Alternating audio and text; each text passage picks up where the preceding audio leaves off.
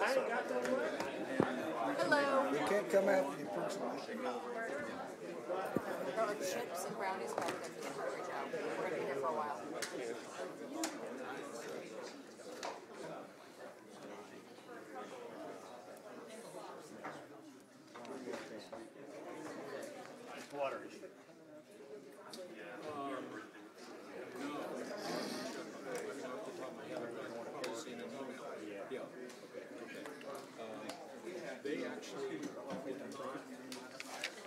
Show, did They they? didn't show. So it said for hearing for maximum penalty. That's the next day. Then they're good, that's all. I- yeah. Come on, come on.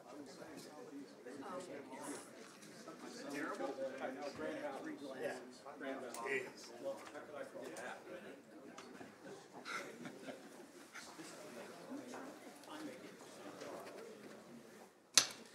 The October 18, 2022 meeting of the City Council of the City of Springfield, Illinois is called to order. Please rise for the Pledge of Allegiance. I pledge allegiance to the flag of the United States of America and to the republic for which it stands, one nation, under God, indivisible, with liberty and justice for all. Thank you. Clerk, if you please call the roll. Will do. Alderman Redpath. Here. Alderman Gregory. Here. Alderman Williams. Here. Alderman Fulgenzi. Here. Alderwoman Purchase. Here. Alderwoman DiCenso. Present. Alderman McMenamin. Here. Alderwoman Conley. Present. Alderman Donelan. Here. Alderman Hanauer. Here. Mayor Langfelder. Here. Mr. Mayor, a quorum is present. Thank you. The uh, first item on the zoning agenda is docket number 2022-039 for the property located at 906 South A Street. Petitioner is NYJ Developments LLC. Present zoning classification is R5B, general residence in Office District, Section 155.021. Requested zoning relief, a variance of Sections 155.056, minimum required lot area per dwelling unit to allow a 10-unit apartment building on a lot containing 6,113 square feet of a lot area instead of the 25,000 square feet required 155.091. Required accessory off-street parking spaces for residents due to allow three accessory off-street parking spaces instead of the 15 required, and 155.112 surfacing to allow the continued use of parking on the existing rock instead of the hard surfaced, dust-free surfacing required. Springfield Sangamon County Regional Planning Staff recommendation is approval as submitted. Planning and Zoning Commission recommendation is accept the recommendation of the Springfield Sangamon County Regional Planning Staff. Chair will entertain a motion. Motion to accept staff recommendation. Second. Been moved and seconded to accept the Springfield Sangamon County Regional Plan Staff recommendation and seconded. Any discussion? All those in favor vote yes. Those opposed vote no. The voting is now open. Sorry, missed. And the zoning docket passes 10 voting yes, none voting no. Next item on the agenda is docket number 2022-040 for the property located at 32 Wineold Lane. Petitioner is Martin Sikorsky and Michael Edwards. Present zoning classification R1, Single Family Residence District, Section 155.016. Requested zoning relief, a variance of Section 9 regarding docks of Appendix A of the Land Use Plan for this Lake Springfield and its marginal properties to allow the current covered boat dock and lift for boat access at approximately 52 feet from the shoreline instead of the maximum 35 feet allowed.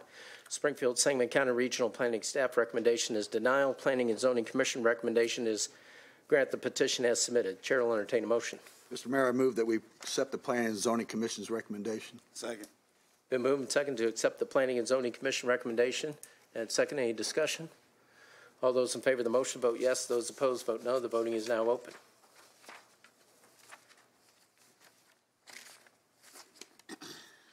And the zoning request passes 10 voting yes, none voting no. Next item on the agenda is docket number 2022-0041 for the property located at 2477 West Washington Street. Petitioner is St. John's Evangelical Lutheran Church. Present zoning classification is R1, Single Family Residence District, Section 155.016. Requested zoning relief, a variance of section 155.311B, residence office district sign regulations, non-illuminated nameplates and identification signs to allow the three ground signs along West Washington Street, including a new illuminated monument-style ground sign of 164 square feet and two existing entrance signs of 12.75 square feet each, instead of the one non-illuminated sign with an area not to exceed 24 square feet allowed per code. The existing V-shaped sign will be replaced by the new monument sign.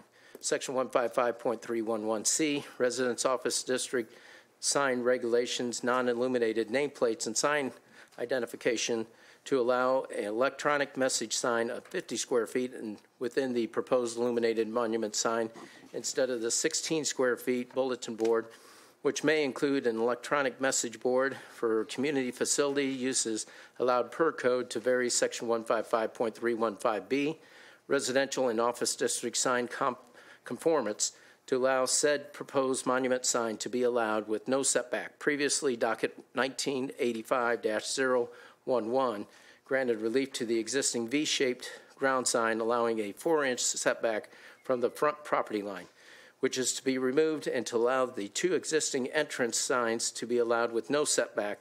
Previously docket 2007-029 granted relief to the, allow the sign on the south property line eastern entrance to be 24 inches front, uh, front of the front property line, contingent upon receiving an easement from the city council to allow the sign to be on public property instead of the 10 feet required setback per code.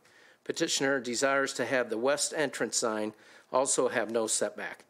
In addition, both the existing entrance signs extend several feet into the right-of-way, and a license agreement with the city will be sought to allow the entrances signs to remain, and a variance of section 155.315C, residential, residential and office district sign conformance to allow the three signs, the two existing entrance signs, one at the west drive and one on the east drive, as shown on Exhibit A, and one new illuminated monument sign as proposed and shown on Exhibit B, instead of the one sign permitted per code in the R1 zoning district. Springfield Sangamon County Regional Planning Staff recommendation is approval as submitted.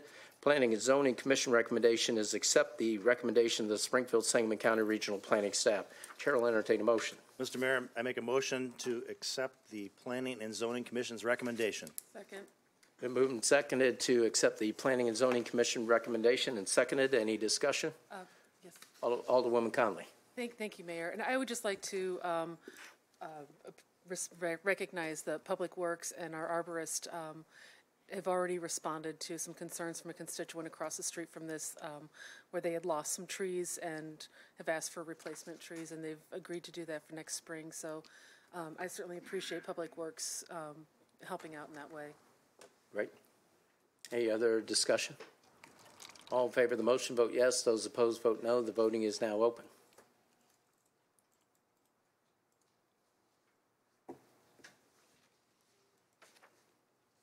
And the zoning request passes 10 voting yes, none voting no. Next item on the agenda is docket number 2022-042 for the property located at 1800 and 1804 East Spruce. Petitioners Barbara, Luke, and Gregory Robinson. Present zoning classification is R2, Single Family and Duplex Residence District, Section 155.017. Requested zoning relief, a variance of Section 155.157, discontinuance of use to occupy the second dwelling unit located on the property once again to allow the use of the property as two single-family residents on one lot of record. Springfield Sangamon County Regional Planning Staff recommendation is approval. Planning and Zoning Commission recommendation is accept the recommendation of the Springfield Sangamon County Regional Planning Staff. Chair will- will entertain a motion. Motion to approve staff recommendation. Second. Been moved and second to accept the staff recommendation and seconded. Any discussion? All those in favor of the motion vote yes. Those opposed vote no. The voting is now open.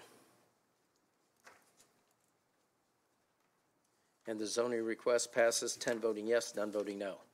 Next item on the agenda is docket number 2022-043 for the property located at 4030, 4100, 4130, 4200, and 4230 Westgate Drive. Petitioner is Centennial Park Subdivision LLC. Present zoning classification is S2, Community Shopping and Office District, Section 155.031. Requested zoning relief reclassification to R2, Single Family and Duplex Residence District, Section 155.017. Springfield Sangamon County Regional Planning Staff recommendation is approval. Planning and Zoning Commission recommendation is accept the recommendation of the Springfield Sangamon County Regional Planning Staff. Chair will entertain a motion. Uh, Mayor, I'd like to make a motion that we accept the Springfield Sangamon County uh, Regional Planning and Zoning uh, recommendations. Second. Been moved and seconded to accept the Springfield Sangamon County Regional uh, Commission's recommendation and second. Any discussion? All those in favor of the motion vote yes. Those opposed vote no. The voting is now open. And the zoning request passes 10 voting yes, none voting no. Next item on the agenda is docket number 2022-044 for the property located at 1816 and 1818 Hazel Dell Road. Petitioner is Nicholas Weiss. Present zoning classification is R2, Single Family and Duplex Residence District, Section 155.017. Requested zoning relief, a variance of Section 155.010A and A1. General provisions to allow storage of two personally owned trailers at the property while not residing at the property. 155.112, surfacing to allow the parking pad driveway addition of recycled asphalt instead of the solid dust-free surface required by code 155.062C1 and 2, permitted obstructions in a front yard to allow driveway and parking spaces on a driveway not leading to a garage or off-street parking located beyond the required front yard, and 155.114 regulations for location of off-street parking facilities to allow parking in a required front yard. Springfield Sangamon County Regional Planning Staff recommendation is approval as submitted. Planning and Zoning Commission recommendation is accept the recommendation of the Springfield Sangamon County Regional Planning Staff. Chair will entertain a motion. Mr. Mayor, I move that we accept the Planning and Zoning Commission's recommendation for approval. Second. Been moved and second to accept the Sangamon County Regional Planning Staff recommendation. And second, any discussion? All those in favor of the motion vote yes. Those opposed vote no. The voting is now open. And the uh, zoning request passes 10 voting yes, none voting no. Next item on the agenda is docket number 2022-045 for the property located at northwest corner of Sangamon Avenue and Illinois Route 54, PIN 15-18.0-326-019. Petitioner is Don Curtis LLC. Present zoning classification is B1, Highway Business Service District, Section 155.033. Request is zone relief reclassification of I-1, Light Industrial Service, Section 155.040. Springfield Sangamon County Regional Planning Staff recommendation is approval. Planning and Zoning Commission recommendation is accept the recommendation of the Springfield Sangamon County Regional Planning Ch- Staff. Chair will entertain a motion. Make a motion to accept the petition as submitted. Second. Been moved and second to accept the petition as submitted and approved by the Springfield Sangamon County Regional Planning Staff. And second, any discussion? All those in favor of the motion vote yes. Those opposed vote no. The voting is now open. And the zoning request passed, 10 voting yes, none voting no. Next item on the agenda is docket number 2022-046 for the property located at 1124 North 19th Street. Petitioner is Jody and Stanley Porter. Present zoning classification is R2, Single Family and Duplex Residence District, Section 155.017. Requested zone relief, a variance of Sections 155.062C1 and 2, permitted obstructions in a front yard, allowing as permitted obstruction, parking in front yard setback, and on a driveway not leading to a garage or off-street parking located beyond the required front yard, and 155.114B, regulations for location of off-street parking facilities to extend the driveway to the north 11 feet in width and 25 feet in length to run parallel to the existing driveway, allowing parking in the front yard setback. Springfield Sangamon County Regional Planning Staff recommendation is approval as submitted. Planning and Zoning Commission recommendation is accept the recommendation of the Springfield Sangamon County Regional Planning Staff. The Chair will entertain a motion. Mr. Mayor, I request that we approve and accept as recommended. Second the motion. Second. It's been uh, moved and second to accept the uh, petition as submitted and approved by the Springfield Sangamon County Regional Planning Staff and seconded. Any discussion? All those in favor of the motion vote yes. Those opposed vote no. The voting is now open. And the zoning request passes 10 voting yes, none voting no. Next item on the agenda is docket number 2022-047 for the property located at 401, 421, 501, 515, and 601 Stanford Avenue. Petitioner is TC Investment 4 LLC. Present zoning classification is I-1, Light Industrial District, Section 155.040. Requested zone relief, a variance of Section 155.0321. A, non-illuminated signs in Section 155.322, illuminated signs to allow one front yard illuminated ground sign of approximately 378 square feet and one illuminated ground sign on the side yard adjoining Stanford Avenue of no more than 200 square feet, which would result in I, total square footage of 578 versus the maximum of 156.92 square feet allowed by Section 155.322 and 155.321A for the zoning lot, and the maximum 300 square feet allowed for the I-1 district, and a single front yard aluminum sign of 378 square feet instead of the maximum 300 square feet allowed by Section 155.321 in areas zoned I-1. Springfield Sangamon County Regional Planning Staff recommendation is denial is submitted. In the alternative, staff recommends approval of a variance of Section 155.321A non-illuminated signs and Section 155.322 illuminated signs to allow all ground signs not to exceed 300 square feet total. Planning and Zoning Commission recommendation is accept the recommendation of the Springfield Sangamon County Regional Planning Staff. Chair will entertain a motion. Mr. Mayor, I move to accept the Planning and Zoning Commission's recommendation. Second. Been moved and second to accept the Springfield Sangamon County Regional Planning and um, Zoning Staff recommendation. And second, any discussion? I Yes. just, If you'd like to identify yourself, please. sure, Tom Pavlik for the petitioner. Um, I think what we'd like to ask for is 300 square feet on the monument sign, which would be an LED illuminated sign, and 200 square feet for a ground sign for a total of 500 square feet. The problem here is that the perceived front yard is Stanford Avenue, which is, I think, in excess of 800 feet. The legal front yard of the property is Pasfield, which is a stub of probably less than 100 feet. As a result, with that small front yard, that limit is, limits the total signage that Mr. Green can put in his property where he's going to be building a new car lot. Which is why I would ask, had originally asked for 378 square feet on the tall LED sign and 200 square feet for a smaller ground sign that is not LED.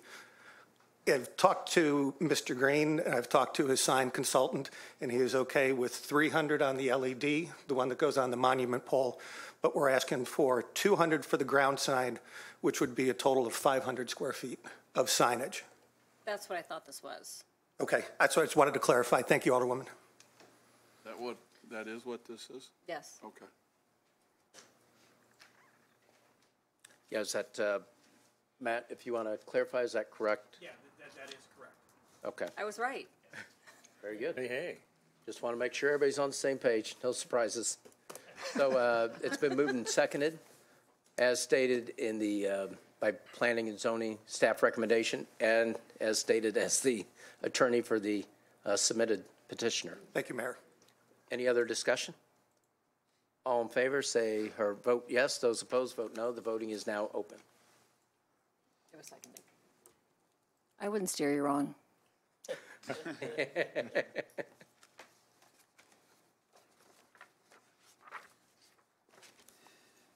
you voting? Oh, I thought I did. I pressed the button. And the petition passes, nine voting yes, none voting no, and one voting present. Thank you all.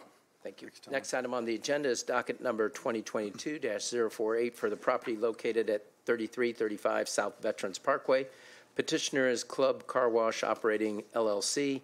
Present zoning classification is S2, Community Shopping and Office District 155.031. Requested zoning relief reclassification to B1, Highway Business Service District, Section 155.033. Springfield Sangamon County Regional Planning Staff recommendation is approval. Planning and Zoning Commission recommendation is accept the recommendation of the Springfield Sangamon County Regional Planning Staff. Chair will entertain a motion. Mr. Mayor, I make a motion, we take, we accept the Springfield Sangamon Regional Planning Commission recommendations. Second. Been moved and second to accept the Planning and Zoning Commission recommendation, and second, any discussion? All those in favor of the motion vote yes, those opposed vote no. The voting is now open.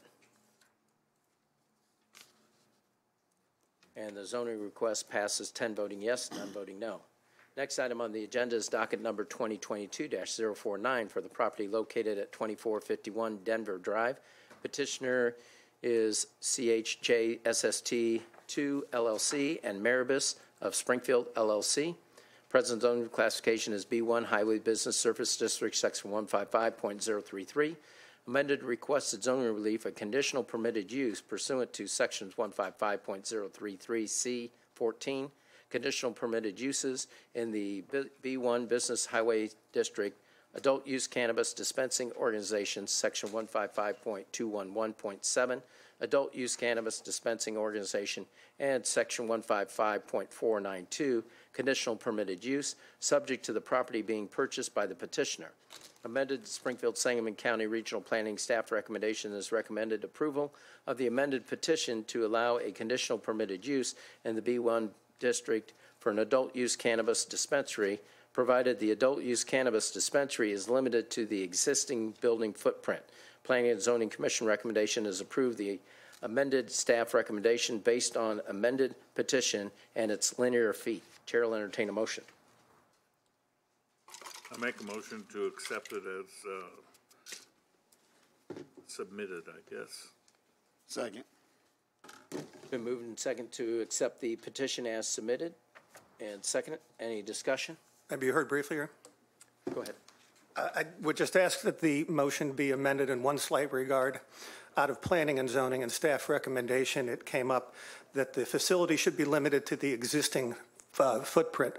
To comply with state and local laws, the petitioner has to build a sally port, a secured sally port to allow deliveries and product to go out. Um, I would ask, ask the motion be modified so that it be, the conditional permitted use be granted for the existing footprint and for the sally port to be constructed as was indicated in the petition. Okay. So it's been moved to uh, accept the Second. petition as submitted with the addition of the Sally Port as submitted. Thank you. And second it, any discussion? Yeah, Mayor? Alderman Hanauer? This meets all the setback requirements that we have in place. We don't, there's nothing that needs to be changed there, right? Correct. Okay, thank you. Any other discussion? All in favor of the motion, vote yes. Those opposed, vote no. The voting is now open.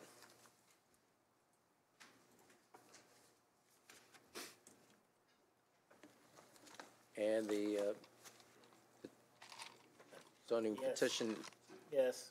passes as amended, nine voting yes and one voting no. Thank you all, and again, I just want to say how wonderful your staff is. You do have to be commended. Thank you. Thank you.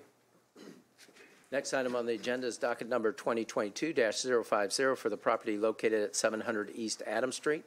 Petitioner is 700 East Adam Street owner LLC and Tower Capital Group LP. Present zoning classification is S3 Central Shopping District, Section 155.032. Requested zoning- relief, a variance of Section 155.049, special provisions for residential uses in the inner city to allow 125 extended stay suite hotel rooms and up to 275 residential dwelling units consisting of studio and one and two bedroom units as further detailed in Exhibit B. Springfield Sangamon County Planning, Regional Planning Staff recommendation is denial. Planning and Zoning Commission recommendation is accept the petition and accept the standards of variation as submitted by the petitioner.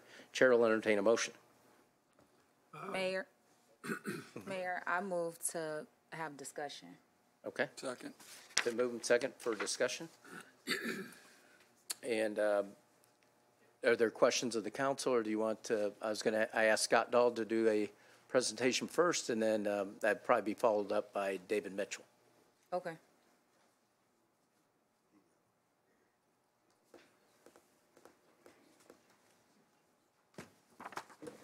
Thank you, Mayor. Appreciate that.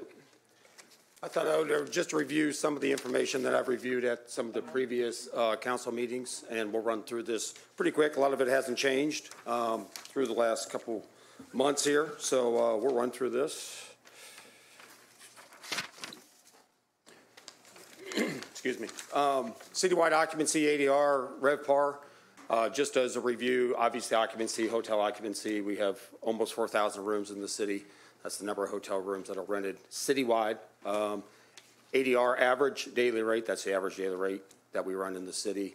And RevPAR is a combination of the two, occupancy, ADR. That's really your truest measure um, when you're looking at uh, the occupancy and ADR because, you know, oftentimes the hoteliers would rather rent um, uh, 50 rooms at $100 and 100, 100 rooms at $50. So that's really what it's telling you at that point. If you look uh, to your far right there, you'll see that the city uh, this year through August is running 53.4%. Um, it's running a record 96.12 average daily rate. That's an all-time record. And it's running a RevPAR, again, that's the truest measure of 5132. That's pre-pandemic levels. Matter of fact, the September numbers landed in my box just before this meeting, and we had pushed up to 54% occupancy uh, and a little bit higher on ADR. So we're much closer to where we were pre-pandemic. Just to show you, share you some numbers with the with the Wyndham and what they've been going through uh, for the past years. This this came from the uh, Wyndham ownership group. Um, you can see here that the Wyndham Springfield at the top. Um, if you see year to date, you can see 30.9%, well below what the city uh, is doing as a whole. They're running 12 months, 27.5%. Their competitive set, I'm not for sure exactly who's in their competitive set, uh, but it's running 45.7%. I assume it would be convention hotels. I would not assume it would be uh, limited service, state house inn, et cetera. Uh, so, um, again, a little bit lower than the, uh, the citywide average. Uh, the convention impact on this zoning decision, again, this, I've reviewed this in the past, this has not changed. If zoning is denied, resulting in zero hotel rooms uh, for the city, we'll have 26 conventions uh, that are obligated from 2023 to 2025, representing almost 57,000 room nights that will be impacted. I added the 65 total dates because majority of these 26 conventions are multi-year conventions. Typically, when we sign a convention, we spend years prospecting a convention. Uh, we sign them for multiple years. We just don't sign them for one year, uh, unless it's more like an event like the American Truck Historical Society that we had at the fairgrounds this year. Uh, but these these are they're true conventions. So uh, that's if it's denied. We have zero rooms there. Uh, zoning is approved for 125 rooms. We'll have 17 uh, conventions again from 2023 to 2025. That will be still be impacted approved for 150 rooms, 12 conventions will be impacted. And then if uh, you go to 200 rooms, uh, we'll have four impacted by that. Again, these numbers really haven't changed. I'll go back um, briefly here to, um, one more, should be one more slide in there. Oh, here it is zipped over. Uh, our contingency actions, um, of course, uh, de depending on this decision, we're going to work with meeting planners, hotel partners, transportation companies. Uh, either way this goes, we're going to have uh, an impact and we're going to have to have some contingencies in place. Uh, if, if it moves through uh, the redevelopment as has been proposed at 125 rooms, uh, then we'll still have some gaps. There'll be gaps to fill, uh, absolutely uh, within those 17 conventions that are still impacted.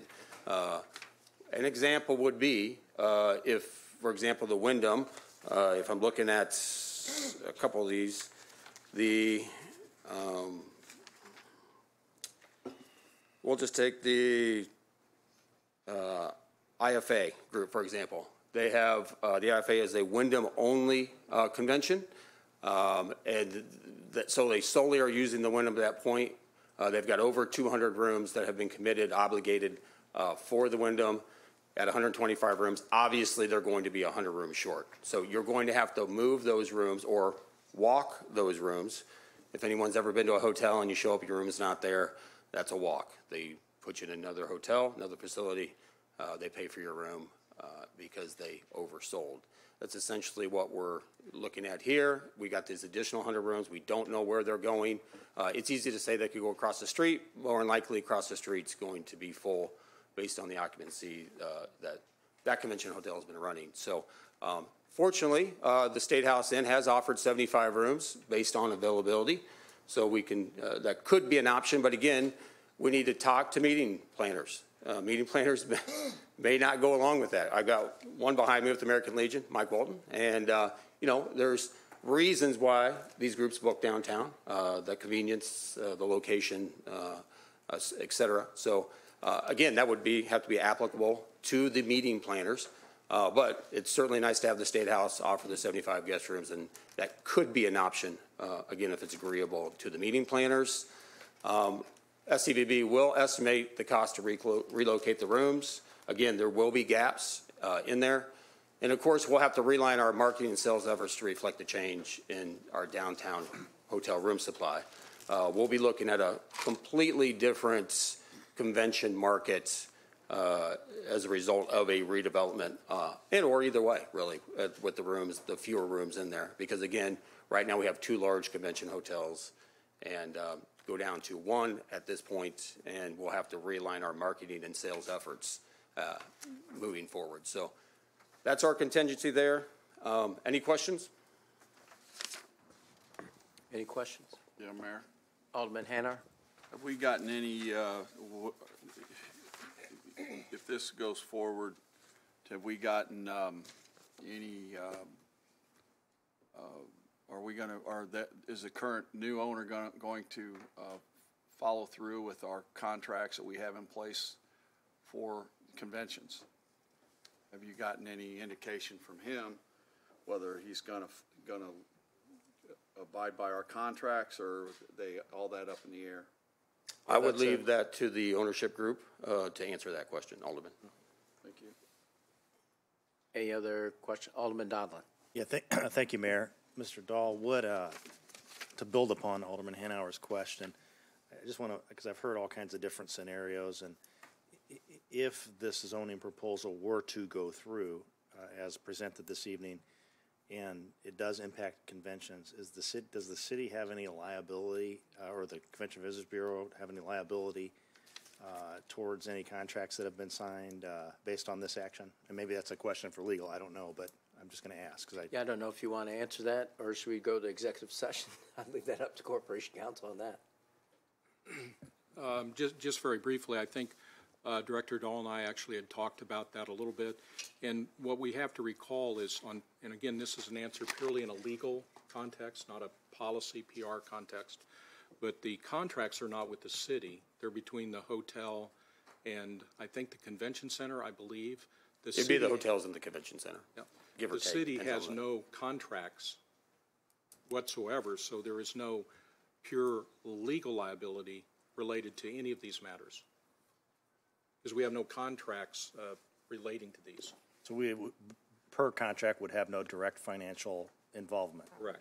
That's And my the- the- question. The other, the, the policy issue, though, to be, uh, what was discussed was, there may be a policy or PR, public relations issue of how to deal with uh, customers who feel that they're not satisfied. I understand. But there is not a legal liability to the city. This is- That answers my question, thank you. Alderman Redpath? Corporation Counsel, if you could further explain that if we're the cause of the contracts being terminated, um, won't we have some liability? No. Alderwoman DiCenso? Thank you, Mayor. Is the plan to still close the entire building for renovation for a year? That would be a question for the new developer or the redevelopment group, for sure. Is the plan still to close the hotel for a year? Any other questions for Scott? No, sir. And we'll have him come up and answer that and give his presentation.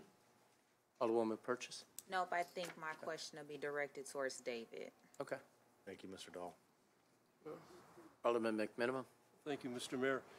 Uh, Thank you for the information, uh, Director Dahl.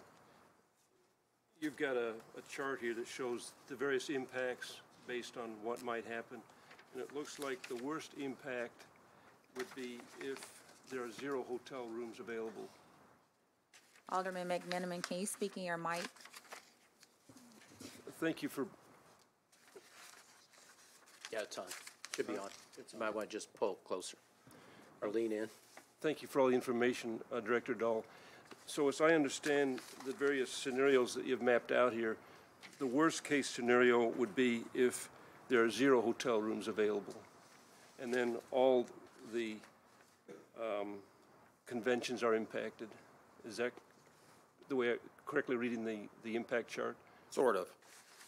As I've previously mentioned, that if if the hotel closes due to the owner closing the hotel, that is uh, unforeseen by the city, that means it's not our fault, then force majeure would kick in.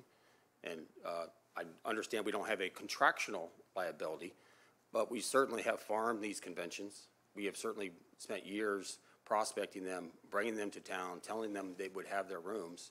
And again, even though it's not on paper contractually, uh, if the hotel owner decided that they weren't going to honor the contracts, I'm assuming that the meeting planners, who are typically very savvy, would come to the city and ask them, or ask the city to cover the rooms. Um, And if we were, we didn't cover the rooms at that point, uh, certainly our reputation would be at stake. Certainly, we would have a PR issue. Um, But at that point, uh, we would be protected simply because uh, it wasn't our fault. Yeah, I'm trying to, thank you for that. I'm trying to look at it from the um, conventioner's point of view, that the, the most disruption to those that come to our city for a convention will be if the, there are zero hotel rooms available in the Wyndham. That's the most disruptive outcome, based on your chart, because then all the conventions are impacted to a very sig- significant, uh, in a very significant way. Correct. We would have to relocate those 26 conventioners um, around the city, absolutely. They may even decide not to come to the city. But, and that's a possibility. That's why, uh, you know, I put in there with our contingency that we have to speak with the meeting planners because each one's going to be different. Uh, The American Legion is going to be different uh, than the VFW. I mean, depending on what, you know, how long they've uh, contracted for and, and what effort gone into it. I mean, the Illinois Reading Council, it took us eight years to attract them back from Peoria. Uh, and they've got three more years on their contract. Uh, very, very large. They got over 700 peak room nights on there. Um, they're likely not staying. Thank you very much. Yep. Uh, One quick question, and I'll, uh, then I'll go to Alderman Williams. With regards to the Wyndham, have you received complaints? Because uh, just this past week, I heard from a group that said, you know, they had outside visitors come in, and they said uh, they wouldn't recommend anybody staying there. Do you have any, have you gotten calls or CVB with regards to conditions of the hotel itself? We haven't received calls at the CVB. However, we have heard from some conventions that are concerned absolutely with the condition of the Wyndham. Uh, if you read TripAdvisor, they do not do well on TripAdvisor. Um, and obviously that's public information. So, yeah, there's, there's some issues there. Uh, it needs some capital. It needed capital in 2019, uh, when the current, current owners purchased it out of bankruptcy as well. So this isn't new. Um, certainly we've gone through a two-year pandemic and uh, it still needs some, uh, some capital input, absolutely. Um, But that is a, certainly a concern, Um, but I think when it gets right down to it, uh, service is always number one. Uh, You can have a stain, but it better be a clean stain. You better be well-maintained, and you better have good service. Uh, You don't have to be the newest product to be out there. So, yeah, it is a concern, Mayor. Alderman Williams? And so, following up on um, uh, Alderman McMenamin, you prefer to have 125 rooms versus zero, correct? Doing your business and the impacts that we're talking about. 125 is better than zero. I mean, see, yes or no? It's not that easy, Alderman, uh, simply because uh, our longstanding and very solid reputation is on the line. And with zero rooms, if the hotel closes, it's not our fault. I, I keep saying that it's not our fault. We, we cannot help a hotel owner closing the doors. However, we vote through a redevelopment agreement, that is the city's fault. And our reputation is on the line. So I, it's really a tough question to ask because when there's no fault, we have more sympathy from our meeting planners because we didn't have anything to do with that. A hotel owner decided to close his door, made a bad investment, and everyone moves forward. However, when we decide to vote through not having the rooms, uh, there will be less sympathy for sure with our meeting planners. And again, there may not be contractual liability there. Certainly, though, they'll look at us to make good uh, for pushing through a redevelopment that took away uh, their rooms. So it's a really a tough question for me. So if it goes to zero and, and it's not our fault, surely if it goes to one twenty-five, it, it would not be our fault. No, because you passed the development agreement. So you, you took away their rooms at that Oh, point. well, so I feel like now our, our, our arms are being tied. You know, it's like you, you're saying either or. And, and, and, and we got a guy wanting to invest to fix some of what we're hearing about the conditions of the hotel, because I've been hearing the bad things too. So he comes in, pumps all this money in, and we don't have as many rooms as we, we have right now. That's still better than going to zero. I said that way back when we were at 80 and zero. And now we're at 125. And see, so is the problem really the decrease in the hotel or the fact that your business doesn't want apartments? Is, is that what, what the problem is with you guys? That it's about the apartments, not really about the hotel rooms? Well, Alderman, I'm not the policymaker, so that's really your decision. You choose the lesser of two evils. No, but I'm asking you your opinion as director of tourism. Does it bother you that apartments may be a part of this new mix? It bothers me that we've entered obligations to 57,000 room nights, and we don't have anyone standing up to say they're going to honor them. That's what bothers me. Thank you. 125 is still bigger than zero. That's what Correct. I'll say to you and all the alderwoman. She, she was initially for this. Well, it's not over yet. Yeah, I was about to say, what are you saying right now? Well, you said thank you and inputted yourself, so I wanted you to know.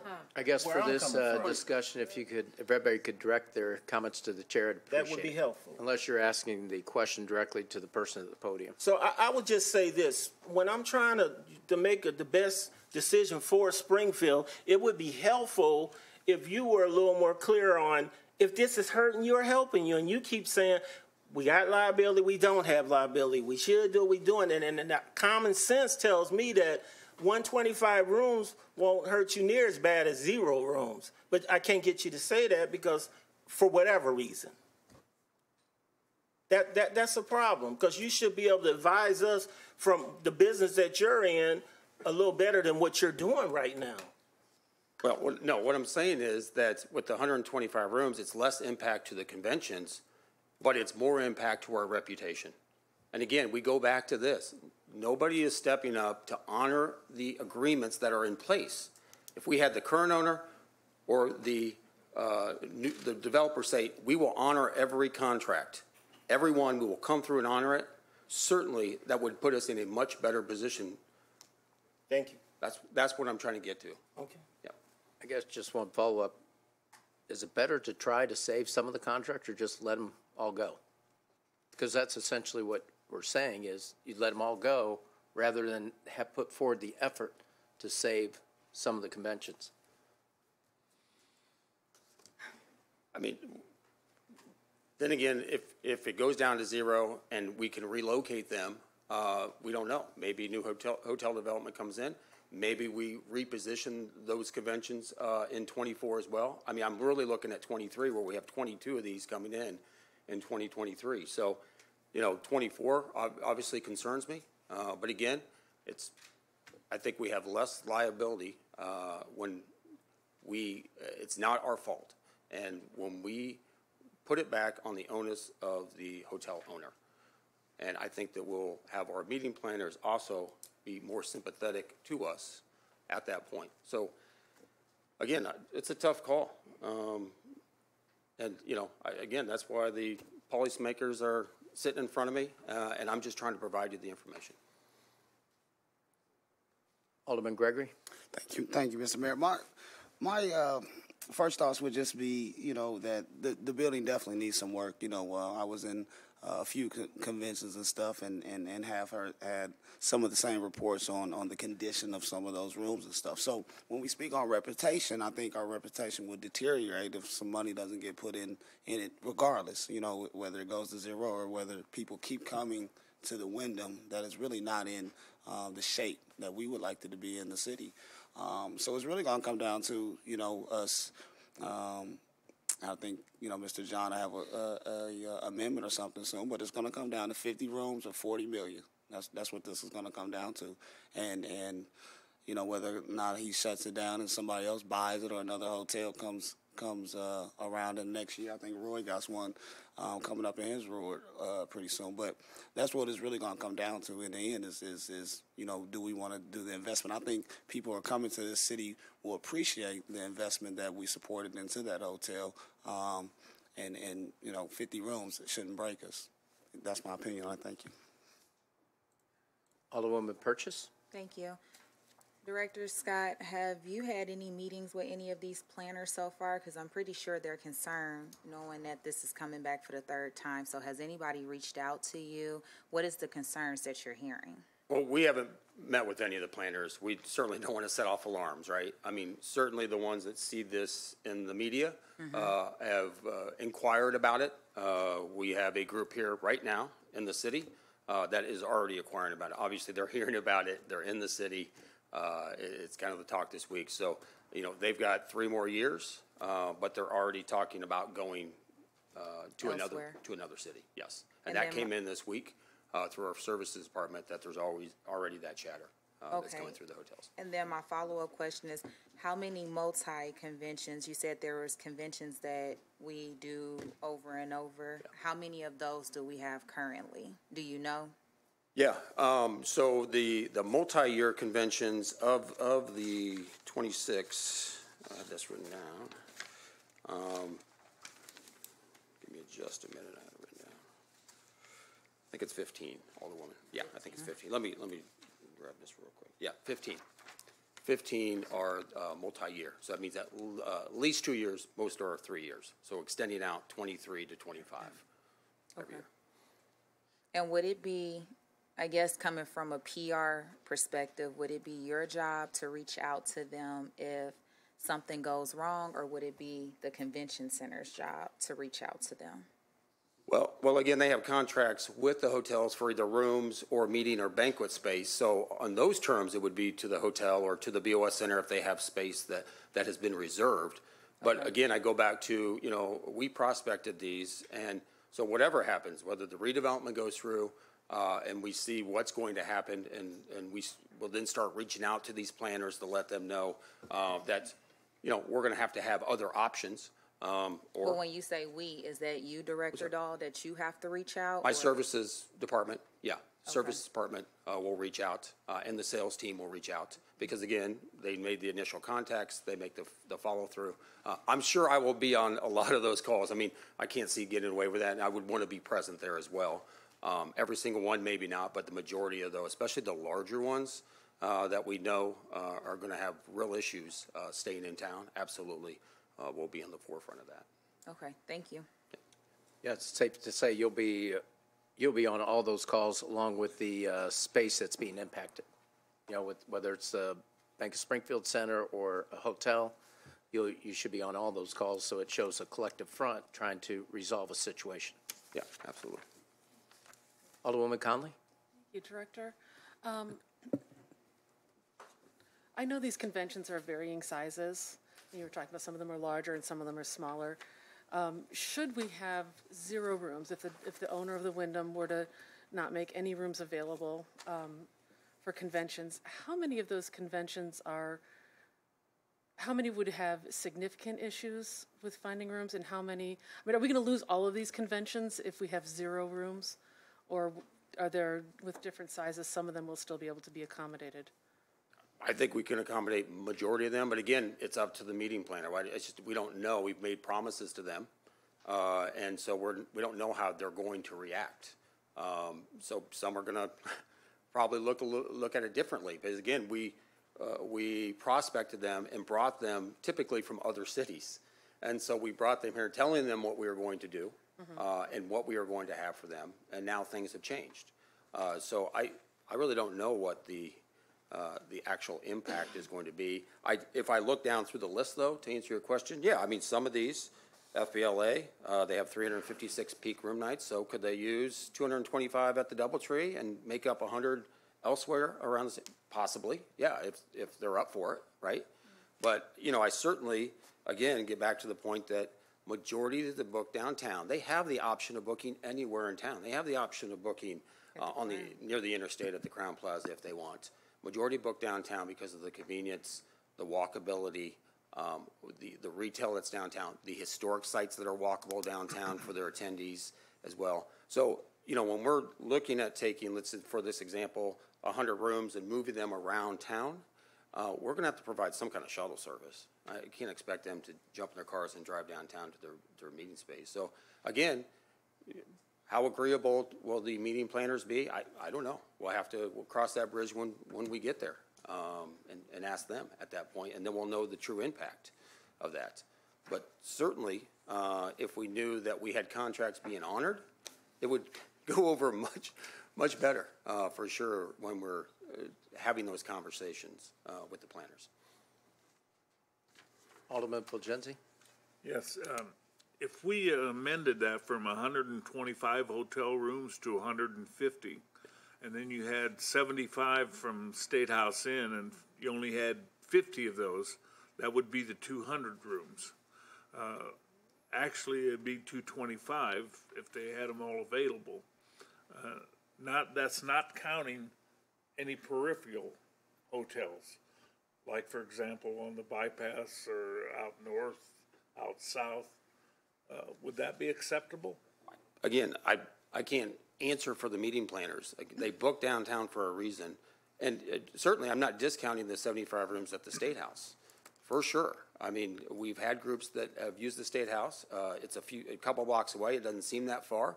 But again, they like that, uh, availability of having the two large convention hotels right downtown across the street from each other. So, yeah, I mean, that's what I'm saying. There's options out there. We're, we're gonna explore all the options, but we don't know how the planners are gonna react. Because again, they've entered into agreements that said that the rooms will be available at a location, uh, that they've, uh, agreed upon. And at some point, some have told their members, some may have not, some have told their attendees, some have not been announced, what have you. So there's just a lot of variables there. And it'll really be up to the planners to, how comfortable they feel about booking around town. So in, in any convention, what you're saying is they all stay downtown. Well, not all of them. I mean, Crowne Plaza certainly has their fair share, right? I mean, they have 50,000 square feet of, of meeting space. Uh, they've got rooms to handle uh, mid-sized conventions.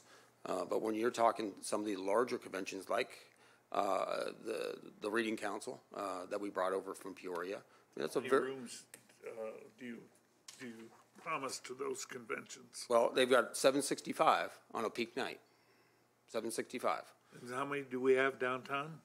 Well, I, when typically the Doubletree can, will give about two hundred and twenty-five, and again, depending on the date and the time of year, they may give a little bit more, but not much, because they need to save back for transient, corporate, uh, some other group, they're higher rate rooms. So typically two twenty-five, uh, will be there. Uh, the Wyndham, uh, would give, uh, two seventy-five and up, uh, for their rooms, depending on if they could get all the rooms or not, and again, depending on the date and, you know, how comfortable they feel about giving the room. So, yeah, I mean, we could stretch into the six hundred mark, if we needed to, currently. Now, obviously, it's gonna be different moving forward. Okay, sounds like we can, we can accommodate them if it was gone to hundred and fifty rooms down at the, uh, uh, what is it, Forum thirty or Wyndham? So, okay, thank you. Alderman McMenamin? Going along with what Alderman Fulgenzi just said, if we, if we can save 150 rooms at the Wyndham, and then we have 75 rooms over at the State House Inn, a few blocks away, looks like we, we ended up with almost zero impact to the conventions. And I think we all want to save the hotel rooms to limit impact to the conventions. Um, But if we fail to provide any zoning relief here. Uh, The current owner has said he'll close the hotel. I mean, that's what he, he came here in person and said that, that if we, if we fail to give zoning relief and we block this sale, uh, he will close the hotel.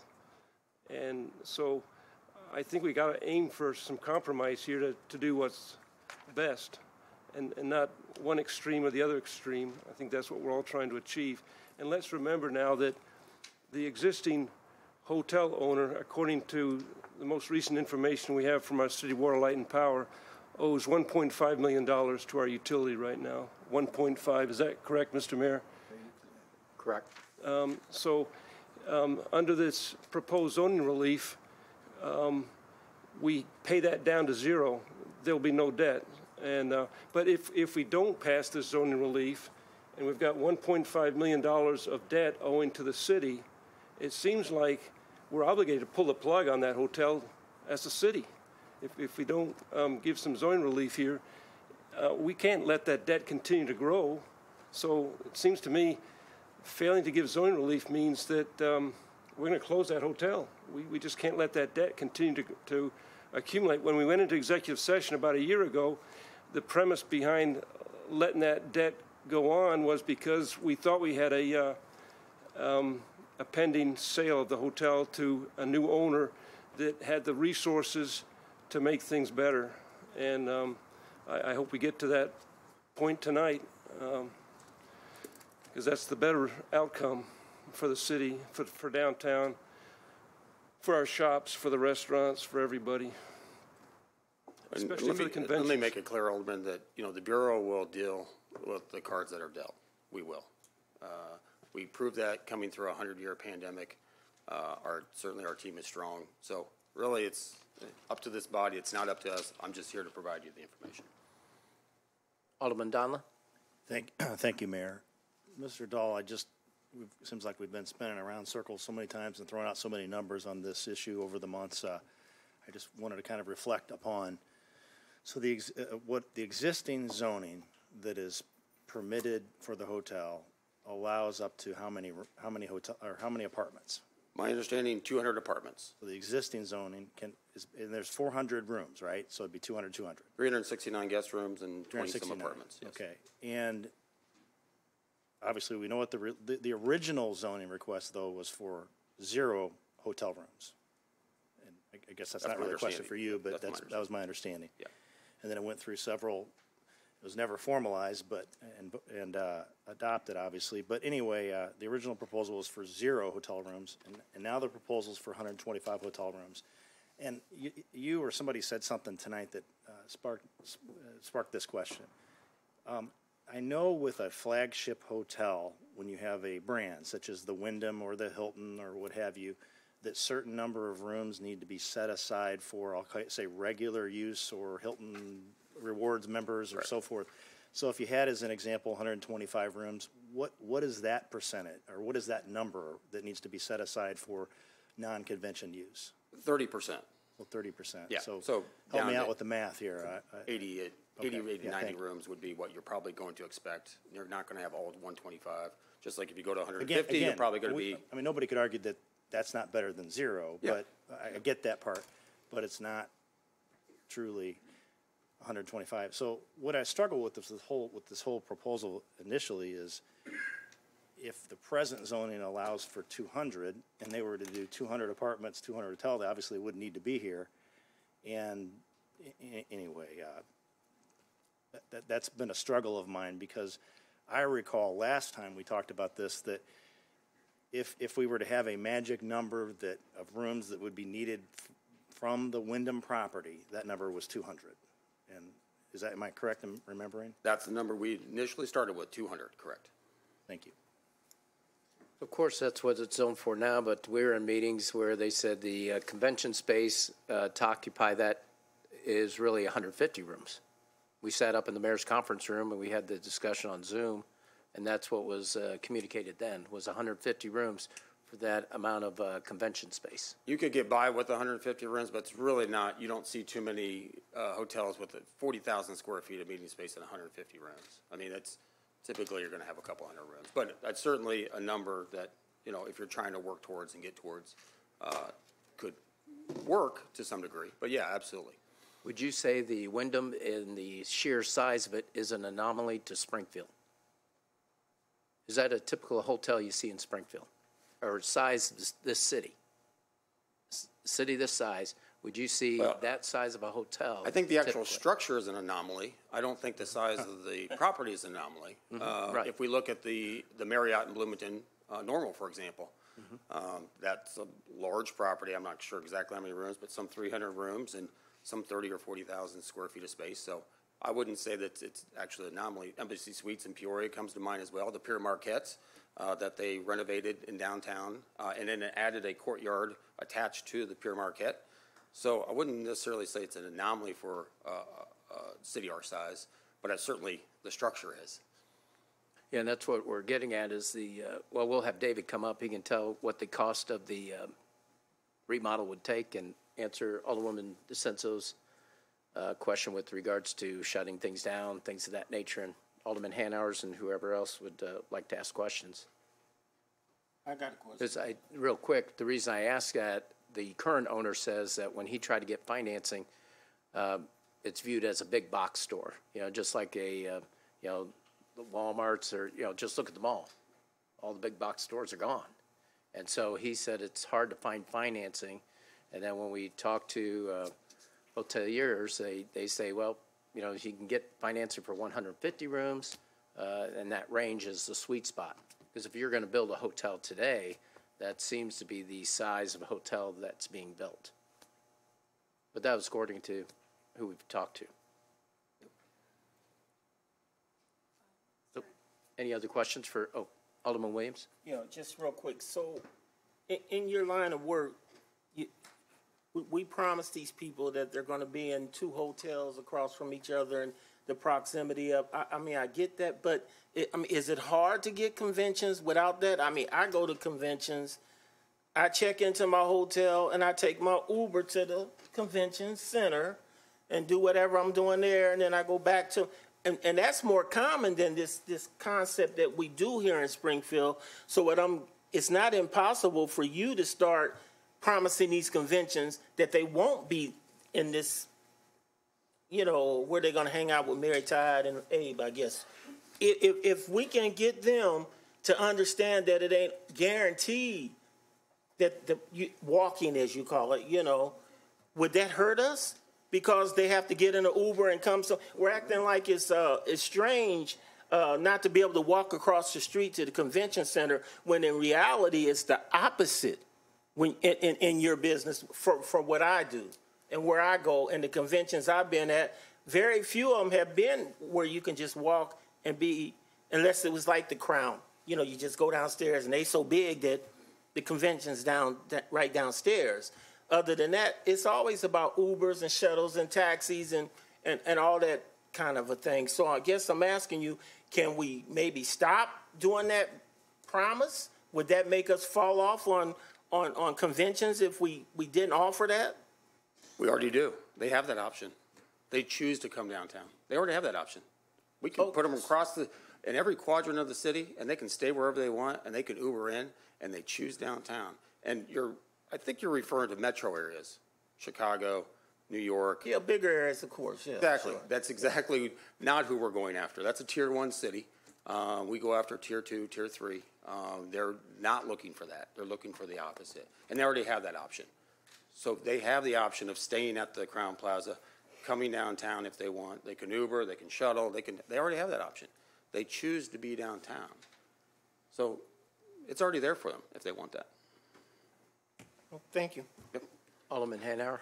Yeah, thank you. I, I, and I'm not in your business, but I would think that with, with the competition that we have to do with just like Bloomington and Peoria, we have to be able to say they can walk downtown.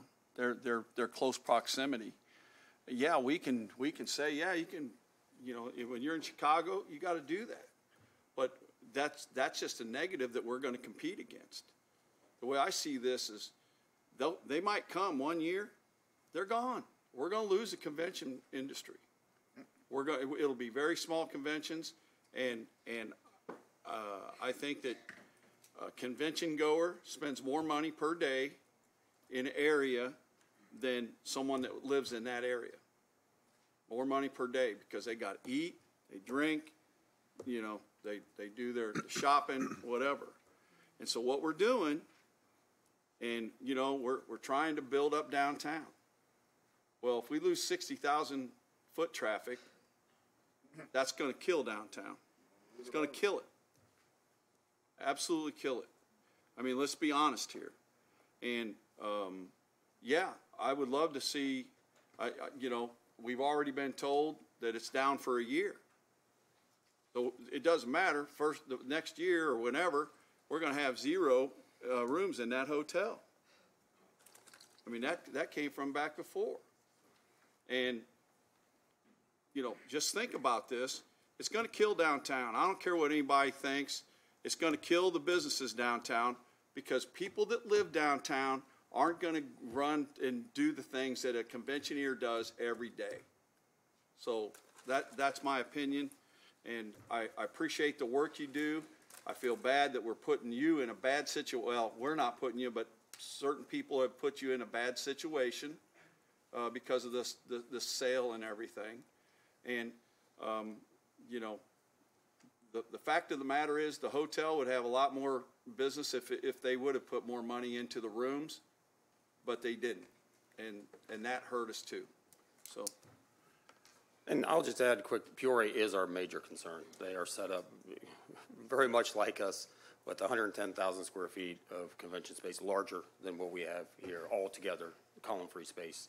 And they've got that walkability, they've got, they've invested in that Pere Marquette, the crown, or the uh, courtyard, uh, that Four Points is reopened. So they went through some struggles as well, and they're certainly a, a major competitor and very, very good comparable for us, uh, when we take a look at that. Alderman Redpath? Sorry, Mayor, I I wasn't. think Conley's before me. Oh, okay, sorry. Alderwoman Conley. Thank you. Um, I, I'm actually going to kind of just reiterate a little bit of what Alderman Hanauer said. I've taken some time to talk to some downtown businesses, and they certainly have emphasized how much of that renewed business comes to them with, with convention visitors.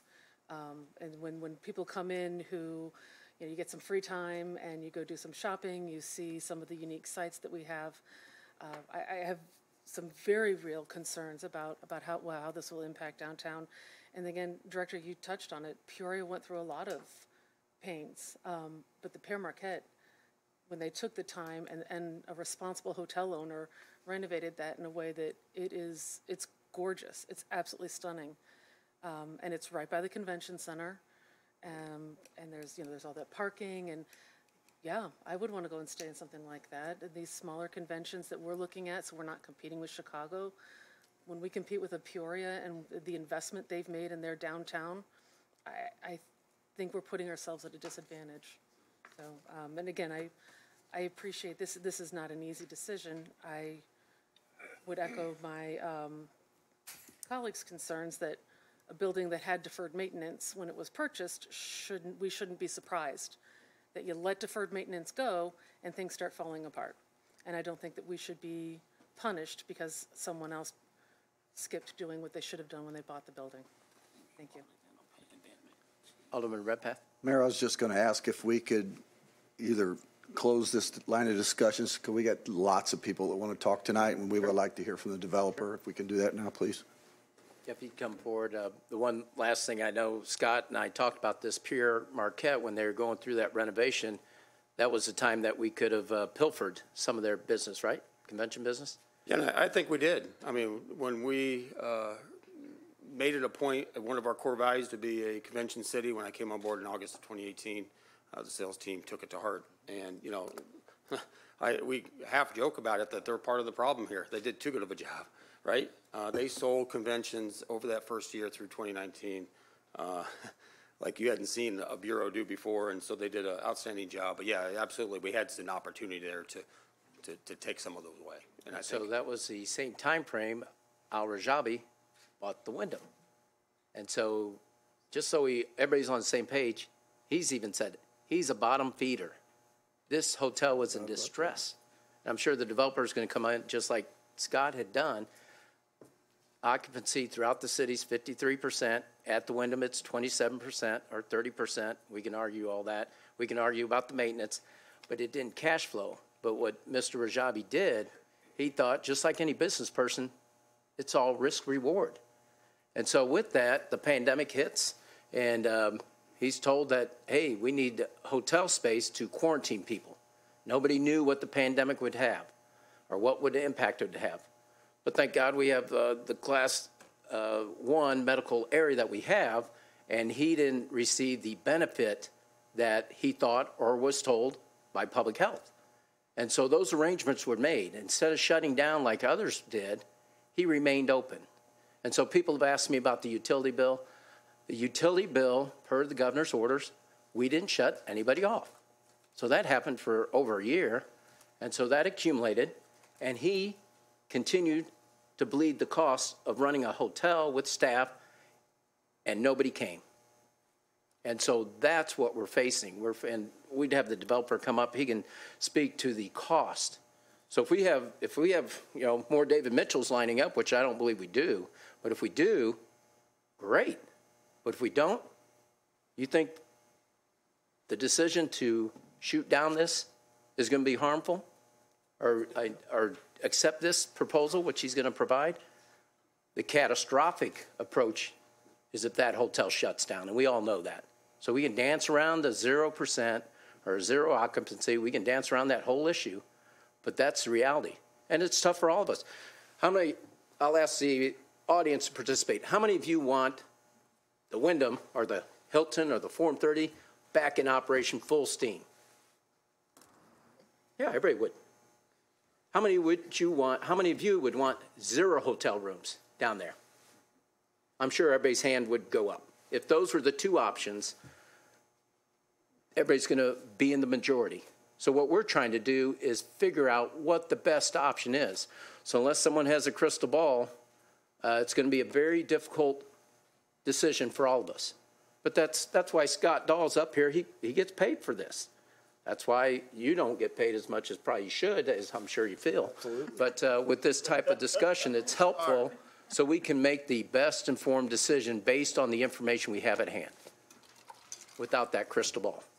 So with that, I'd ask David Mitchell to come up, if you would, please, and Thanks, Scott. go over your presentation. Director. Thanks, Director Dahl.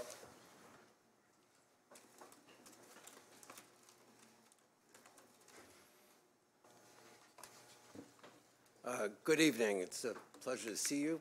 Third time's a charm, and I look forward to uh, addressing you tonight. In the previous um, meetings that we've had, we spoke about a vision for downtown. We spoke about a vision for uh, the Wyndham and its redevelopment. Today, I would really like to speak about the economic impact um, and really what we can see from this redevelopment.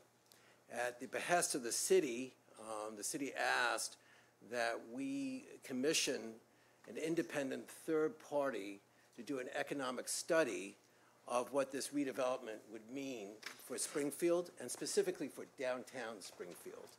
Um, but before I hand out the economic study, which I think you all have had, uh, at least since early this morning, I'd like to just talk about where we've come from. We came from when we first met, I believe, in July, with a request for 400 residential units. Um, but then we met, I think, in September, um, and where we where we are today is a um, is an amendment um, that was passed by your planning and zoning for 75 additional residential units, of which 27 of those residential units really exist today. So that would mean an additional 48 residential units in a building that's 390,000 square feet. So we and and the residential units that we're talking about are on average 365 square feet. So what we're talking about is an additional 17,200, uh, 17,520 square feet, again, in a building that's 390,000 square feet. And I know it's not about the square feet, I know it's not about the additional units, I know it's a lot about the economic impact that this would have in downtown. Um, Alderman Hanauer spoke specifically about, you know, the economic impact of potentially losing, if you will, the convention business. I don't believe you're going to lose the convention business, but the, so I, so part of this study that was done by Apprise, which is a Chicago-based firm that just does, oh, the sole, the, the sole purpose of Apprise and, and, and what they do is they do economic studies for municipalities. And they spent, I don't know, three, four weeks, and before that, two months apprising uh, Springfield and specifically the downtown and weighing, you know, what does a convention attendee spend and what does a residential attendee spend and, and, and annualize that over a period of time. So I, would like to really um, spend some time really talking about the economics effects and why I want to join you in really rising Springfield up. I want to be your partner in doing that. Before I go through the economic study, I've asked our architect, who you know well, Joe Petty, to really talk about what these units will look like, both the hotel units as well as the residential units, and also about this world-class observation deck that we intend on putting on the top of, of the building. I'll go into much more detail about the economics of the observation deck and its meaningfulness to Springfield. But I've asked Joe to put together some renderings and to really describe what you will see inside the, inside the building. So after that, I will uh, uh, have some time, hopefully, to go through the economic report. Good evening, everybody. Uh, My is Joe Petty. I'm a uh, principal with the J.H. Petty and Associates. My address is 3220 Executive Park Drive. Full disclosure, when I got to the office this morning, looked at my planner, I had two things scheduled tonight on the planner. I had this, and I had my 25th wedding anniversary. So it was kind of a buddy, tough one. You guys won out. I think we got tough decisions. You guys won out. But strike that from the minutes. I don't want my wife to know that. Um, Well, she knows. Oh, yes, she does. Yeah, she does. Um, Before I dive into that, just a couple, so you know my background um, about the building. Um, I've been in business 35 years, and in that 35 years, I've worked on this building. Uh, I don't even know, four or five different owners. So I'm very familiar with this building and this structure. Um, And some of the things we talked about earlier was the condition. Um, It is not in very good condition right now, and it's, it's happened over time, we know, it hasn't put money into it, but, but literally everything from, from the mechanical systems, electrical systems, plumbing systems, they're old. I mean, it's an old building. It's a really unique building. It's a decagon, so it's a ten-sided structure. So it's a very cool, unique building. Um, We've done tons of work in there, tons of upgrades, but it is at the point where it needs some love. I mean, it needs some serious attention all the way around. Um,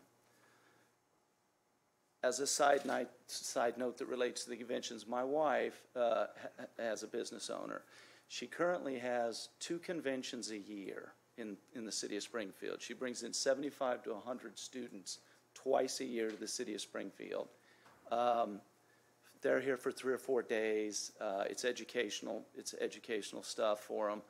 But uh, she's been doing that for four or five years. Uh, the last three or four years, she's done them at the Wyndham, at the Wyndham Hotel, the same place that we had our wedding reception. Um, she'll go there. I had the relationship with them, and, and she likes it there. But she'd go there and come back, and and heating, cooling. She'd have an issue. Heating, cooling wouldn't work. Uh, the audio system wasn't great, and she just keeps battling and keeps grinding and keeps coming back. So she obviously will want, will continue to do that, and she continued to have her um, two seminars a year. She'll continue to do that. If the Wyndham stays, she'd be at the Wyndham, but, but I don't know, I, I don't know where she'll end up next year. So that's just to give you some insight of me and my familiarity with the, with the building. And so what we've done, when David reached out to me quite a while back, got together, we kind of brainstormed, we toured the building, what, what's gonna be best, what, what, what I thought would be best, and got together with him and his construction people, what we thought would be best. And we came up with these different mixes of extended stay versus apartments, and just rolled with it a little bit and played with the numbers and played with seeing how we could make everything work. Again, it's a difficult building to work with because if you've ever been in there, all the rooms are pie shaped. So in between the rooms, there's little wedge-shaped stacks, and that's where all the unit, that's where all the standpipes and sprinkler pipes and everything runs up. So you don't have a ton of flexibility with the footprint. So you gotta, you gotta get creative with the footprint, because they're all little pieces of pizza. They all have fabulous views, but they're these little wedge shapes. So what I'd like to do tonight is kind of go through what, what we're looking at. We're looking at doing a mixture. Every, everyone knows there's currently apartments there. And they've been there since I've known for thirty-five years I've been working on it. Um, there's been, there's been apartment units there, 28, 30 apartment units there, and they vary from one bedroom, two bedroom. There's a couple of them that are even really unique. They're two levels, they're two floors. So could, it's like a townhouse. So they're kind of cool and really unique. So the first image you're seeing up here and the first image you're seeing here, the 30th floor, what we're gonna on doing is dedicating it to just a big gathering space and an observation deck. Um, you could hold functions up there, you could do entertainment events and things like that up there, but we really saw this big be, being this big 360, you could walk around and the views, uh, anybody's been up to the restaurants, everybody knows the views, but it's really, really some killer views up there. So that was the plan. 30th floor would be observation, dedicated observation deck, entertainment, functions and events.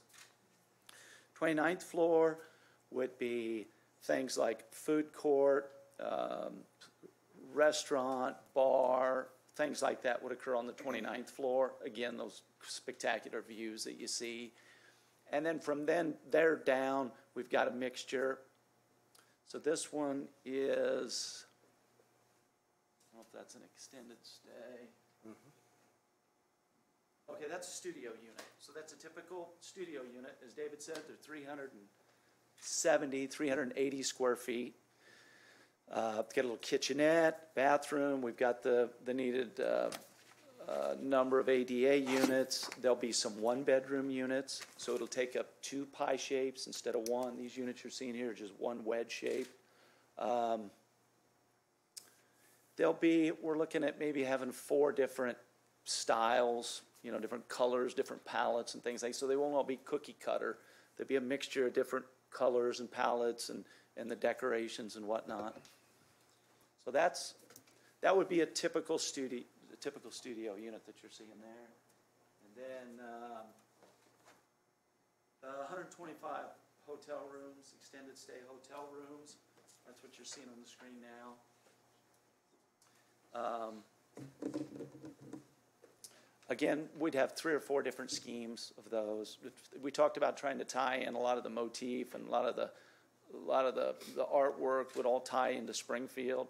You know, top to bottom would kind of tie in and pull, pull, get that information out there about Springfield when people come and stay there. Um, So that's, that would be the extended stay, 125 extended stay hotel suites. Joe, real quick? Yeah. If you don't mind, Mayor? Sure, go ahead. So what, what's the big differences between the extended stay versus the studio apartments? Um, Is The it pretty much configured the same, or? Uh, they're roughly configured the same. There are gonna be some, some one-bedrooms versus studios where you'd have two twins instead of, a two queens instead of a king. But for the most part, it's mainly the motif of it. It's a little more, Will they have the same refrigerator, stove, all that stuff? Yeah, yes. Mm-hmm. So in a sense, it's just another apartment? Mean, Called, called have a- something yeah, different? Similar footprint, sure, All right. yeah. Any other Any other questions? questions? Questions? Otherwise, we'll have David go through. Go ahead, his I'm part. sorry. Thank you. Thank you for spending your 25th anniversary with us. Yeah, I I truly appreciate that. See how it goes when I get home. Yeah, we'll, we'll- we'll, we'll see how it goes here tonight. Anyway, I'm, I'm gonna, I'm, I'm gonna pass out the economic study. I know that some of you have received, all of you have received it, but, uh, this one has a different cover picture, and it has a slightly different number of, uh, hotel rooms were, of, than the one that you received this morning.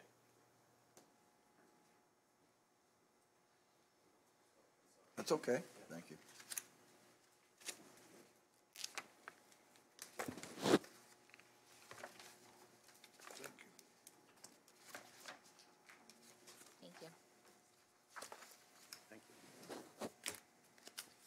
Thank you.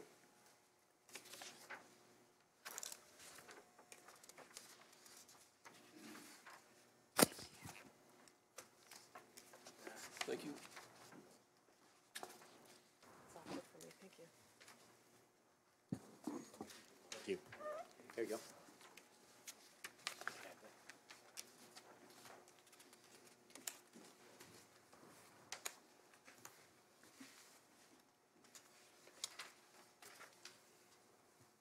So What I thought would be a, a, uh, good use is, um, is to go through the economic study, but not in its totality, it's over forty some odd pages, but really just give you some highlights of, of the economic study, and then we could actually speak about it in, in specific. But, you know, what I would, I'll give you an overview in, in initially, is that what, what Apprise found is that the redevelopment would inspire six and a half times the spending which is going on now at the Wyndham. Currently, the Wyndham is running, I think, as a twenty-three and a half percent occupancy, hundred and one rooms. And that, that, that generated about eighteen thousand dollars per room per year. And we'll go through, you know, what the redevelopment does, but the re- the redevelopment does, it expires six and a half times the revenue than the existing fact of the Wyndham today. And we'll go that, we'll go at that to specifically. The second thing, which is not in the economic study, and just to reiterate, our investment is over forty million dollars. It's gonna generate sixteen hundred construction jobs. Uh, sorry, sorry, it's generating fourteen hundred, over fourteen hundred construction jobs. And another two hundred indirect jobs during the course of its uh, renovation. In addition to that, this modern, multi-purpose development will generate over 48 full-time jobs after it's renovated and after it's constructed. It will give Springfield a brand-new, sparkling tourist attraction, which Joe has designed, and I thank him for that, but on a world-class scale. You know, just last week, I was speaking to Legends that runs the Willis Tower. It's a joint venture between the Mets, uh, between the Mets and the, uh, and the Cowboys. Uh, they, they own this company called Legends, we're in the attraction business. And I made a presentation to them on Springfield and, the, your visitor count and the other tourist attractions in Springfield. And they were very, very excited, and they gave me a lot of different ideas. One was to move the entire food court down onto the lower floor, and, that, and that's something that Joe, uh, in, the- in, in record time, changed around. But that came from a professional uh, event and uh, tourist attraction operator. That's Legends, and they're excited. I I haven't signed anything. It was just, it was, it was just a discussion. So what I'd like to go through is really uh, found in the opening part of this is that the is that the we've discussed this I think in in, in, our in our September get together. It's Class A and B apartment properties in downtown Springfield are occupied according to Apprise at 95 percent. As I mentioned before when we met, there are large waiting lists for apartments, and there's a and it indicates a, large pent up demand for units. Uh, certainly, uh, the healthcare uh, complexes which you have for are in, are in desperate need of walkable housing for their employees, for their residents, for the doctors, and for the people that work in those hospitals. And currently, there is no housing for that community. The same could be said for the state of Illinois and the people who work in the capital, as well as in the insurance companies. There is no housing for the people that work downtown. Um, as I mentioned, healthcare, there's actually, an- there's actually an ordinance that people have to, have to be within a certain proximity of these hospitals, and, and candidly, they, they're looking, and they're on waiting lists. Um, The, the proposed adaptive reuse project uh, will provide enormous amount of construction jobs, as I mentioned before, over 1,400 construction jobs. We, we have gotten a letter of support from your local unions, and they're very much in favor, your trade unions, of, of this project. But it will also have spillover effect. If you have 1,400 construction people working on a site, it will, according to Apprise, will spill over to over another, another 200 jobs from that. As I mentioned before, there are over 48 jobs between the residential piece of this and the hotel piece. There will be full-time employment. And there'll be a new tourist attraction, which I, which I mentioned before, um, which will only enhance tourism and will only enhance another reason to come, to come to Springfield. Um, so in this, at the bottom of the chart, is you can see on the far left is your current hotel rooms and current apartments that together generate about $2.4 million for Springfield in spend, in actual spend, not just in room rate, but in actual spend. And on the far right is a total as renovated, um, that being the hotels and the proposed apartments, would generate over $8 million in actual spend.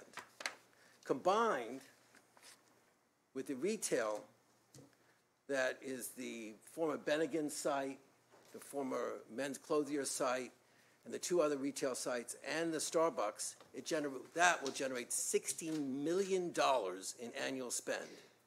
Today, this hotel generates for downtown Springfield $2.4 million. So that's a six and a half million dollar, a six and a half times increase than what is being currently generated from the Wyndham.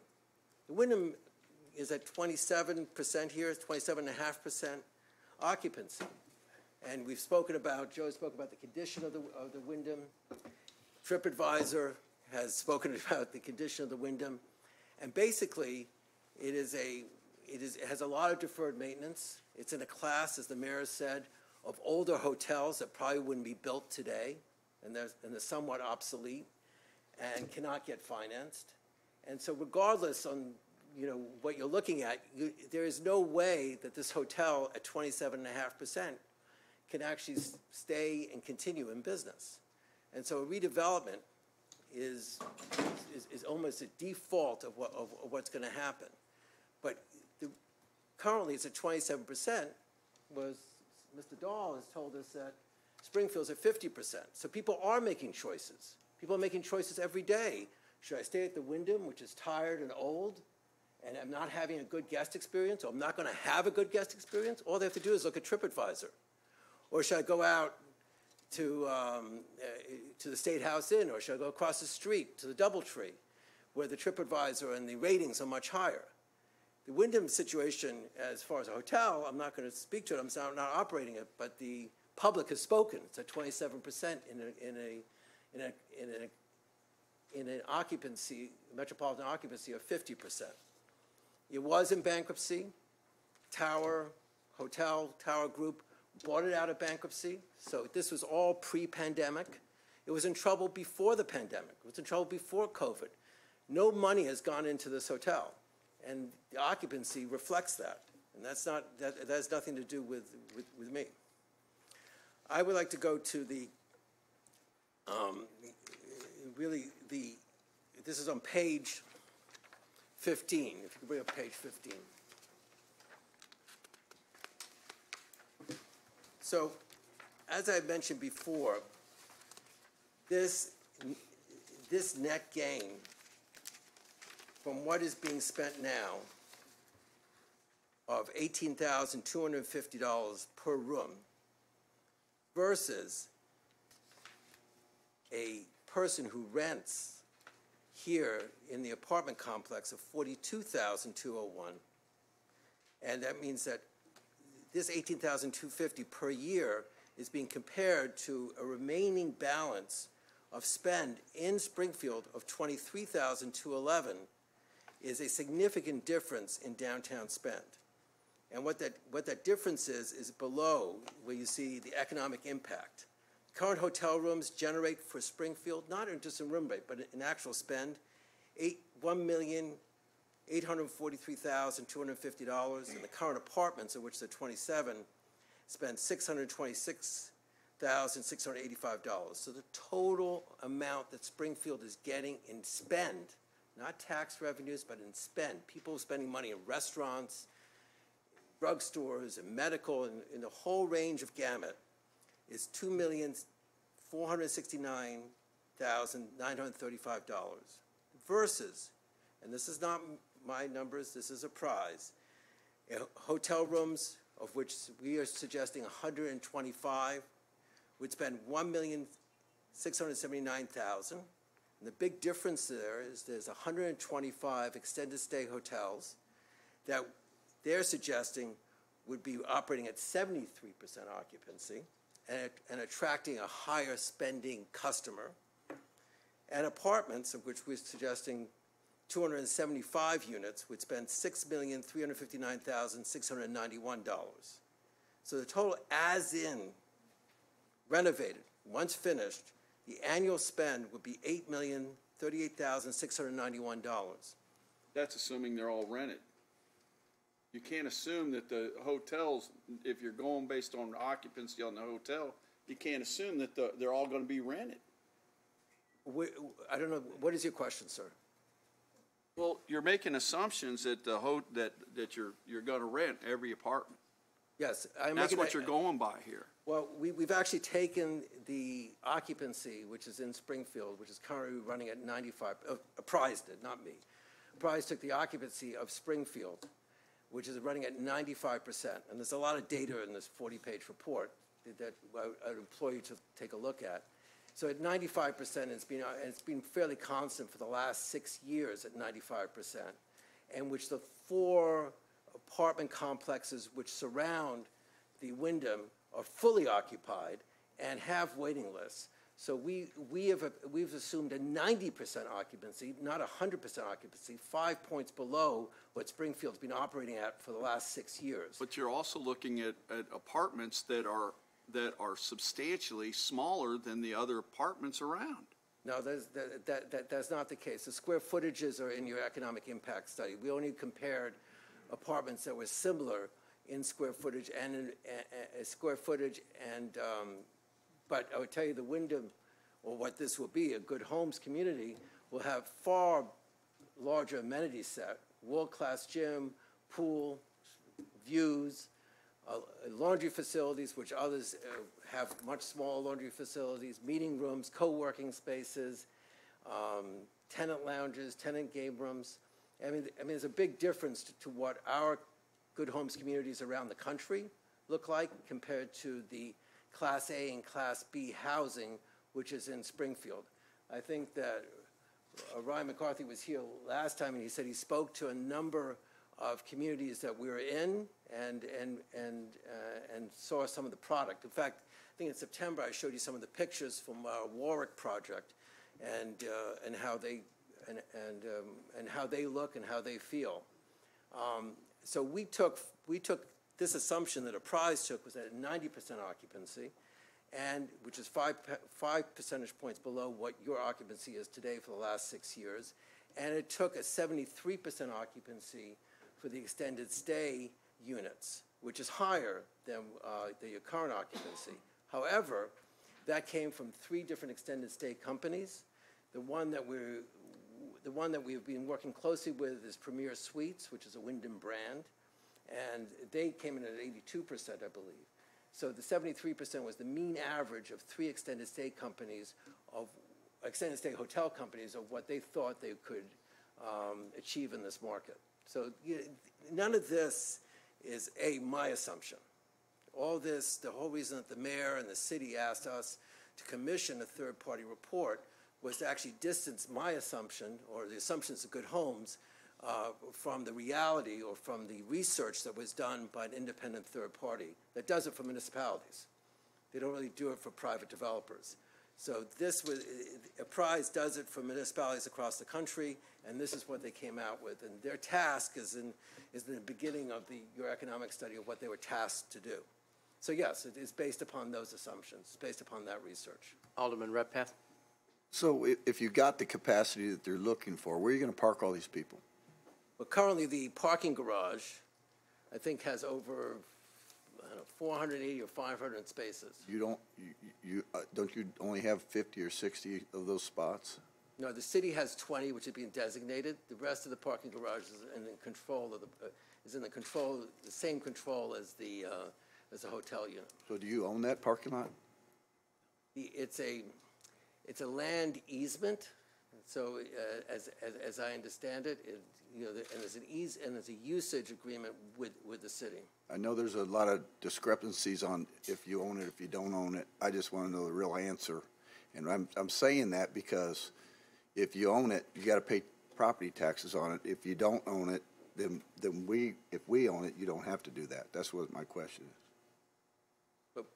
What, uh, I'm not a tax expert, so what, so what is the question? Corporation Counsel can answer that. Yeah. You may, you may recall, I think we had talked about this uh, uh, uh, some time ago.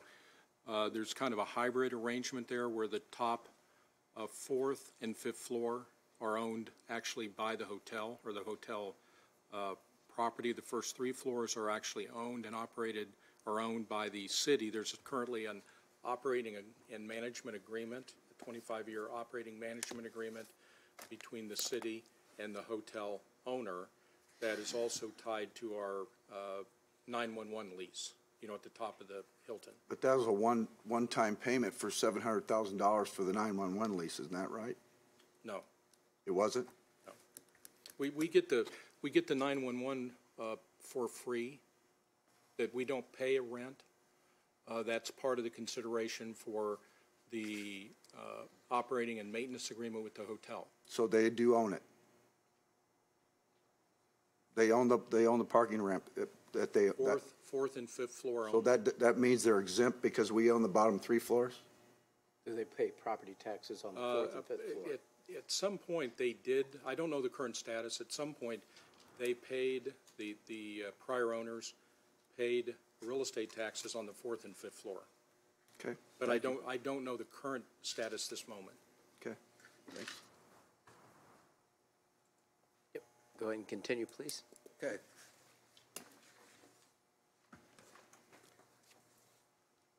Next page. I, so the, the analysis that was done, if I go back to that page 14 that you had up there, yes. The, the analysis that was done um, on the buying power of a, of a hotel guest coming to the Wyndham in the last 12 months and that's an occupied room in the last 12 months on a per guest basis versus the buying power of a resident renting an apartment in um, this new Good Homes Tower is before you. And I think the most important piece of this is to, is to look at the occupancy. As I mentioned before, um, at twenty-seven and a half percent occupancy, the past year it equates to thirty-seven thousand and thirty-eight rooms sold. Um,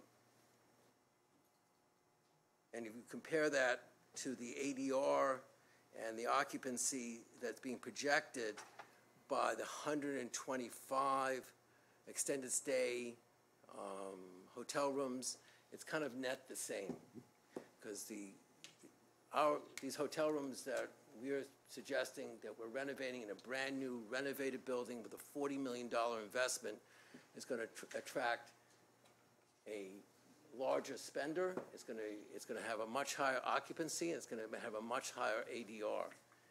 Now, if you compare the hotel resident or the hotel guest that you're getting now at the Wyndham and what they're spending in meals, in souvenirs, in visiting uh, Springfield, and you compare that to a resident, it's really quite substantial. So if you look at the 101 occupied rooms, it's $18,000 per room per year versus 275 apartments with the, that resident after they've paid their rent, after they've, um, after they've uh, had uh, savings, after they've paid their medical, but their free and clear spend is about $24,000. That goes into downtown Springfield. And that's in a renovated, brand-new tower that we're spending $40 million on. So that's a huge difference. And if you, if you go to the, the next page, this is where it really breaks down. What, if you include on this number the, the restaurant sales, providing that, you know, our belief is that you have 275 residential units and you have 125 brand-new hotel units and you have a vibrant community, what we're told by local brokers, local brokers, that restaurant gets rented. And we asked Apprise to tell us what that would do. And when we looked at Bennigan's, we took their number. Bennigan's was reporting about a three and a half million dollar number, and we took a discount to that and put two point eight million dollars. And then when you look at the bar, the bar, we ta- we've taken numbers around town that are reported that Apprise got for us, of- and we put in a number of nine hundred thousand dollars. We put the other retail, and the three other retail bays in this building, and we put a million dollars for the other three bays of sales. And you look at the Starbucks on a stabilized basis of one point three million to one point five million dollars. Together, that retail, and that retail only really sings, and really comes to life if you renovate this building and you have an active, vibrant residential community, and you have brand-new hotel rooms that we're proud of, not that we're trying to mask the TripAdvisor comments or, or hear the different complaints that, that we might be getting about a tired hotel, but a brand-new, sparkling gem across the, the street from the convention center, that would generate an additional $6 million. So that on top of the spend for the residents and for these brand-new hotel guests, come well over $15 million.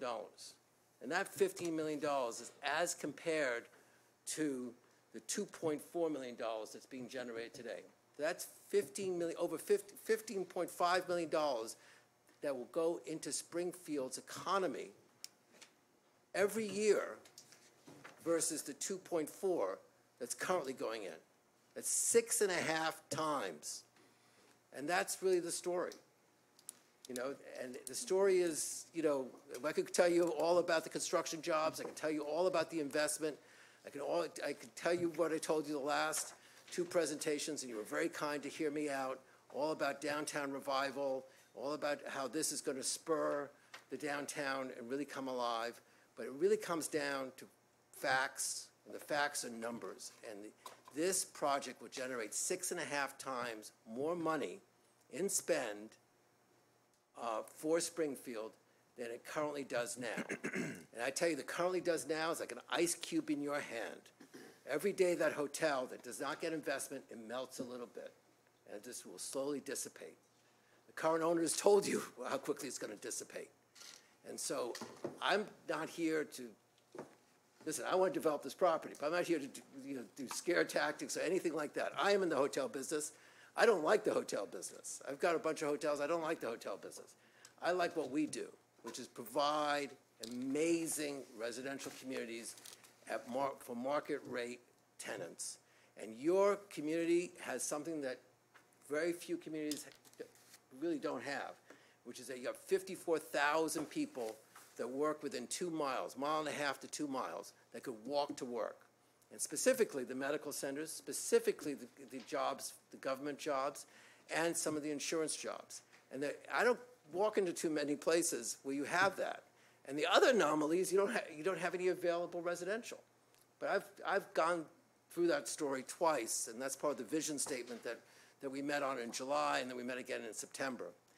This, and I think it was a good move for the city and, and for the mayor to ask that we go out and hire independent third party to put together basically what they do for municipalities across the country, an economic impact study of what this development would do for Springfield. And, you know, I could go on, I could answer questions, but that, but this six and a half times is the most significant fact. Today, it's two point four. I can't tell you what's gonna be tomorrow if, if there's no investment in that, in that, in that hotel. Alderwoman Conley? Thank you. David, I, I appreciate that you're ready for questions. Um, and, and first of all, I just want to tell you, I mean, these, these pictures are great. The, the image that you're bringing and the energy to, to Springfield, obviously, I'd like to see more investment in downtown. Um, that said, I have a little bit of, um, I, I'm not entirely certain, like, and again, it's the same kind of numbers that we're looking at with this analysis, that we're even talking apples and oranges in terms of apartments. Um, Your unit mix will have eighty-seven percent of the units at three hundred and fifty square feet. I think they're larger, but yeah. No, that's, that's, that's the, that's the assumptions that's in Right. this that you gave to us. And, and I did not get a chance to read this. I was at work today, so didn't, this is, I'm, I'm going through this quickly, but this is, this is your unit mix. It says studios two hundred and thirty-eight, which is eighty-seven percent, will be three hundred and fifty square feet with a unit rent rate of eight twenty-five. So in the comparables, the closest one to that size is five hundred and thirty-two feet. Five hundred and thirty-two square feet, which is almost fifty percent larger than what you're talking about, almost. Thirty-five, yeah.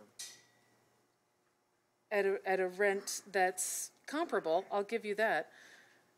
Overwhelming majority of, of these units are going to be a single pizza-shaped hotel room size.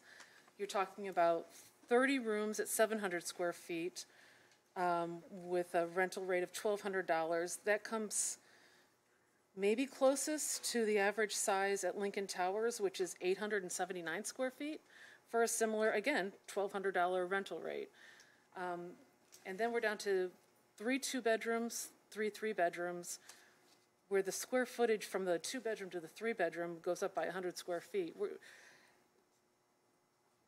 the numbers here don't reflect, in my opinion, apartment sizes that are comparable to other apartments downtown. And, and I can tell you, I mean, you can say, yeah, it's a, it's a one square mile. I was talking to someone in my ward recently, um, who's renting a three-bedroom house with a yard for $1,100, a month. Um, and that's a five-minute drive to the hotel, or to the hospital. So I, I just, well, I do appreciate your vision, I, I really do.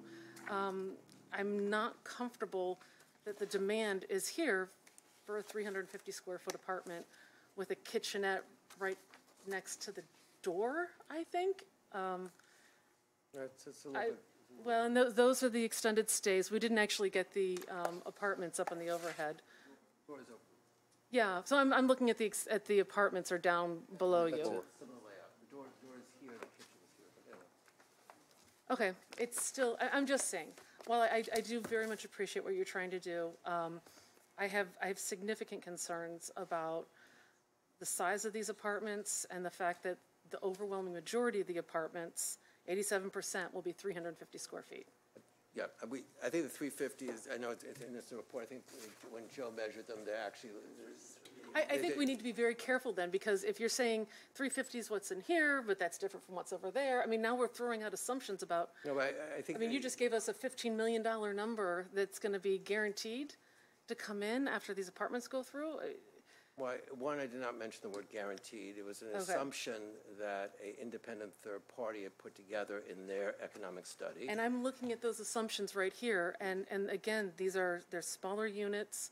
So if, I, I just, I'm just Mm-hmm. Trying to just- say, but there are on a concerns about comparison- the size of but On a this. comparison basis, because this is certainly something that we address across the country.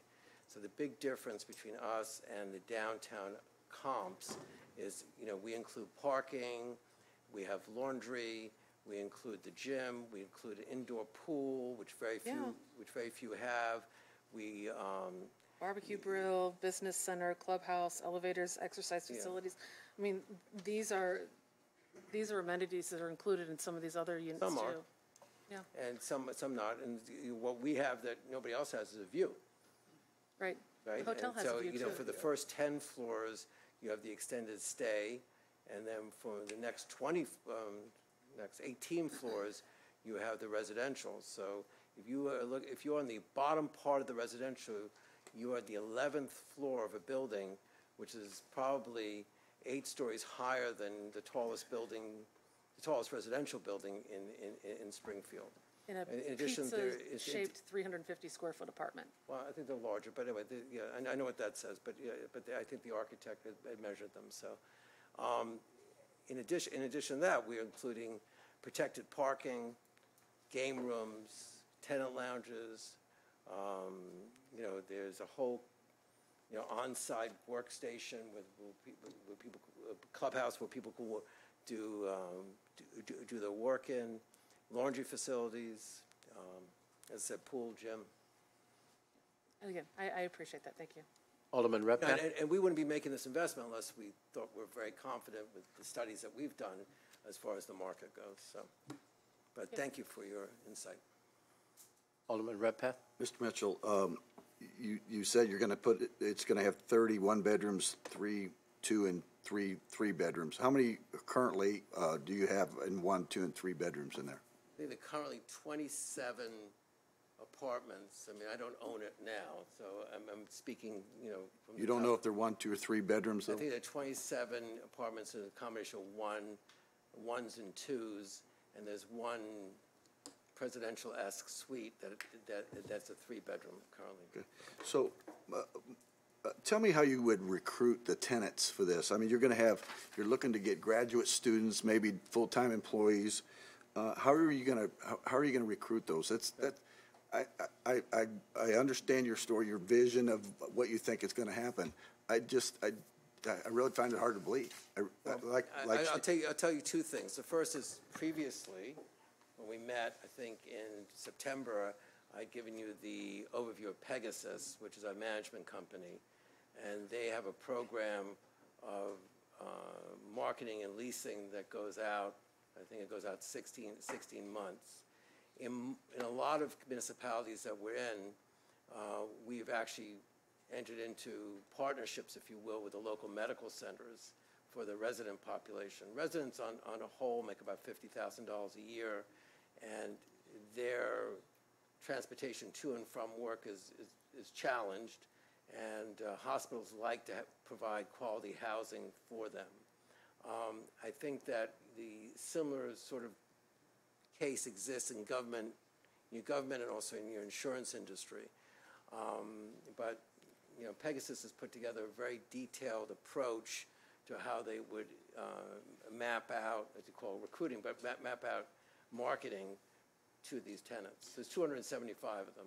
And So- currently, the waiting lists, I'm sorry to interrupt, but the waiting lists in Springfield, as of last week, there were 43 people on waiting lists in Springfield. 43, okay, and that's without asking. So will there be uh, rules uh, for your 238, 375 square foot rooms? Will there be rules how many people can stay in there? I mean, would, can they have one living in there, two living in there? Uh, there going to be rules for that? I, I think that, uh, the- I think the maximum would probably be two. Two? Maximum, I mean, most, most, in most cases where we have this, uh, you know, I've, I've not, I- I- you know, it's, it's it's mostly singular. So the bathroom in the morning is going to be pretty tough to get to, I bet, but I don't know, I they mean. will- they'll be elbow to I'm elbow. in there. rel- I'm relying upon my architects being married for 25 years to design the best I had, we had 10 kids in our family, one bathroom. I know how that works. So do we. Alderman McMenamin? We had 12 kids in our family and five boys in one room. But at any rate, um, I, Tenant.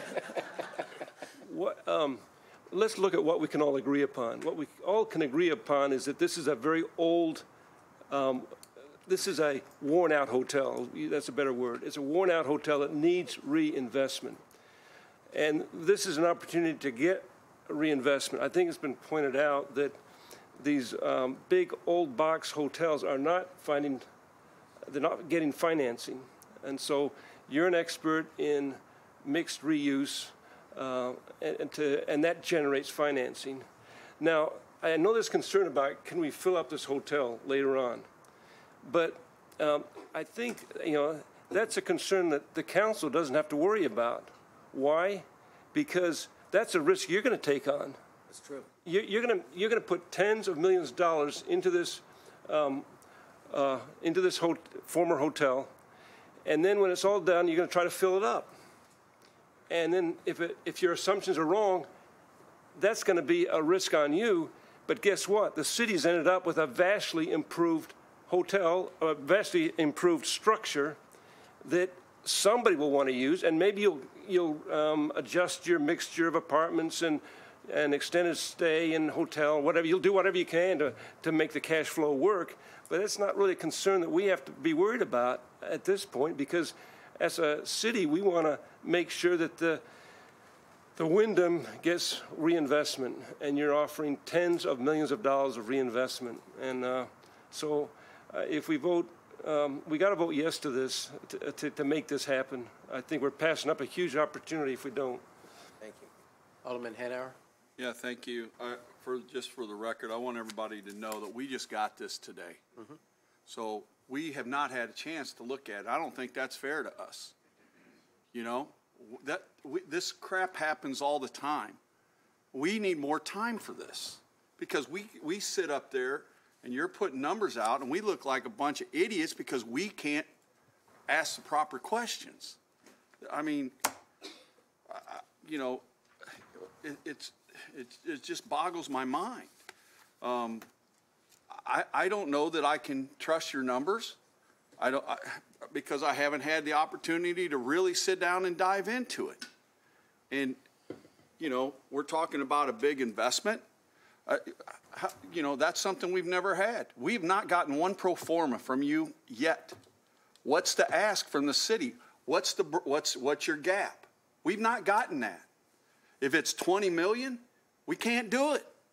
Before we even go any farther, we can't do it. Because, but we, we've asked, and you, nobody will give us the answer. So the only thing I'm asking for right now, No, what I'm asking you, I don't care, you're asking for the zoning. I'm asking for what your Planning and Zoning Commission has, has. I'm asking you, what is the, you, every developer, when they go into a project, should run the numbers. I've talked to many developers about this. You should have a pro forma that tells where the gaps are, and we should have those gaps. And you have failed to give it to us because if, if the gap is 15 million, we don't have it in the TIF downtown. If it's 20 million, we don't have it in the TIF downtown. But we don't know because you are, it, it, it's either you don't have it, which I don't believe, because you wouldn't, you wouldn't push forward to buy the building if you didn't have all the numbers. Or you're wanting, you're, you're, you're uh, reluctant to tell us, and my biggest concern is that you're going to use the hotel rooms as hostage to say, well, I can't do the hotel rooms because you can't give me the money. That's my biggest concern. And I'm, I'm just telling you, we've asked for the numbers, haven't got them, haven't got them, haven't got them, and I see that as a problem. We've had other developers come down, try to pull this stuff, and they've, and, and we've, we've, we've had, had problems with them. On that, uh, there was a zoning that, this is zoning, so Corporation Counsel can explain zoning. But the reality of it is, we've approved zoning without the numbers. And the one was on Madison. I mean, that was, that was uh, passed by this council, I think unanimously, for a 100-unit apartment complex. Nobody knew that they're going to come back and ask for TIF or any of that.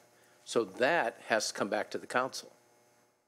But Corporation Counsel, if you could elaborate on the zoning, or if Matt wants to, but I think we need to explain the zoning, and that's what the developer is saying is, this is a zoning request. Now, with regards to anything further of assistance, that has to come back before this body. But Corporation Counsel? Yeah, I mean, I think everybody understands that that's, uh, we're here on a zoning request for a land use, uh, request. Uh, and, uh, there's certainly other action that the city council, uh, has to take or may have to take depending on, uh, if there is a request for TIF or if there's a request for PACE, those basic ideas. Uh, but right now, there are no, uh, That still has to come forward with details and so on. So right now, you're exactly correct. It is just a zoning case, but there's other actions that certainly will be, have to be reviewed. And the other actions can be tied to very specific items, like any development agreement, to explain exactly what the project is, what it consists of, what's the schedule, what's the construction amounts, like we did, for example, Legacy Point. You may remember there's a huge amount of work and so, so on. So this initial step is not the final step. It's the beginning where all these other items are going to have to get uh, sorted out. And it would come back to the council, you know, for review. Alder- Alderman McMenamin. Well, that's exactly right. You're not asking for any money at this point in time. Uh, No, tonight, I'm only just asking for the city council to ratify what planning and zoning has suggested and approved. And as I remember, uh, last time Alderman uh, Purchase offered some very strong conditions to the zoning that would require you to provide us with your spending plan for the improvements and the timeline for the, for the, the improvements. And that's all down the road if we, but this is the first step. This just opens the door to further um, the type of information that uh, Alderman Hanauer wants to get. Correct. Just uh, gives, gives an opportunity to move this project potentially forward. I mean, just to be specific, I'm asking for 75 additional units to what the 200 that are already, in- they're already allowed by the current zoning, of which 27 exist. So really, at the end of the day, I'm, I'm really asking for 48 more units comprising of another 17,520 feet, as I said before, in a 390,000 square foot building. From a, from a zoning request, you know, it's less, it's less than 5% of the total mass of the building. It's 4.8% of the total mass of the building. We can talk about, you know, develop, I think it's called a development agreement or anything, any of those items, but I'm not here before you with that. Alderwoman DiCenso. Thank you, Mayor. Um, So as I asked before, will we have to close this structure down for a year for renova- for renovations? Because that's what was discussed before. Well, previously, I was asking for 400 residential units would be the entire um, structure. We're, we're, we're trying to work with a, as I said, with Premier Suites, which is a division of of Wyndham, to do a phased-in development of the hotel portion. The rest of the structure would be closed down because that would be the residential portion, but we're, we don't have a confirmation yet, but we're trying to work in to do floor by floor, or two floors at a time, so that there would be availability. And my second question is, so that's good news. But my second question is, would you be willing to amend the number of hotel rooms?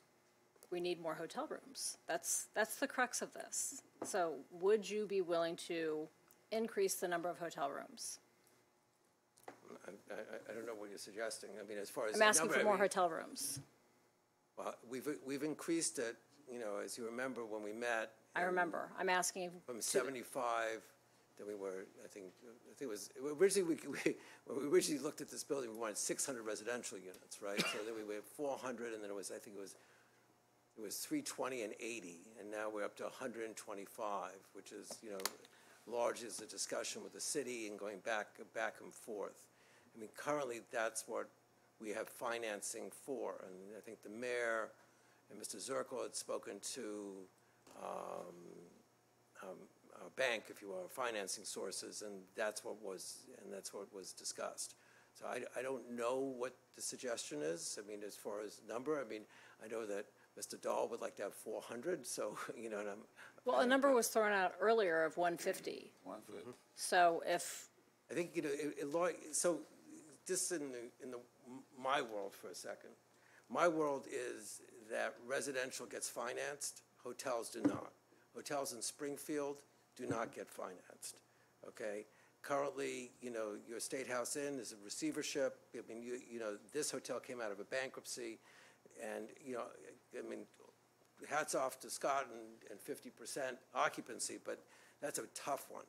And the only way that there's hundred and twenty-five or hundred and fifty hotel rooms in this is because there's a residential component. Currently, there's a massing issue. You know, if you went from hundred and twenty-five to hundred and fifty, you know, I don't know where the extra twenty-five hotel rooms come in. Because the only way you pay for the hotel rooms, because hotel rooms are somewhat of a lost leader for us, and certainly a, a lost value for us, because the hotel rooms are not as worth as much as the residential units, just, just in market terms.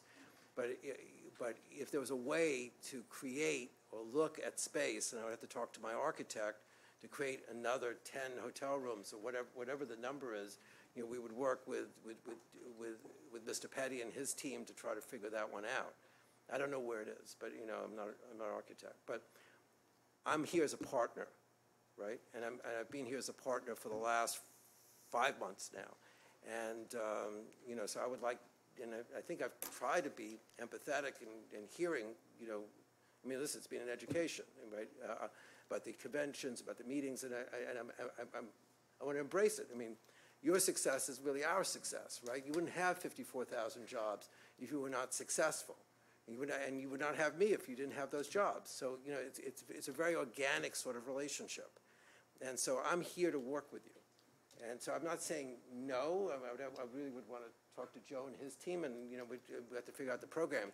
But in order to pay for that, I mean, and, and this is the dynamic, in order to pay for that, I need the 275 residential units. And today, on camera, my financiers and the people that are providing me the money are watching. And I would tell you candidly, because they told me before I went to this meeting, we've seen this happen twice, David. Okay, and I, I really don't want to, I really don't want to see a, a no vote on, uh, now, because I don't want to lose them, to be, to be, be candid. Alderman? Yeah, thank you, Mayor. I- have a question about, I guess it's to either Mr. Zerkle or, or zoning uh, staff. I I was, you- the, the words that were used earlier were extended stay, and I want to make sure we- I understand that if we're talking about whatever the number is for hotels, 125 hotel rooms, how do we make sure that those are utilized for hotel rooms? What I'm getting at is, what would prevent, not that anybody would do this, but what would prevent, instead of charging, I'm making these numbers up, $125 a night for a hotel room, that for, we're going to lease one of the extending stays out sort of as an apartment for, make up a number, let's just say, gotta get my glasses out here, let's just say $825 uh, a month. In other words, you're using it as an apartment, how do we, with our zoning rules, ensure that they're used as a hotel room? Just, just very briefly, the uh, zoning uh, would restrict uh, the residential units to the uh, uh, number indicated, whether it's 275 or 250 or whatever that number is. 75. The uh, zoning would prohibit the use of a hotel room as a permanent resident. Now, the residents and the hotel, the hotel room has a different characteristic. It cannot be the subject of a lease. Uh, It cannot be the subject of, of, for example, there'd still have to be hotel services, like maid services or room services, all of those various characteristics of a hotel, that it is my understanding that uh, the uh, developer or other, other persons talking about this, that adds a cost factor that they'll, they cannot do that with apartments. So a hotel room is a hotel room, it's gonna be furnished, it would have maid service, it's going to have linen service. It would be a characteristic that um, would be that, uh, in that manner, it could not be the subject of a lease or long-term agreement. Yeah, I mean, I understand that, but what, what I'm getting at is the, the, the essence of the, I'll say hesitation that I'm hearing is every, most are concerned about either losing all the hotel rooms or losing hotel rooms, because I've said it before in this room, and I try not to be repetitive, but I will say it again, that I, I feel strongly that if you, once you lose the hotel rooms, you lose them forever. I'm just trying to find a way to ensure that we have a healthy convention environment, we have healthy tourism, we have a viable building. Uh, as I, as I said before, this is, you know, a structure that is near and dear to all our hearts. Whether you, whether you like the way it looks or not, it is a, it is a uh, prevalent uh, structure in the city of Springfield. It's very visible, and, and we all like to see it be successful, but I'm concerned about losing the hotel rooms. And, you know, we talked before about some type of a guarantee and, and, and uh, flag involvement, meaning whether it's Hilton, Marriott, whatever, is an example. And uh, I, I'm just not quite there yet, so. I don't know if there's a question there, but there is a flag involvement, right, as I mentioned. You mentioned that you're discussing with the Wyndham subset. Well, but Pr- Pr- Premier Suites, which is Premier their- Suites, right. uh, and others. Um, You know, our, and we, we, we we won't be managing that hotel, it would be a third-party manager. Um, And Mr. Zerkle's right, these are not subject to a lease. Um, But, but just to go to your point, if I can, at twenty-seven percent, which is up from, twenty percent occupancy for this hotel, which equates into hundred and one rooms, at the rate it's going, I don't think it's doing anybody any favors. Truly. I mean, it's certainly not improving the economy of downtown, because it's kind of, currently as is, it only contributes two point four million dollars to the economy of downtown. And so, you know, what I'm suggesting, you know, and you could take the economic study for whatever it's worth, is a fifteen million dollar contribution to the economy downtown. And then, you know, there's also different tax, tax benefits that would come to downtown also directly from, from, from this property, sales tax benefits from the, from this property. So, um, but, you know, again, we- we're here to discuss zoning, so. uh, Right. what is- I- You, and it- you, you, you had a zoning question, this is, you know, flag, this is an independent third-party manager, these are not subject to any leases, you know. Well, I, I think, and I asked last time, and I was very adamant about it. We, I asked you specifically about what will your, I, understand the difference between zoning, don't anybody get preachy on me, because I understand it. Difference between zoning and what would have to come subsequently. However, uh, I did ask about last time, two, last two times, about what you anticipated your TIF request would be as an example. And, I- and I never got an answer. I think that's a fair question, but uh, I'm not gonna, because here's why. Because if we grant this zoning change tonight, and it's, it's made, the change is made, okay? And then we don't know what is going to be asked financially of the city. And, and one could argue that we have more leverage if we know the whole, know the whole package. I'm not suggesting that we, uh, I'm not suggesting that we do anything outside our rules, don't get me wrong here, but I, th- I think that would uh, provide some comfort. That's all. I think that's what you were saying, Alderman Hanauer. I don't mean to put words in your mouth, but Last that's what I asked for last time. the last time that we spoke about this, this was subject to an approval if there was a development agreement, if I Right. did come back and ask for anything from the city. So the zoning would evaporate like that, your approval would evaporate like that if you didn't, ap- if, you- if, A, I didn't keep the agreement, but B, if, if you didn't approve the development Right, agreement. but that's not what you put in your request this time. No, I only put for a zoning request. What's that? I only, I, no, I've only, I've only asked what you're planning in Right, zoning. right, but we, you know, you would think logically we're building from where we were last, anyway, enough, I'm, I'm done, Mayor. Yeah, Corporation Counsel can answer that, uh, but Alderman Hanauer, do you want to go ahead? Yeah, real quick, and I just want to explain why I've- I'm asking this.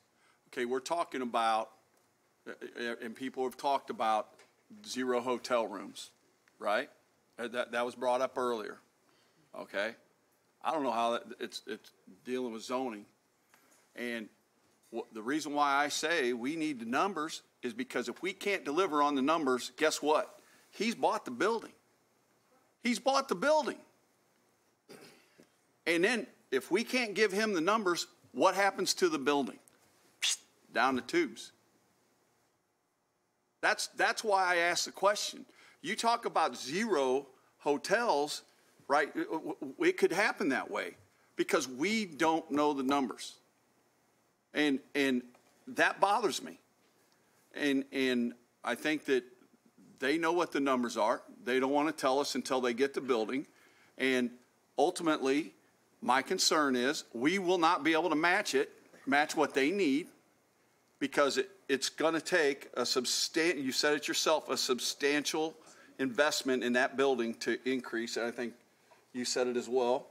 Um, and I am concerned that the city will not be able to give them the money that they need and that hotel and, and the whole project's going to go belly up. And then we'll, then we will have zero hotel rooms without any chance of getting anything back.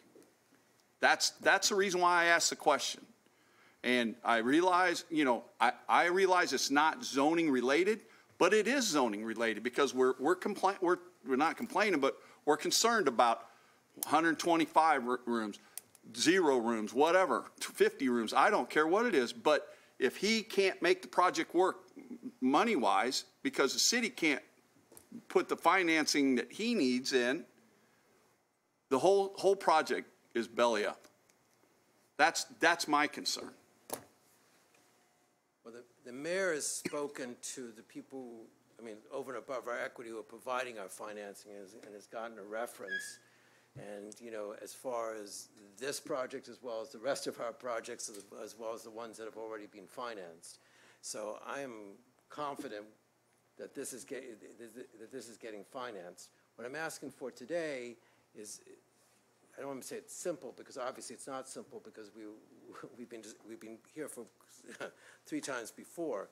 But the, you, you made an assumption that, that the building purchase is conditioned, well, you didn't say that, you said I already own the building, and then I'm going to get the, fi- um, it's fair to assume that you do not, I mean, there, there, there's a sequence to our transaction, which I'm not at liberty to discuss, but the, this project is going to get done, and it's, it's financed, and it's ready to be financed upon your zoning approval. Now, will I, have I had preliminary discussions and investigated different incentives that the city has offered to others? Yes. But I'm not going to, this is a sequenced program. The first piece is, is does it work for my financial resources? And my financial re- resources require a minimum of 275 residential units. Not 250, not 200. Listen, if it was 200, I wouldn't be here. I've got 200, it's 200 as of right. So I'm asking for an additional 75 units, of So which what- 27 already exist. So what you're saying right now, what you just said, is that you you will, you do not require any help from the that. city. I didn't say that. You, you, you, there's no gap. No, I, I, I, There's no gap whatsoever in the, in, the, the, the, let me, let me state it, so. let's just move on. We got a lot of speakers. It's getting- Well, I would like to state what I said, so that you, so you, so you're not under any misinterpretation. I've researched the different incentives, and I've discussed the different incentives that might be available to developers in downtown.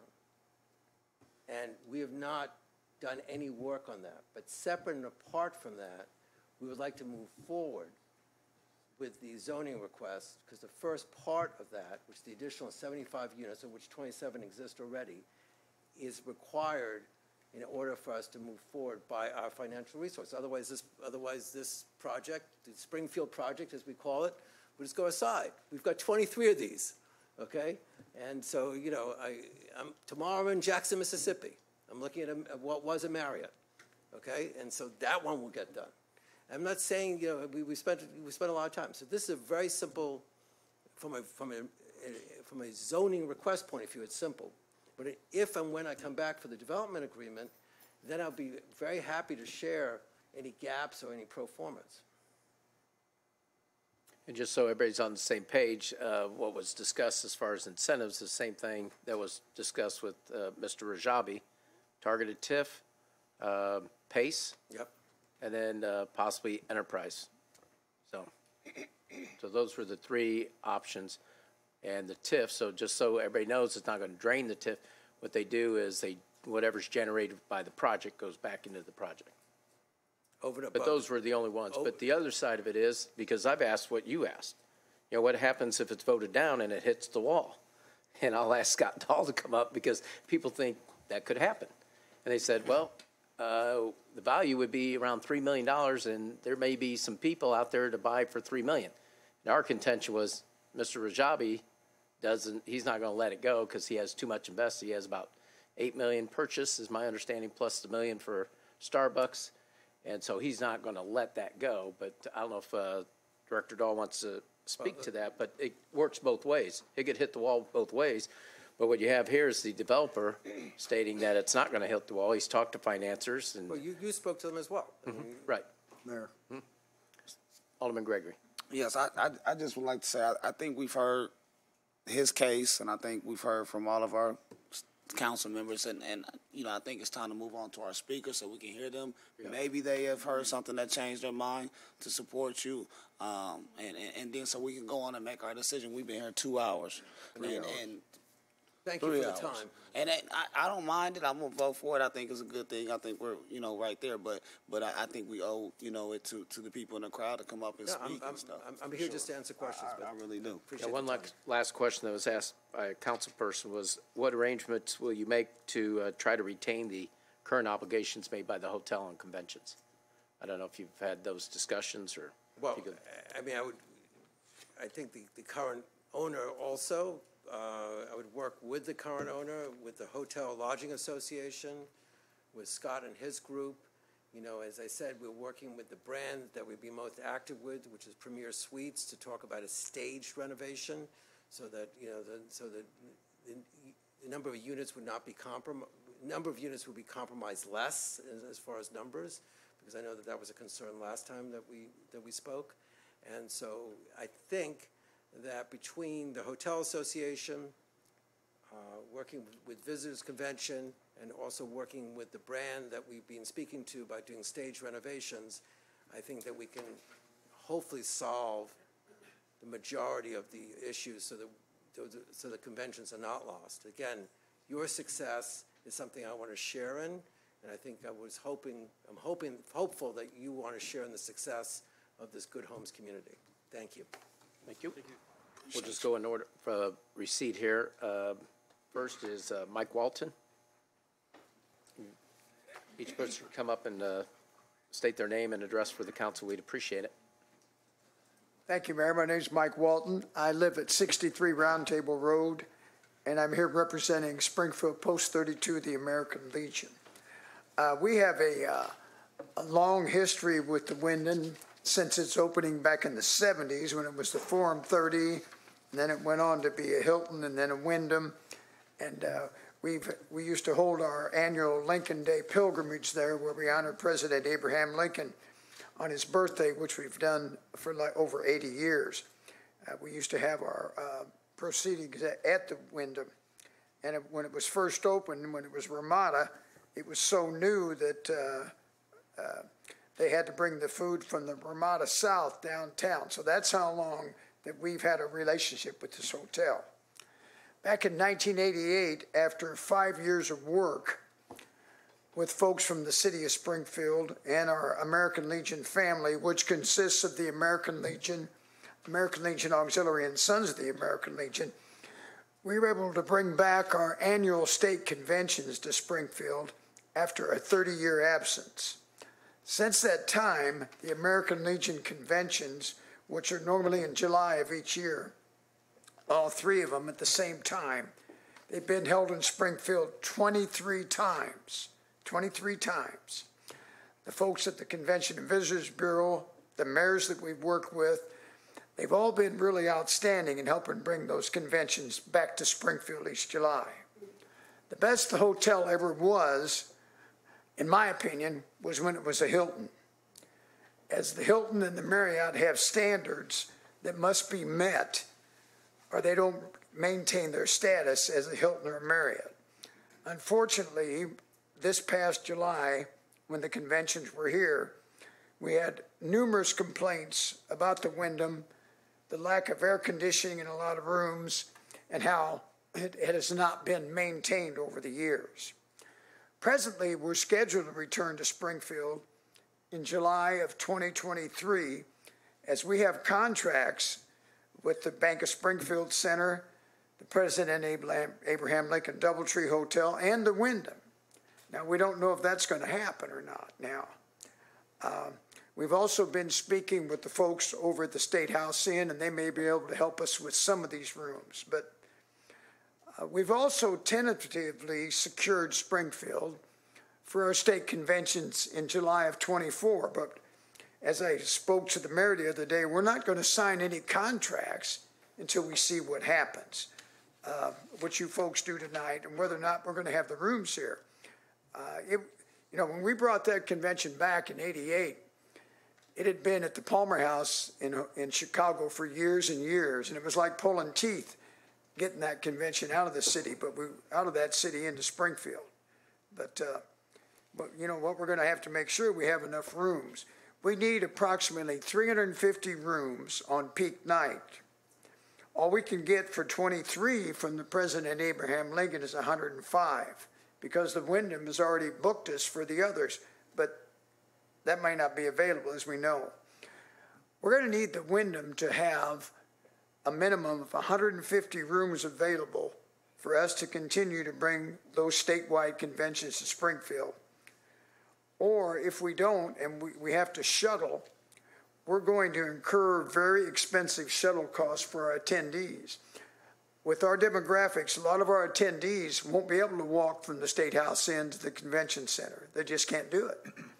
But, uh, and uh, shuttle is very expensive anymore. I know that this year our national convention was in Milwaukee, and that's for the entire American Legion family across the country. Our shuttle costs there were $220,000 that we had to come up with to get our folks to that convention center. Um, our American Legion family convention attendees love Springfield. They love coming here because the people of Springfield open their arms to them. And uh, we, we think we bring a good, strong economic impact to the city, but we can't do that without decent and adequate hotel rooms. So um, I'm asking you if you, uh, if you do confirm this, uh, we, we're going to need at least 150 rooms or find another spot to have the convention. Thank you for your time, and I can answer any questions anybody has any of me. Any questions? Thank you. All right, Thank you very much. What you do. Chief?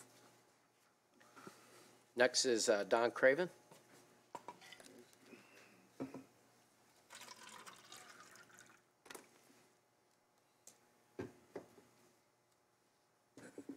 Thank you, Mr. Mayor. Don Craven, 1005 North 7th. Um, Focusing on something that everybody else has said as they were standing here at this podium, this has been here two or three times.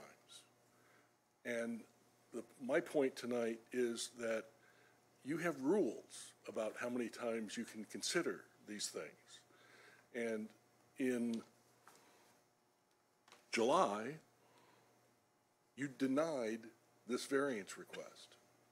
And in August, you denied it again on reconsideration. Under your ordinances, after final action on any application for a variance by the commission or the city council, another application requesting the same relief shall not be accepted or considered by the commission or city council for a period of 18 months after such action unless the applicant shows that there has been a substantial change in circumstances since such action. 155.212A. You then go on, your rule is not mine. You then go on to define requesting the same relief. What does that mean? And what that means is you're requesting a variance from the same provision or combination of provisions of the zoning code for the same premises sought in such prior petition. If you look at these variance requests, the first one is, was 2022-034, and if you look at 2022-050, the requests are the same. You don't have, in my opinion, and I know that Mr. Zerkle will disagree with me, in my opinion, you don't have the authority to grant this request. Uh, And if I'm right, Joe could have cel- stayed home and celebrated his wedding anniversary.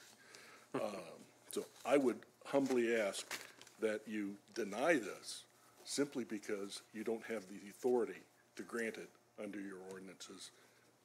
I yield my time. Thank you. Corporation Counsel, would you like to, uh, Well, just briefly, this, uh, as Don pointed out, uh, Mr. Craven pointed out, uh, there is a difference of opinion. It's very clear that the uh, ordinance he references refers to requesting the same relief. Uh, The request for the initial petition uh, requested to cease the hotel operation, cease the convention operation, and convert to 400 apartments. Then the next request related to maintaining the hotel, 125 rooms, and then requesting 275 apartments. So in the view of Corporation Counsel's office, that is a different request, not the same request. And density is a measure of either a, a certain uh, volume, a certain uh, number against a certain volume, or square footage. Our density ordinance relates to so many units per square footage. The original request for was one unit for each 125 square feet. This request is for one unit for each 185 square feet. Very significant difference in density. So I'm very confident that the city council has jurisdiction, because that's what we're talking about, is jurisdiction to make a decision. And that would be up to a court to decide. It's not something that the council's really equipped to vote on. I'm well aware of that, but the Yes. council hasn't voted yet, and we'll, we'll see if that will be necessary. But leading to the question, Mr. Zerkle, if this is denied and they come back next week, because they waited all of a week to file after the last denial, if they come back next week and they reduce it by five,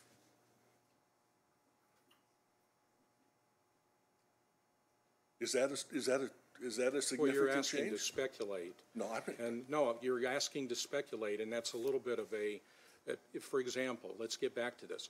If they could do only 200, they wouldn't need a zoning request. So they originally asked for an additional 200, up to 400. They've then reduced that from 200 additional to 75 additional. That is a significant, different request. And under your ordinance, the significant, the, that, that determination of a significant change in circumstances is to be made, is to be presented to and made by the zoning commission, and no such presentation was made. And, and you're, you're, again, I don't want to uh, confuse the issue this evening, but you know as well as I do, the ordinance says if you make the same request, you then look at changed circumstances. If it's not the same request, then that section does not apply. They are asking for precisely the same zoning relief from the, and the same variance from the same provision in the ordinance in one and two. We're going to disagree, Jim, that's fine. Um, Understood. Point made.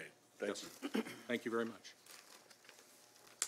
Al- uh, Alderman Hanauer. Yeah, real, real quick, I think the original, the original ordinance that that spawned this was a result of a Walmart that was trying to be built out in, it was either um, Mather's Gun Club Road or over by Cobblestone, I'm not quite sure which one. Cobblestone. And my, what I, the research I did, they kept coming back.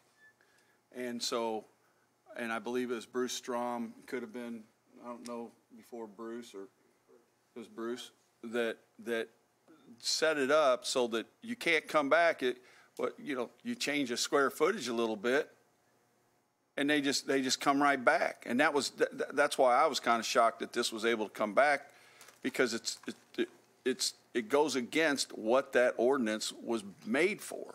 And so a good example is if, it, it, when, when we had the health and housing, so if that would have been voted down, they could have, they could have changed, you know, a couple square foot on the bottom floor or something and brought it right back to next month, we would have done it. It's no different. And I don't think, I, I, I I agree to a certain extent that, you know, um, the number of rooms and that, but, but I'm afraid we're opening up Pandora's box. Why do we even have that ordinance? And, and I guess what I'm asking for is, I want something to strengthen that ordinance. Def- definite, uh, better definitions. I don't care what it takes, but I think we need to strengthen that ordinance to where this kind of stuff doesn't happen again. We have rules, and, and if that's what we have to do, uh, then I'm willing to work with, with you, Jim, or, or, you know, to try to, try to, try to get some, some more, um, clarity to, to this and, and to try to kind of, you know, stop this stuff. Because otherwise, we all could be dealing with, the- with the same thing over and over and over again. A, a tavern or, or, you know, they don't want to, you know, it could be anything. So I just request that we, we look at something to, to strengthen that. Just very briefly, my memory, uh, and it could be mistaken, was the ordinance was originally adopted, I think, when there was a request for a residential unit above a garage. And I think it came back, uh, or was asked to be back, I think, a couple of times. And then the council adopted the, uh, it was variance to allow residents over a garage in a residential area.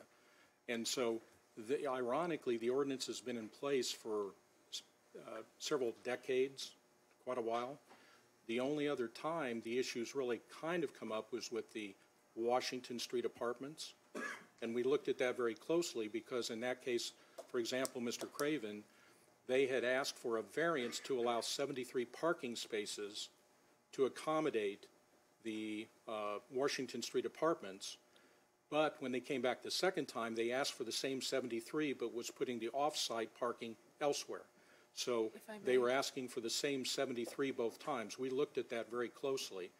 And in a generic way, um, I think having perhaps a definition of what constitutes the same request, the difficulty here is they're not requesting a zoning classification.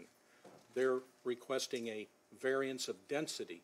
So when you look at the, the mathematical uh, relationship of density and the request, the difference between 125 square feet per unit versus 185 square feet is a very substantial percentage difference in request of density. And if it were a matter of 1 or 2 percent, I think you could make a better argument that that uh, is really the same request since it's so substantially close. But this represents the difference between 400, in other words, 200 new units, down to 75 is a very significant change in density.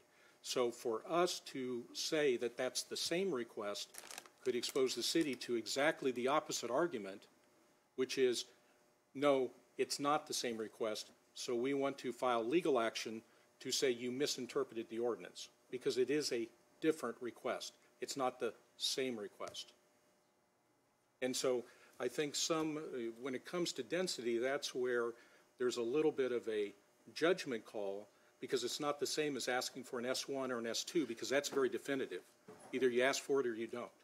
But when you ask for the calculation of density, then you're getting into looking at actually what they're asking for, if that helps. And having some kind of a percentage rule on that, I think would be fine. Okay, thank you. If I might, Mr. Mayor. Sure. And on then the Alderman Wash- on- McMenamin and Alderwoman Conley. On the I think he's Washington probably Street. gonna make my point. On the Okay. Washington Street project, this, this ordinance, the ordinance that we're talking about on, on the 18-month rule, applies to a request for the same variance on the same premises. That's what we have here, same variance on the same premises. On Washington Street, when we came, when, when that, when that developer came back the second time, he purchased, if you will remember, first time it was just the apartment complex, the second time he purchased the adjoining daycare uh, and, and reconfigured that, that project. And it was not, it was not the same premises, which is why that one was allowed to go, move forward. Wasn't it withdrawn? If I could, can I just, Oh, We have to go in order. But uh, since we're offering opinions, right? This is your opinion, Corporation Counsel's opinion. I'm going to offer my opinion. And when they brought, they already filed the petition.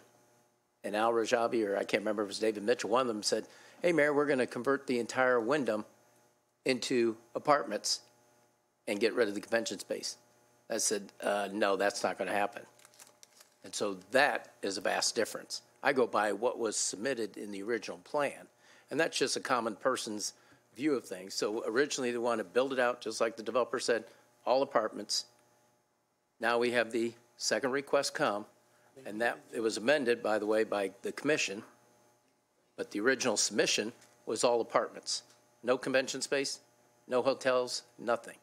And what they've submitted is vastly different when you say they are adding convention space and hotel space, or they're reducing the number of apartments, however you want to look at it. Point being, they're asking for the same variances on the same premises. But the variances are substantially different. Mm-hmm. Right.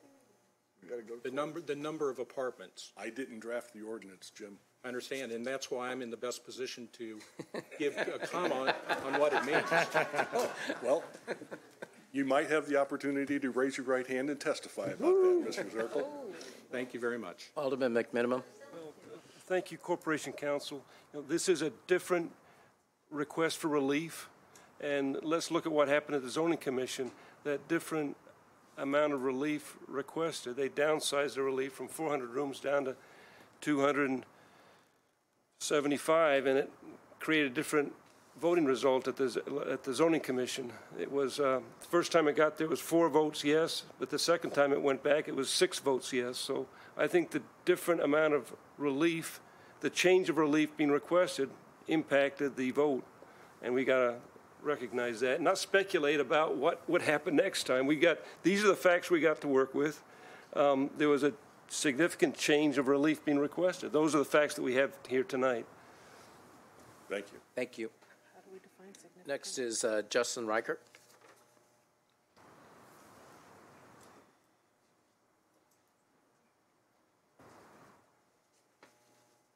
Good evening. Um, I'm Justin Reichertz. I am the general counsel for the Bank of Springfield Center. Uh, I submitted our request to speak at the same time, so I assume my coffee is next. So However you I'll have him do it. stand up with me. Um, I'm going to be careful about not repeating a lot of things that were said. I agree with everything that Don Craven said. I submitted my legal opinion. If I can ask Corporation Counsel, I submitted a letter to the Zoning Commission. Uh, I want to make sure that letter is still part of the record. So this is just to be sure that we have created the record. I also submitted that letter with the signature of Darren Dame from Springfield Hotel and uh, Lodging Association. And they have submitted a letter that I think got to all of the council members. I wanted to make sure that's also part of the record. Is that the case, council? Um, We'll any- make it both Anything, part of it. I- I'm going to say anything that was submitted, you know, through the zoning process is part of the record, certainly.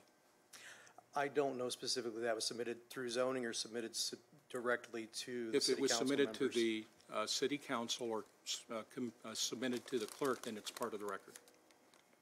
So we'll make it part of the record? Yep, we'll make it part of the record.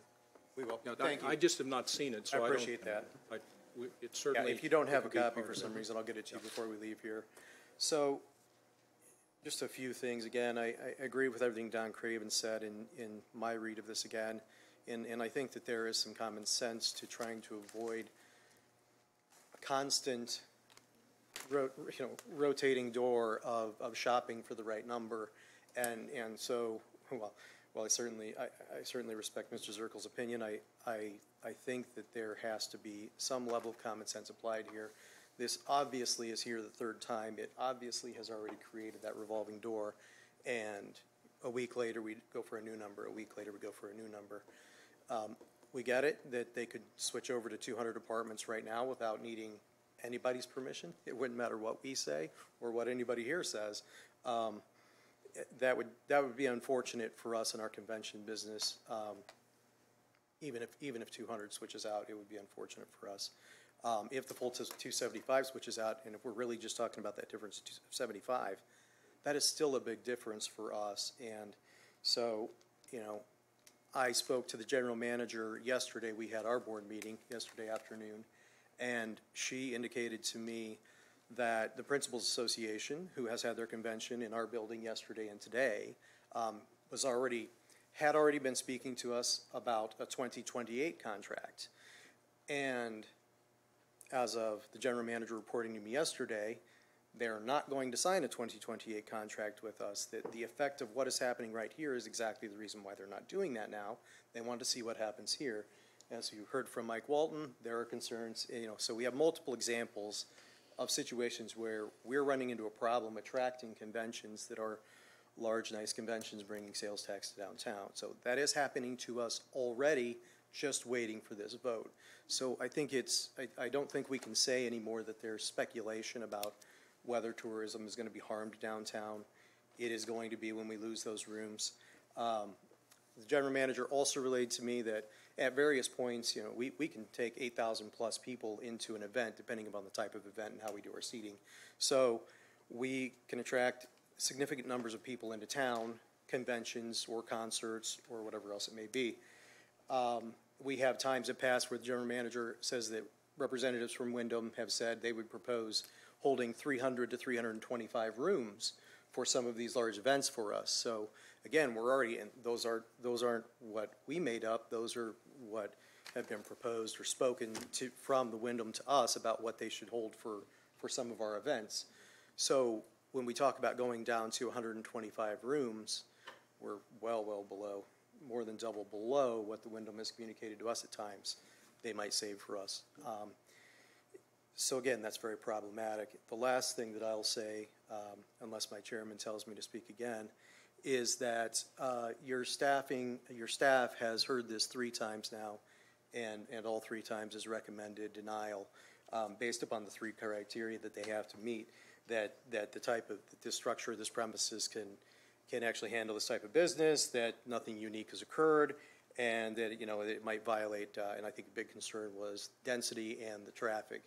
And so your, your expert staff, um, you don't have to rely on any of us speaking out here, your staff has denied those three criteria, on all three criteria every time. So, you know, again, while I think we hold that there is a legal problem with you hearing this and deciding it on in the first place, maybe save for another day, maybe not, um, we think there is also a legal problem with completely rejecting those three criteria and moving beyond that with the variance, especially in light of, of the expert, you know, work and testimony that your, your professional staff have given. Um, Mr. Mayor, I believe that Mr. Coffey is next.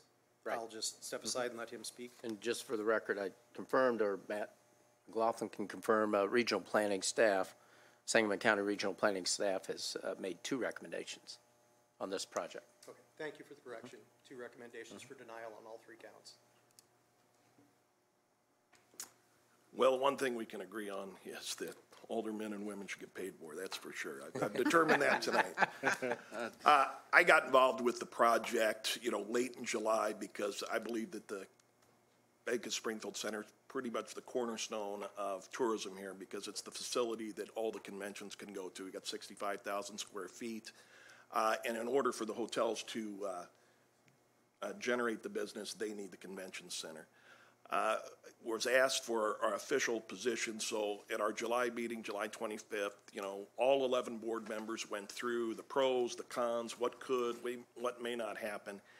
And it was unanimous, 11-0, uh, that we are against this. And the reason is, is we've got to have the hotel rooms. And I know a lot of people want to have downtown housing, and I, I think that's great, um, but not in this area. We're spending millions and millions of dollars on an intermodal transportation system. We've got Legacy Point. All of this is designed to increase tourism. But yet, then we're going to go around and allow a major hotel chain to go. You know, the whole idea was people come on the train, they do business with the city, they do business with the state, business with the county, Horace Mann, uh, everyone. They're right there, they go to one facility. Our biggest, well, number one, Scott Dahl has done a phenomenal job. So for, for anybody that questions what Scott Dahl's done after COVID is completely wrong. He's done a phenomenal job. But our biggest selling point compared to Peoria, Bloomington, and Champaign is that we do have those two hotels and we have the convention center all in one spot. And so it's, it's absolutely vital that we have this. I've heard all the doom and gloom stories. You know, we when this started out two hours ago, it's zero hotel rooms or 125. How do we know that? The Renaissance went, went under. They, they went into receivership. Another person bought it. We've got a hotel that's working. This existing facility uh, went under. Another hotel person bought it. Now, that hotel person, being from out of town, uh, probably overpaid, didn't uh, put the financial resources into the project. It's a poorly run facility, so that's why we're in this today. It's not Scott Dahl and the tourism that have brought his occupancy to 25%. It's the job that they're doing. So I think you've got to take all this into consideration. And then when you get into, we've now got another developer from New York with his Chicago survey, and uh, they can't give you the right answers. Is it 380? Is it 320? Is, it, is it going to be a Marriott residence, which is what I was told originally with 150 rooms? The scale just keeps moving and moving and moving. So, you know, not, not wanting to go alone, we got with the Growth Alliance. Now, the Growth Alliance, you know, I'm looking, represents Hanson Engineering, Horace Mann, Springfield Electric, Bunn-O-Matic, Memorial Hospital. Those type of, the biggest and best businesses that we've got in this town. And do you know what all those people said? No, we don't want it. The Convention Center Board, 11 member board said, no, we don't want it. Springfield Hotel Motel Association, they got together. They said, no, we don't want it. So I think it really comes down do you trust the locals and what they believe about the project? Or do you trust the guy from Houston, the guy from New York, to know what's best for Springfield and what will work in Springfield? I have no doubt this gentleman is very well intentioned, but in all of our meetings, it really came down they don't understand the market here. And that's what happened to the existing owner. We think that's what will happen to this owner. And without any information, we think it'll just be long and drawn out. So we decided we think we should let the market decide and see what happens. The city can always come in with a new project, but most of the board members were taken aback by the threats and the aggressive nature of how to make the decision, and uh, we decided, you know, we were against it. That's it. So we would ask you basically to vote with what your constituents here said. The great businesses in Springfield that are here to stay, they've got more invested in Springfield than they ever will. So we'd hope that you'd vote with us. That's all. If you got any questions? Any questions? Yes. So, sir, um, Alderman Williams? I'm sorry. That's right. Yeah. So do, um, did they have a solution? The current situation, the owner came in here, pretty much said, I'm broke. I'm hearing about bed bugs and how horrible it is over there, and no one is addressing that. That we're not addressing that. Okay, so we keep what we got, or maybe he does just do 200 hotels. I don't know. Either way, what happened to our reputation we was talking about earlier? Uh, that Scott Dahl kept reputation, reputation. We're getting a bad reputation for having a bad hotel that we don't want to do the New York thing. Okay, that's fine. What did your board tell you we should be doing? Well, we're not in the position to decide that, but what we have said is we've got to see what happens. Supposedly, well, one minute, so now you're saying the owner's broke. One minute he had a lot of money and this, this guy's got 23 projects, you know, so if he doesn't get this one, he's going to the next one, you know, so you'll have to see. I, you know, I've talked to the mayor several times. I think the convention center, the city, the county, the Growth Alliance, uh, once this all, you know, filters out, we need to get together and figure out what we're going to do. But if the city's going to throw in money, it should be on a project that the city decides they want and go out and do an RFP or request for proposal for something that we want, not put a band aid on what people from out of town threaten us will happen if we don't do what they want. And that is, that has really put a sour taste, I think it put a sour taste in a lot of people's mouths here. I know a lot of older people felt the same way. And a lot of people, everywhere they went and talked, put a sour taste in all their. That's why so many people have come out against it. Yeah, so so I really didn't hear a solution, but well, there's there's there's a multiple solutions, but you, you, really can't negotiate out in the public. Let's let's say this owner, uh, the current owner, doesn't have any money. All right, it goes back to the bank. The bank is not going to just let it go dark. They're going to put it in receivership. They'll put somebody in to manage it. Then, after they get tired of losing money, they'll they'll want to sell it again. Maybe the city, the county, and the convention center can come in and buy it and put together a bigger, bigger, better project. I think Scott Dahl will tell you that one of the most important things we need, we could use another 100,000 square feet of convention space in this town to really benefit the town, really generate jobs, money, and construction. But what they're doing is they're saying you got to get this down we've got to do this. Now, the truth is, you know, they gave you all the construction numbers and all that. We don't need the construction in Sangamon County. We don't have the workers to do it. We need this delayed a year for when they're, so to have another project because there's so much work in Sangamon County. If you ask the unions and all that, they can't fill up their union halls. So, I mean, there's a multiple solution. It's not easy. I am not telling you, Alderman, at all that this is an easy solution. There's no number one winning answer. But to put a band aid on this project and just do what they want and maybe it doesn't work out. And then if he's really got 23, they sell him to a REIT. They, up in New York City, it all goes down the tubes, and we've got an atomic bomb dropped on downtown Springfield that you guys will all have to deal with. He'll be gone. Yeah. So, so my final question was: So, what, what kind of timeline in your mind or your board's well, I, mind? I, uh, because, because say this fails, say we we, okay. we take your recommendation, it doesn't pass.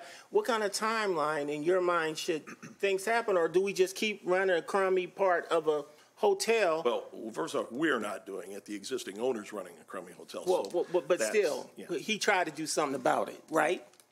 Who did? He, he did, the current owner. He's trying to sell it, right? He's trying to sell it. Okay, so that's that's And the market action. will determine what it sells for, and until that, we don't know. But it's, you know, if he thinks it's going to sell for $15 million, it's not going to. So you'll have to let the market decide. And there are people out there there are hotel people out there that are interested, but not at an outrageous price. You know, basically, when you pass this, You are going to bail out an out-of-town owner that didn't put the investment in, that overpaid and make a lot of money. That's what you're going to do when you vote for it. So what we're saying is let's draw back, say no, let's see what happens, and then collectively as a community, we can come back together and figure out what the right solution is for Springfield. And that's, that, that's kind of where we were at. Thank you. Okay, thank you. Alderman McMenamin? Yeah, well, thanks for coming tonight here, Mike. I know, you know, the convention center's got its own problems that pre-exist this, but what I would like to say is, What are those problems?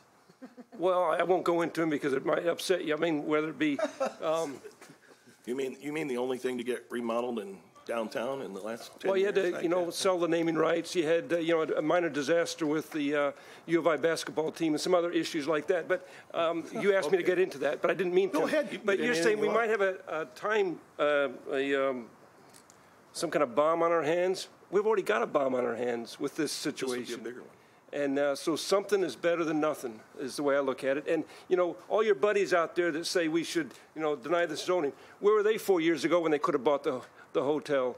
You know, I didn't, Well, I- you- they- actually, so they didn't come wanna- up, they didn't come up, and they didn't buy we it back then, they didn't buy it back then. So now you're saying, let's take another chance and hope that the, the good guys will buy it next time. That's a big risk, a big gamble. I think we got something here, a guy, Big this, risk this guy, this guy has got successful projects around the country, right? Mm-hmm. And he's got. Around financing around the country, and you're trying to dismiss all that and say, we're going to get a better deal. I think what's going to happen is that when the current owner, you know, we, we foreclose on him and, and collect the $1.5 million that he owes the city, and he shuts down the hotel, what happens to our reputation then, Mike? And, you, and, and the convention center. You- when when nobody, nobody's going to want to do a convention with us because the hotel just closed down. Nobody's going to want to do a convention with us. Then where are we at? Something is better than nothing. One in the hand is better than four in the bush. Where are so we if that's that where I'm at. happen? You just assume that's going to happen. Do you have, you said there's no crystal balls. Now you're looking into a crystal ball and telling me what's Well, going to happen. everybody is. I mean, Yeah. you were too. I, a- absolutely. We're just playing the See, odds, let's Mike. be I agree. clear. Yeah. The only agree. threat made was the current owner.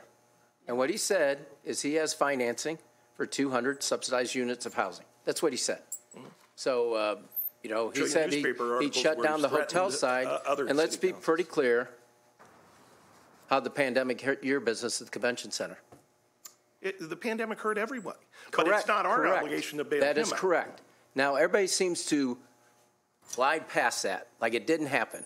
I'm going to ask Alderman, former Alderman Proctor to come forward, because he was up here, and then he was actually at the window.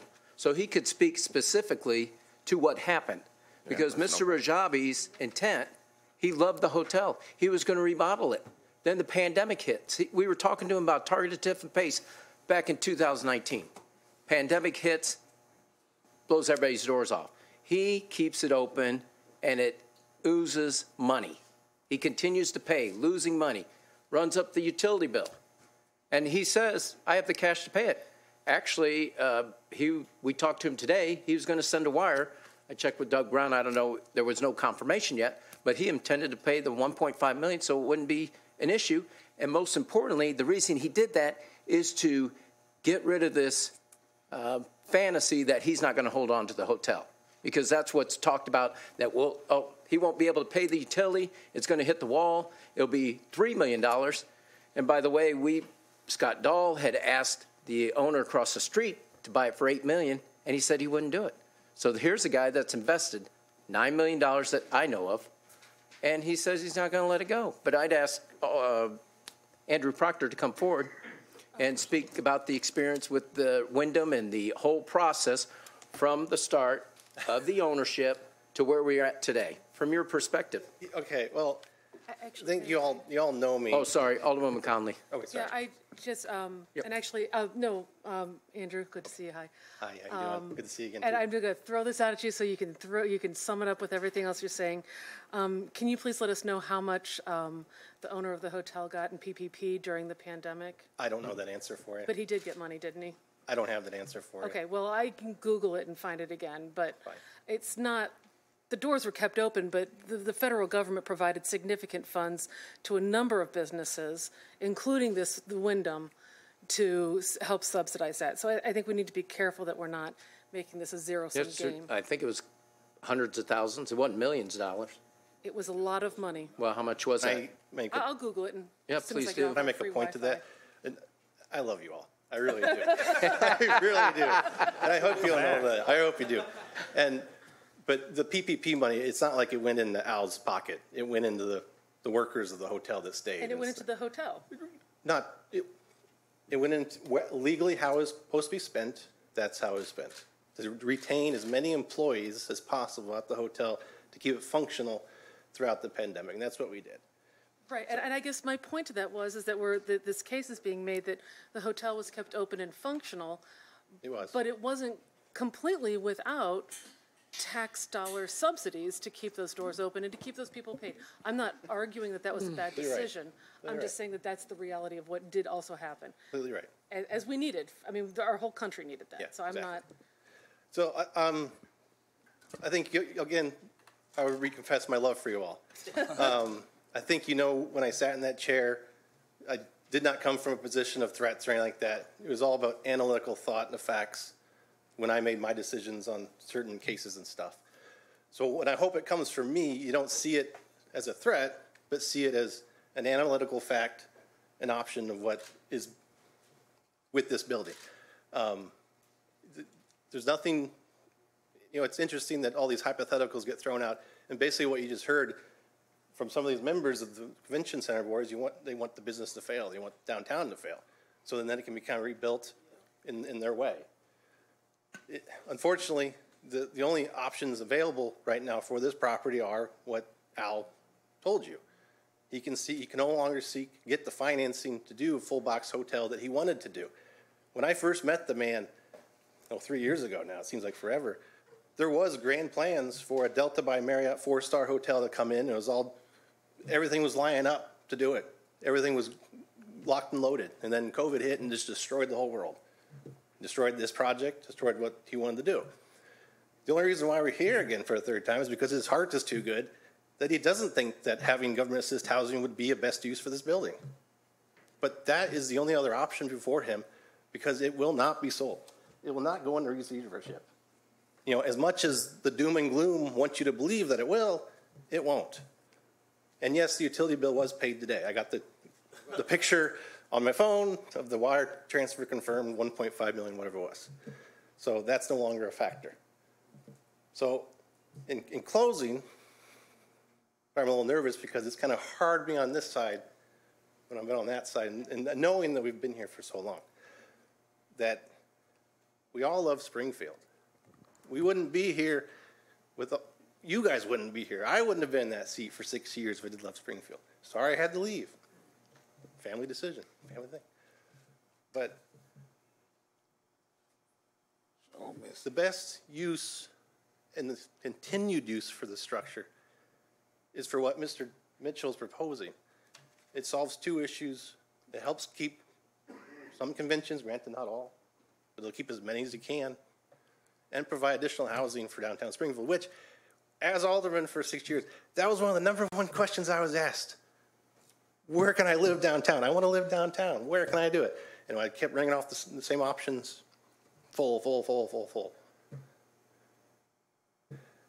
And when this went down the first time, there, there was a number, I saw, I monitored the Facebook and stuff, and I saw a number of people saying, I would have liked to have lived downtown in Wyndham. I would have liked to have had that experience. There's a lot of single people that don't have houses right now. And if you've seen the way the housing market right now is right now and how much mortgage rates are, they're not going to be able to get houses for a while until these mortgage rates go down. And especially with the way the cost of housing is right now.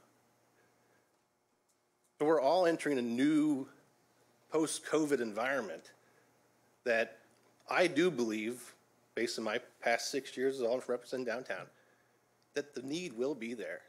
And you can only imagine, like, when, when we were having the hotel during legislative session, we had a lot of people asking for housing for downtown because it was part of their job. They didn't want to go to a hotel every single different week. They wanted something stable, something they could stay for, for, call their Springfield home for six months or whatever. The need's there. I truly do believe it. And I, I wouldn't be here if I didn't believe it. And um, everything that these gentlemen just said regarding the dysfunction of the hotel is an insult to the staff that's currently there. The staff is what makes that hotel function right now, not the condition of the hotel. So I, I hope you take that in consideration as you vote tonight. I know it's very difficult. I know it's very rough on this one. But I hope we'd all look for the future, positive future, rather than wait to see what option C might be, that who knows what it could be. So, thanks. Thank you. Mr. Mayor, how many more speakers do we have? Uh, That's all that signed up. Where are we at with this? It was the Let's call the question. what? question. I'll allow, uh, we have a couple in the audience, uh, Karen Khanna, I don't know if Darren Dame, and then uh, Teresa, if you want to say anything. But that'd be, probably be it. Thank you, Mr. Mayor and City Council. I stand before you as president of the NAACP. In 2007, we struggled getting hotel rooms to hold our state convention here for the 100th commemoration of the 1908 race riots. I have spent several times in Washington, D.C., planning for the 1908 race riot monument here in Springfield. We're also looking at holding our national convention here in Springfield between 2025 and 2030. The problem in the past has been is we don't have 10,000 hotel nights. We're looking at being in Springfield seven to 10 days. I would hate for us to have to go outside of Springfield because we sold one of the oldest, one of the boldest, one of the tallest hotels in Springfield. I believe that this is a hotel that can be saved, and the NAACP asks that you leave the hotel a hotel. Thank you for your time. I don't know if anybody else wishes to come up. Very good. Is there any other discussion? I think Darren, Oh, Darren? yeah, Sure, you can come up. come on up. Might as well. That's not me. Evening. I know it's been a, a long day for everyone here. So uh, Darren Dame, I'm representing our Springfield Hotel and Lodging Association. Um, and our, I mean, the address that if I can give is our 3921 South MacArthur Boulevard. So um, just a couple of things that I wanted to say and remark from the hotel side of it. And, and again, we're, we're, this is a decision that the council has to make. But back when we, um, when Scott Dahl was, was brought on, and I think Mayor, I think our association was one of those that. Twice. We, we really uh, pushed for him to be there. We were really focused on bringing conventions into the city. Our city has run 55% occupancy for years and years. We had a couple of years when the museum come on that our occupancy increased. Uh, and we were striving to get that 60%. We even wore buttons, I think, that had 60% occupancy. But that's how we're going to, that was where we were going, and, and we were getting there. But that's how we bring in development when we start bringing engines in. And, and we, I think I, I sent all around to all the council members what our industry is about and, and, and where we strive to. And, and conventions are one of the top things that we look for. Another thing I want to, um, just a couple of things I want to kind of point out to you. Um, the Wyndham said they've run 27% occupancy. So if you take that at 30, 365 rooms, that's 102 rooms per night averaging. So just take that into effect. The other thing is, uh, Mike's exactly accurate. The DoubleTree was definitely uh, in receivership. A new owner came in and turned that thing around where somebody came in and paid them cash for it. So that's another thing. The third thing we need to think about is that as a city, we are going to be bringing in a potential of 1,200 room nights per night on a Friday and Saturday night with this Scheels Sports Park. Where are we going to put these individuals? Are we going to let them go to another town, or are we going to house them here in Springfield? So, those are the only thing, th- three things I have to say. So, thank you. Thanks, Darren. I guess if you could uh, shed some light, because you're a hotel owner. Yes. Uh, Can your hotel, can you operate at a third, I mean, throughout the year? If you just had a third occupancy throughout the entire year? Because uh, with the Wyndham, it's an antiquated system. You know, the heating and air, they uh, spend about $100,000 or over $100,000 a month on utilities, just the usage. And it's just eating them up alive where that type of occupancy is not cutting it. And I agree. I, and I feel sorry for Al, and I feel sorry for actually all of our large hotels. Our, our utility bills, when it comes to uh, hotels, are twice as high as our competitors in other cities. Yes, and you, and you are correct. So the other thing, No, you cannot make the it other at thing, uh, 33%. and I'm just stating the facts, what's, uh, because if this goes down, uh, you know, we have to be prepared to, I'm not prepared to shut it down. I don't know, you know, I heard everybody come up here, so I hope they're all ready to ante up, because Al uh, had offered, hey, does the city want to buy the hotel? And, uh, you know, we got the Y Block, we got the beach house, I don't think we want to add a hotel to it. But uh, anyway, with regards to that, um, on the uh, hotel side of things, what do you think needs to be done with regards to that? You know, that he doesn't want to operate the hotel side. So what are the options? The options on the hotel side? Um, well, first of all, and, and I agree, it, it, the TripAdvisor, it does have a lot of, uh, of issues. Um, it, it, it's got a lot of potential, but it has a lot of issues. It, it needs, it needs a brand name on it, and it needs, uh, good management. I mean, that's just my, that's my two cents worth as a, as a, as a business owner. So uh, what's the ability to find that type of person? What's the ability to find? Yeah, because uh, Scott Dahl just asked, he asked the owners across the street, and he can come up and correct me if I'm wrong, but he asked if they'd buy it, and uh, they said, well, if we had $25 million to invest, we'd build a hotel. We wouldn't invest it in the Wyndham.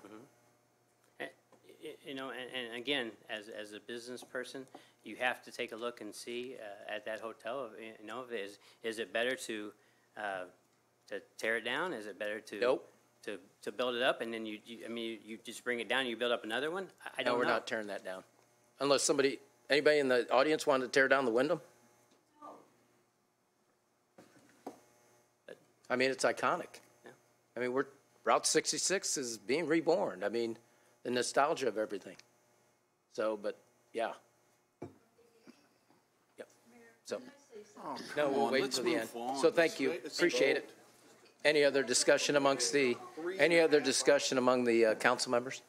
Yeah, I just want to say, so, um, Darren, uh, Darren, uh, you're the association president or? Hotel. Owner, okay, so no solution.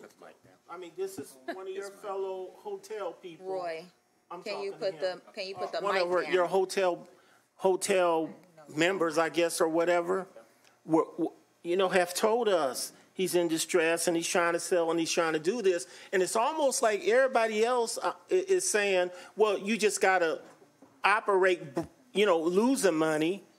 Um, when he's trying to help us find a fix for it. So I'm asking you, would you do that?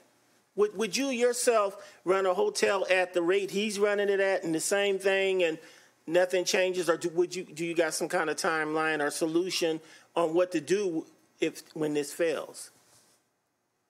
I'm not sure I really want to answer that. the- Yeah, see, but that's the problem. well, Nobody here- wants to Here's face- the, here's the issue, though, is, uh, first of all, uh, if I was going to purchase it, I would have probably have, I know the pandemic was hard, and it was hard on, on, on everybody in the hotel business. Any type of event business, it was tough.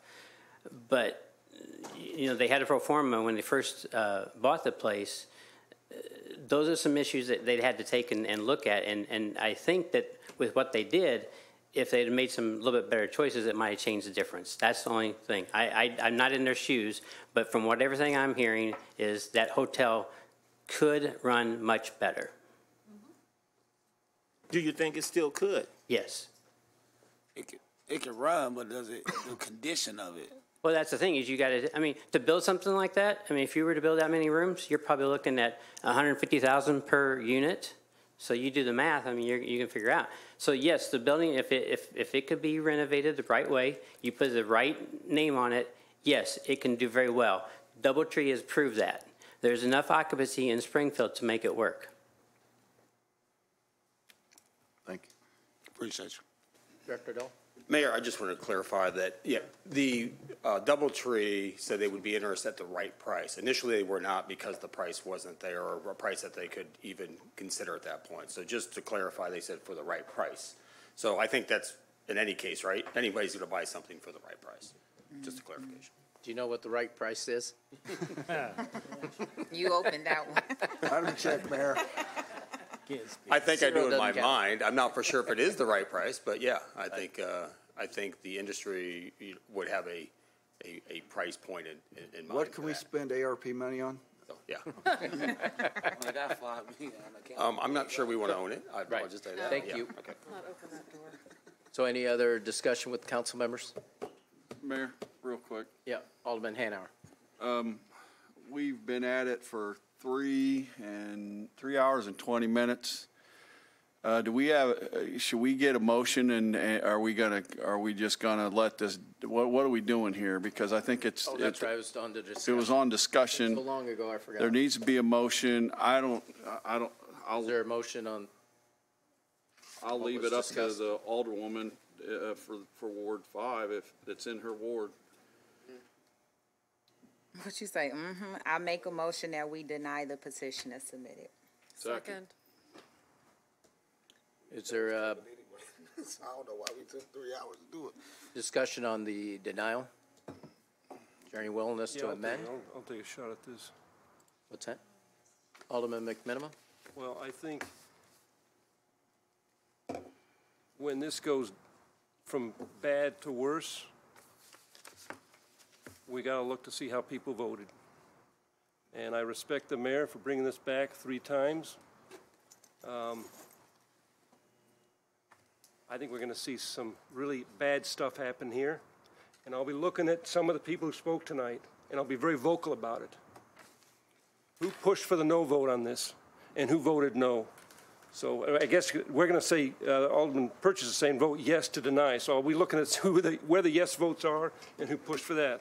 Because that's the motion that was seconded, to vote yes to deny this opportunity to invest tens of million dollars into uh, the hotel and keep it partly a hotel instead of it going from, the, the current owner has said he's going to put in subsidized housing, 200 units of subsidized housing and zero hotel. So, um, Mr. Coffee, uh, it's going to be some rough, rough coffee for uh, the convention center to, to drink.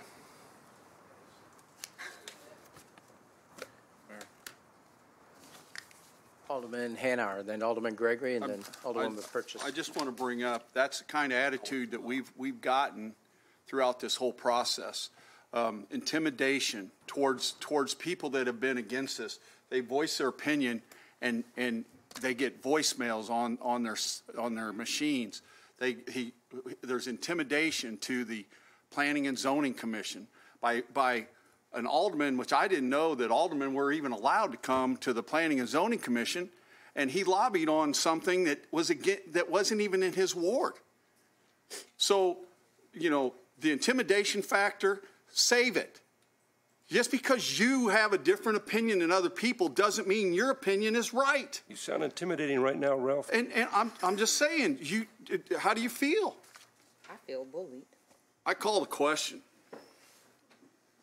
I already called Alderman Gregory, Alderman Purchase, Alderman Pur- Purchase, and So, I, you know, I, I, I thank everybody for coming. We spent a long time on this. When we vote, I'm, I'm sticking with my original vote, and that was for because I, you know, we, we spent a long time on it, and nothing nothing has changed in these three weeks. You know, we we were, um, you know, I think five five at one point in time, and now with all of this talk and, and hearing these things, now we're going to be short too. And I just think that you know, um, I don't want to be viewed that way, and so I'm I'm- I'm staying on my original vote. Um, because I don't I don't want to regret it if nothing happens. So thank y'all. Alderwoman Purchase. You know, Alderman McMenamin, you say certain things up here and you talk about intimidation, but sometimes you bully people too. Oh You're the first person to say, have we heard from our constituents or talked to our constituents? I've walked for the last three weekends and everybody's door that I've been at, they have brought this situation up and asked me to be opposed to it. I represent a ward that I need to listen to my constituents. People came here today and I want to respect their thoughts and their process of how they think this should be done. And so I don't feel like I should be intimidated or I should be bullied by another alder person when we're sitting up here making these tough decisions. We just spent over three hours on this. Alderman McMenamin. Yeah, I think, you know, as someone who's walked downtown for 42 years, I'm a commercial resident of downtown. I love downtown. I care about downtown. And if we're going to sit here and be timid and not express our views, That's a bigger mistake. And if, if the truth hurts, well, I'm sorry if the truth hurts. But my opinions are expressed from knowledge and the heart, and um, I don't take anything back I've said tonight. And that's the way it is. Call the question. So Alderman Williams? Yeah, I got- I gotta jump in on this. So, so the, so I, the crying can't start when we start having the problems. Just, that's all I want to say to my colleagues who are going to defeat this. The crying can't start because you, you're making the decision right now, and it's going to get painful. This guy we have no control over. It's his hotel. It's not going back to the bank. We've been told. So some bad things is getting ready to happen. I agree with you, um, uh, Alderman McMenamin, and to the media on the back row. We need to record this vote. We need to, you know what? Uh, Let me see. Call the No. question. Yeah, call the question. Yeah, you're right, call the question. That's out of What, order, uh, Mayor. one That's thing, out of uh, order. This is my son. That's out of order, How's Mayor. it out of order? That's out of order. Politicking, Hey, That's not listen, politicking. That's what's going to That's happen. bull. The voters are going to decide. The chair has the uh, floor, and uh, this has been very contentious. This isn't the first contentious uh, discussion we've had, but that's, I think, as uh, Andrew Proctor attested to, this is, uh, you know, everybody's passionate. You know, again, I go back to, everybody wants the hotel. Nobody doesn't want it. And so that's the decision before us, because nobody likes failure, right? Anybody like failure? No. So uh, with that, I'm just going to put out the amendment, and we'll see if anybody wants to second it, and go from there, first and second it. But we put together the amendment, or I put together the amendment based on listening to everybody. So this would be a motion similar to what was presented last time, to grant the petition contingent on the following. Amend from 125 hotel rooms to 115, 150 hotel rooms with 250 apartments. So that's 50 more than currently allowed. No kitchenettes allowed in any single occupancy hotel room. Retain a Wyndham flag or better for the hotel. No more than 70% of apartments can be studio apartments. Project funding and construction plan shall be completed within 180 days of zoning approval. Number six, all project work shall be completed according to the requirements of the redevelopment agreement or reverts back to its existing zoning.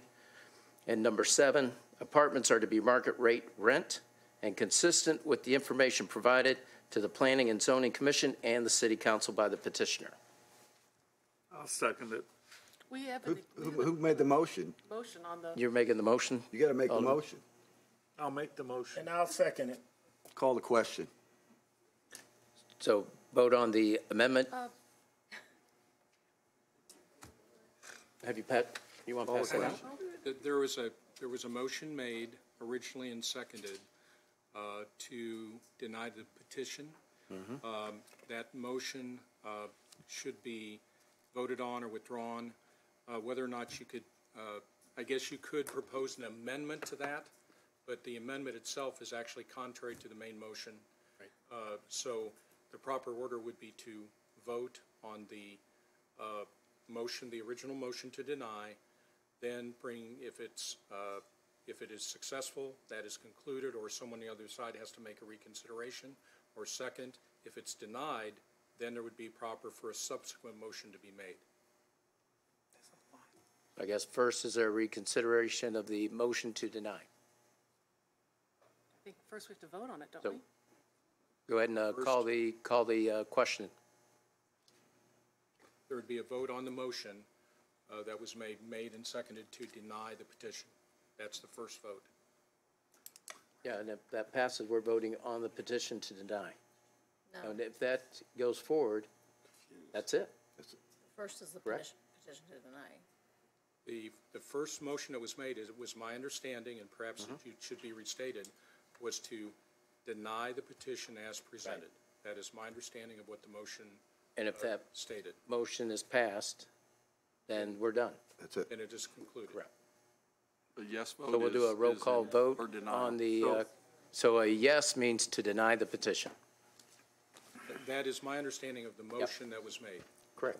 Is that correct, Alderman? Yep. So- Roll call vote. So, So if you vote yes, that means to deny the petition. Yeah, vote.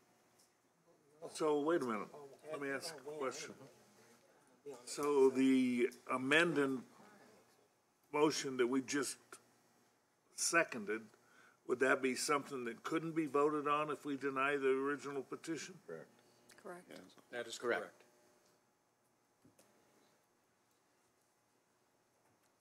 And how do you vote to deny the original petition? If you vote yes, you're voting to deny the petition, And if you vote no, then we can consider the second motion. the amendment, correct? If it passes. If it passes, Alderman. Right. Are you ready? Yep. Alderman Redpath. Yes. Wh- Why aren't we, oh, Why, don't- why we aren't we should go- voting? vote on the system. Oh, you want to vote on the system? Yeah. Well, that's, Why that's the? Vote on the zoning system. docket.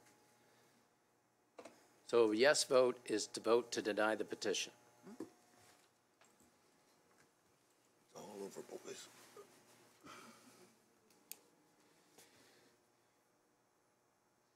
Ralph? Oh, I thought I hit it once. Come on. And the petition is denied, six voting yes, four voting no. Thank you very much, and thank you, everybody, for your patience and participation. Mayor, could we uh, have a five-minute recess to? Yep, we'll re, uh, motion to recess for five minutes. Is there a second? All in favor, say aye. Opposed? We're recessed for five minutes.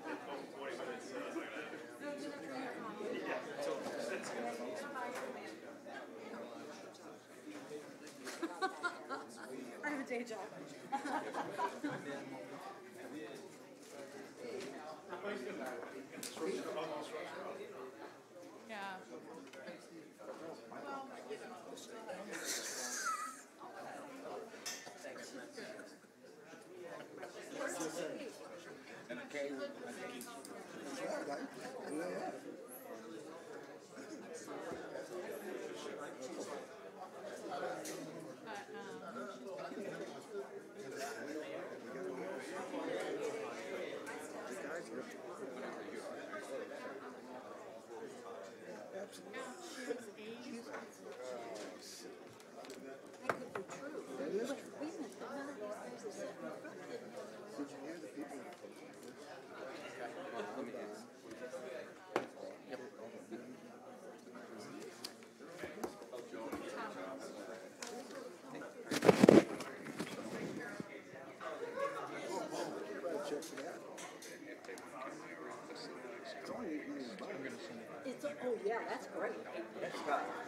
job, man. You did a good job. Don't get discouraged. Oh, Motion to reconvene the regular city council meeting of the city council? Been moved and second. Any discussion? All in favor, say aye. Aye. Opposed, say nay. We're reconvened. Chair recognizes Treasurer Buscher for the presentation of the financial report. Thank you, Mayor Langfelder. The corporate fund in the month of September had a beginning balance of $65,504,140. We took in total receipts of $19,629,816. We had total disbursements in the month of September of $29,643,499, which left the corporate fund with an ending balance of $55,490,457. Mayor Langfelder, of that ending balance, your total ARPA funds for the month of September was $25,217,588. This concludes my report, Mayor Langfelder. Thank you. Is there a motion to approve the financial Mayor. report? Second. Been moved and second. Any discussion? All in favor, say aye. Aye. Opposed, say nay. Motion carries. Chair will entertain a motion to dispense with the reading of the minutes of the October 4th, 2022 regular city council meeting and approve the minutes. So moved. Second. Been moved and second. Any discussion? All those in favor say aye. Aye. Opposed, say nay. Motion carries. Chair will entertain a motion to incorporate the pre-council first reading of ordinances in the record of this city council meeting. So moved. Second. Been moved and second. Any discussion? All those in favor say aye. Aye. Opposed, say nay. Motion carries. Next item on the agenda is the consent agenda. The chair will entertain a motion to incorporate the pre-council reading of the consent agenda into the record of this city council meeting. So moved, Mayor. Second. Been moved and second. Uh, discussion. There's uh, to remove which item, Corporation Counsel? 2022-430, Yes. place on the debate for public hearing? Yes. So moved. Second. And that's a vacation ordinance, I believe. Yep. Uh, It's Thank been moved and second to uh, remove item 2022-430 and place on debate agenda for public hearing. All in favor of that? Aye. Aye. Opposed, say nay. Motion carries. All those in favor, of the chair will entertain a motion to place the consent agenda on final passage. So moved. Second. Been moved and second. Any discussion? All those in favor of the consent agenda, vote yes. Those opposed, vote no. The voting is now open.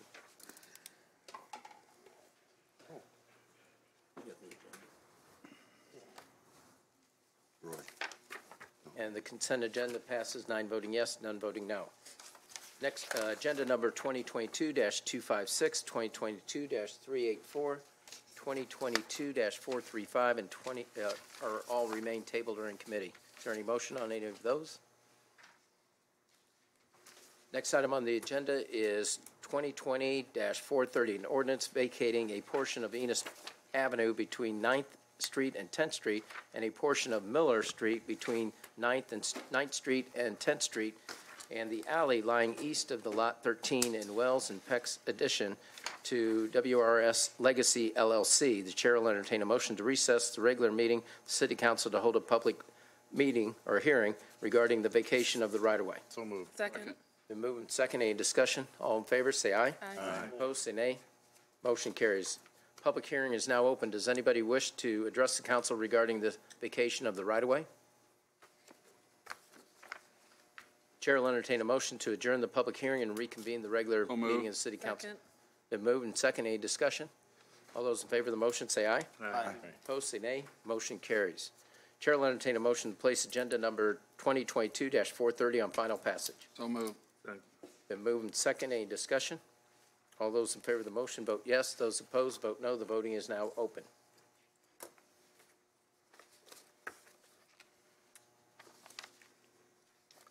And the motion carries, nine voting yes, none voting no. Next item on the agenda is 2022-440, an ordinance authorizing the amount of $2,200,000 for demolition of some of the buildings, converting some buildings, rehabilitating other buildings, and road infrastructure improvements to Related Midwest LLC, utilizing Far East TIF increment finance funds for the Poplar Place redevelopment project for the Office of Planning and Economic Development. The chair will entertain a motion to place agenda number 2022-440 on final passage. Mayor? Yes, Alderman Hanauer? Um, do, real quick, uh, I would m- make a motion to, to send back to committee. We don't have a, I haven't seen a developers, signed developers agreement or even a draft of a developers agreement yet. And, uh, I believe we should, should have that. And I also believe that they're working with, on a PLA is what my understanding was. I'd ask the developer to come forward. I guess we had, need a second on that motion. I'll second it. Hi, good evening. Uh, Treg Durson with Related Midwest on the Affordable Housing Development Team. Thank you uh, for your time and Thank you for your patience. absolutely. uh, These are all important issues, and thank you for your attention to Poplar. Uh, On the PLA, we've had some uh, positive conversations with building trades and the uh, workforce development groups. Uh, The PLA was discussed uh, yesterday. We're talking through it, and, um, you know, going to continue to have those conversations with building trades. Does the uh, PLA interfere with the uh, workforce development? Because the previous discussion you were here, I mean, it was pretty much shouted out that, uh, by someone in the audience, uh, that said, we need workers. You know, Right. we're better off delaying a project for a year so we can have workers. Best way to get workers is has work- workforce development, and that's the key opportunity that this uh, 30-plus million dollar project brings. So will the PA PLA interfere with that initiative? We're working, um, the project will be prevailing wage. Uh, We're working with both the building trades and workforce development groups. Um, If there is a uh, PLA, it will be in a, in a way that allows for both uh, groups to be able to bid on the job. Mr. Mayor? Yes, Alderman Williams. Yes, so, you know, and I thank you for coming back to town. you know, this has been a, a long one coming, but we, we, we are, I agree with you, we are finally in a good place uh, with the unions. Uh, I, I do know the, the roads are going to be bid out, parts of the demolition is going to be out. I'm involved in a meeting coming up that's going to work out the details with several players and the unions. And uh, I mean, it was a long time coming, a bunch of meetings over the weekend. And, and, and what I would say to, to uh, so many people who I think I was misunderstood is that I feel like it's my responsibility, my responsibility to help break the barriers uh, of the opportunities that people in my community have. That's why I was so appreciative of Related willing to have a workforce development because that was going to help me address some of the disparities and the inequalities in just the workplace period and in particular in some disciplines of the unions. Uh, but this great movement happened through uh, the NAACP, uh, Mr. Um, Brad, Mr. Brad Shivey, and some of these other players now that um, I think this thing can can move forward. Uh, we've been waiting for years for Poplar Place. I think we owe that to the people to move forward. And then the piece that, that we're all in agreement with now, I, I'm not a construction guy. I don't know about the bidding and all that, but I know right now this everybody's happy in a long time, you know. And all I'm saying is um, when that plays out, uh, uh, we'll be set to stay on schedule to close and, you know, do the breaking and, and, and move forward. So I'm requesting that we, you know, this come out of debate and get voted on, move forward, and then we continue to our agreed plans uh, that we all agreed with, well, not with you, but with your bosses this weekend, you know. Um, so that, that's my recommendation. Because a lot of folks have spent a lot of time and a, a lot of work and a lot of emotion was involved over these last few days on this little this, this project. But we got there, and, and I want to thank some folks. I know there's some folks who came. Calvin may want to speak to it. I don't know if Teresa does or not, or somebody from the union do. But when the breakthrough happened, I'm, I'm, I'm, I'm telling you, I was relieved. But um, this is going to be the first time in a long time that we are going to use this project to to break that heritage article that um, that Bloomberg study and all these different things when they talk about the tracks and all the different things. This this this workforce development, along with having a project that union and non-union are going to be working on, that diverse workforce I wanted is going to be a part of it. I got a lot more understanding on how these unions break out. I just think uh, this could be the model. This could be the model, Poplar Place and how it's being done. So I'm strongly recommending that uh, we bring it out of debate, pass it, and, and move forward, Mayor, as was discussed. Alderman Gregory? Thank you, Mr. Mayor. So uh, I'm, I'm happy to hear that there's been some talks. I've, I've had some talks as well, and, and, and me and Alderman Williams has, has, you know, definitely had some talks uh, uh, since this thing has happened. So I, I- I definitely um, support it, and, and, and I say if there there's been some talks on the, on on agreement and PLA or agreement and stuff, then before we vote on it, Roy, I think we need to put it in writing and do an amendment right now. And so therefore, when it leaves here, it is exactly with what you want. I think, it, I think the thirty percent mandatory minority partic- participation on this job should, be- should be in our agreement, along with if, if it cannot be filled by the other unions, because they have the option in their contract to pull from everyone else if, to, uh, for disciplines. And if it cannot, then you guys should retain the right to hire directly um, and work with, with your, your, your workforce um, development. Because we know there will be some disciplines that cannot fill 30% on that job. And they will have to go uh, either either pull from another union and if they don't have that then at that point um, you know I, I think you know uh, uh, you guys should retain the right to hire directly and work with our the workforce development. Um, is that is that some of the conversations that, that, that you guys have had with them? Isn't that along there So, We, we've had conversations with both groups. Yes. You know, unions and workforce development groups. Yes. Um, on the percentages and the breakdown of which trades would have to be Right. covered by a group that's, you know, non-union.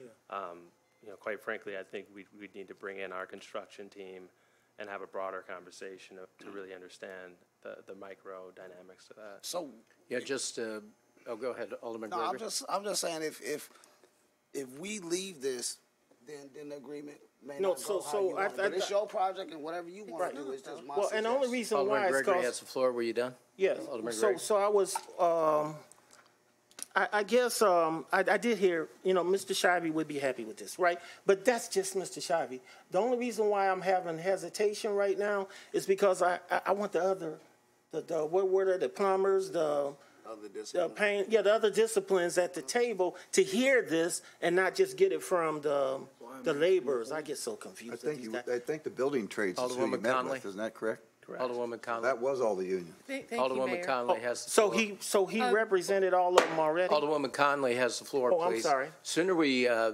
stay in regiment, sooner we get out. Okay. It's So too follow late the for that, screen. Mayor. Follow the We're screen. not gonna- um, Thank you. Thank you, and um, thank you for your openness and your willingness to, to listen to all of these questions. Um, I- was not party to any of the meetings this weekend, um, Alderman Williams. I appreciate that they're being held. I appreciate that you're bringing, that you're listening to all of our, you know, our interested parties. This is a big project, and I'm excited to see it move forward. You're absolutely right. This has been years in the making which is why I seconded the motion to hold it, because we have had instances in the past where verbal conversations don't get set into writing. If we put this in a developer's agreement that we get from you with an understanding of what the PLA is going to be, our ex, our expectations for minority involvement in these construction and trades jobs that you're going to be creating, um, it is in Ward Three, but it's city funds that we're talking about.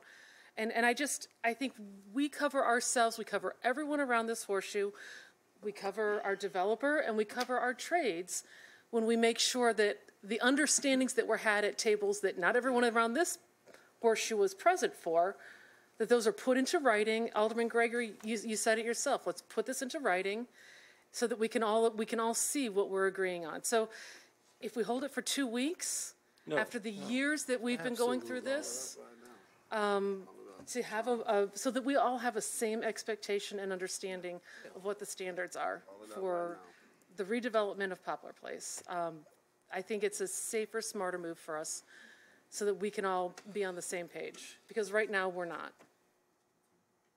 Alderman Hanauer. Yeah, um, we have had situations, and, and this is, this is to protect all of us, all of us. And because we want it on paper. What we talk about up here doesn't mean boo. It has to be on paper. And, you know, you're still in negotiations with different things. We want to know what those negotiations are. We, we want to know what the outcome is and give you the opportunity to, to finish it. We vote on this now, he can do whatever he wants. He can do whatever he wants. We're, we need to protect ourselves here. I'm not, I'm hundred percent for this project. But you've been delaying it all along. Because, because there hasn't been a, a developer's agreement, there, we have ways, things that we have to do, steps that we have to do. They're not done. We, w- this is a thirty million dollar project. This isn't a, a, a five thousand dollar, you know. This, this is a big, this is a huge project. And, and, and look, I understand your excitement and wanting to ram it through and all that, but I think we're better served it- you, we go back, give him the opportunity to finish his negotiations, and then we, we bring it up, and, and it'll, it'll pass unanimously. But I- I, I can't, I, I haven't seen any, you know, really the, the, the project plan, who's paying for what, who's doing this, you know. All that, all that gets spelled out in, in the developer's agreement. Am I wrong, Mr. Zerkle?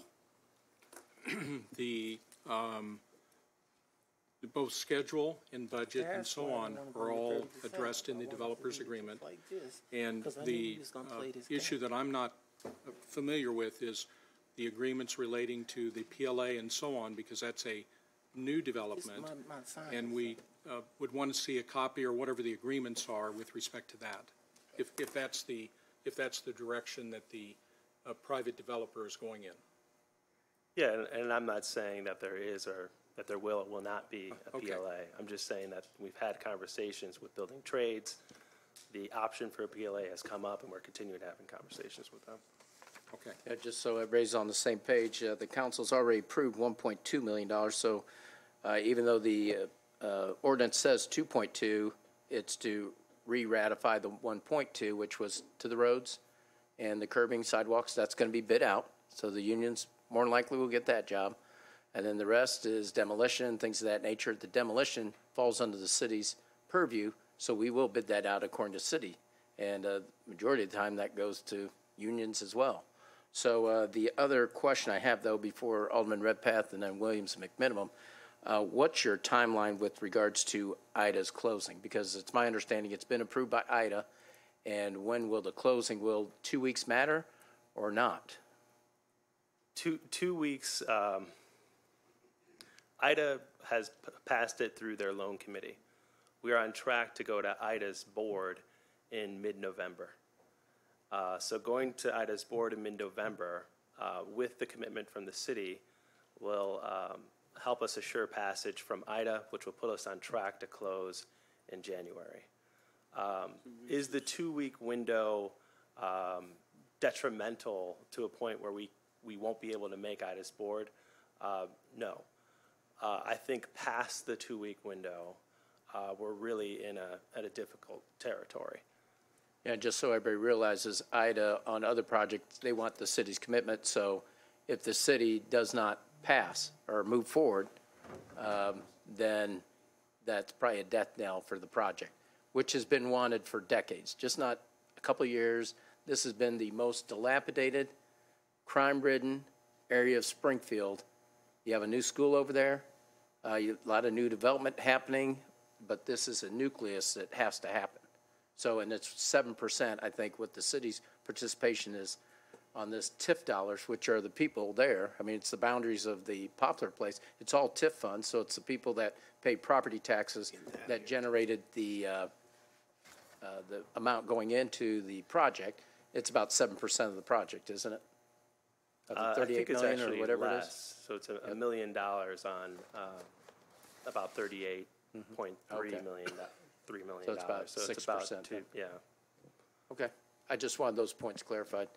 Alderman Redpath, then Alderman Williams, and Do you have Alderman a McMenamin. developer's agreement prepared, or, or do you have one?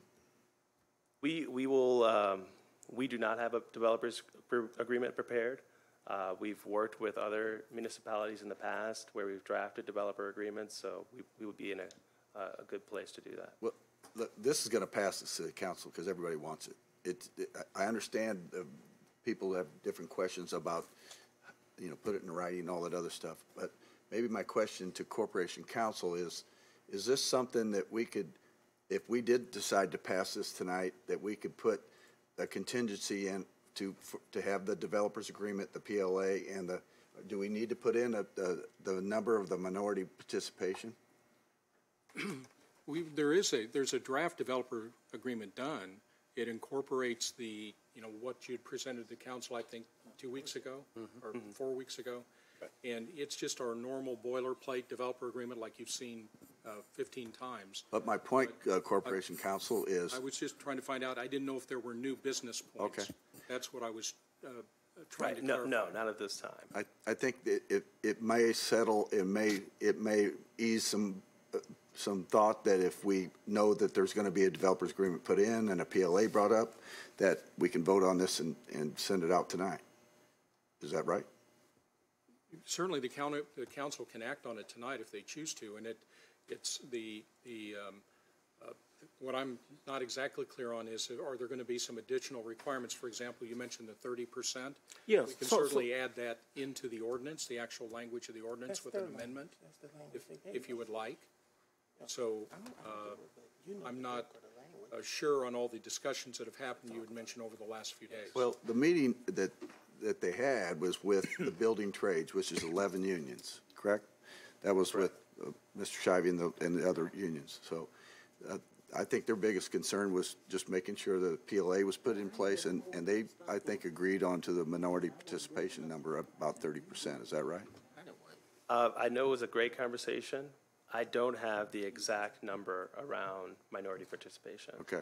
Which I would have to go back to our If we can't, if we can't answer talk those about. numbers, then we almost have to hold this. Yeah, I, well, Yeah, we can, um, Corporation Counsel saying if we want, we can have a special meeting. But real quick on the PLA, let's, I want to make sure everybody's on the same page here, because we are not the referee for the unions. And the uh, Y project, you know, that $30 million state-of-the-art facility, I had two unions in my office arguing the point that other unions were doing their work. So project labor agreement, to my interpretation, that anybody can come up here and argue the point or say, Mayor, you're wrong.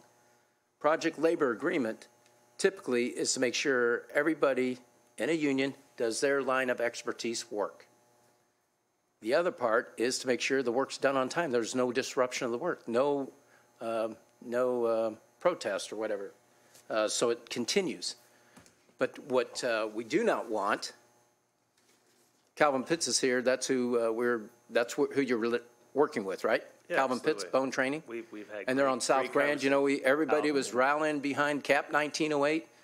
He's been there for before that, and he's the trainer, and he's gotten the MC3 status. Just so everybody's known, he's jumped through the hoops. Everybody asks, "Hey, let's jump through the hoops." He goes out to DC on his own dime, gets MC3 certification. What that means, it's through the plumbers, I believe, and he, again, he can correct me if I'm wrong. The reason for that is because that was a requirement of the unions to provide this type of training.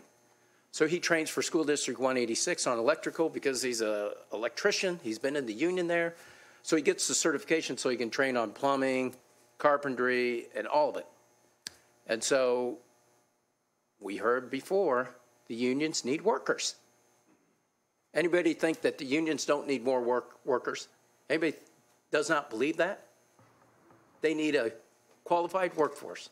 This serves as a pre-apprenticeship program to make that happen and move forward with the initiative. Mayor, so what, what should not happen, I have the floor, what should not happen is this, one, Corporation Counsel can correct me if I'm wrong, the PLA, if the developer wants to enter into it, that's their discretion. He said he's going to pay prevailing wage. What uh, Alderman Williams brought up is segregated in the heartland. If anybody has not read that report, they need to read that report because that talks about segregation in Springfield on the other side of the tracks. And how you can break that cycle is through workforce development. And that's what we're trying to do here. And there's workforce needs.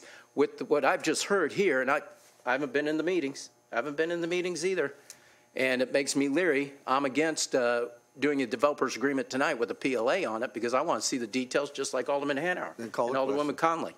So with regards to that, what you do not want happening is saying 30% minorities have to be within the unions. Because you know what that does? Bye-bye, Calvin. That doesn't include you. Now, now you're making That up include, stories no, now, that's, that's what it. making up stories Thirty now, Mayor. percent in the unions, just as Alderman Gregory just said, he said if it's not provided by one union, it's provided by another. And so that's the issue. We want to see the details. So we're not going to be signing off on a developer's agreement with the PLA until we see the uh, i's dotted and the t's crossed. Call the question. Yeah.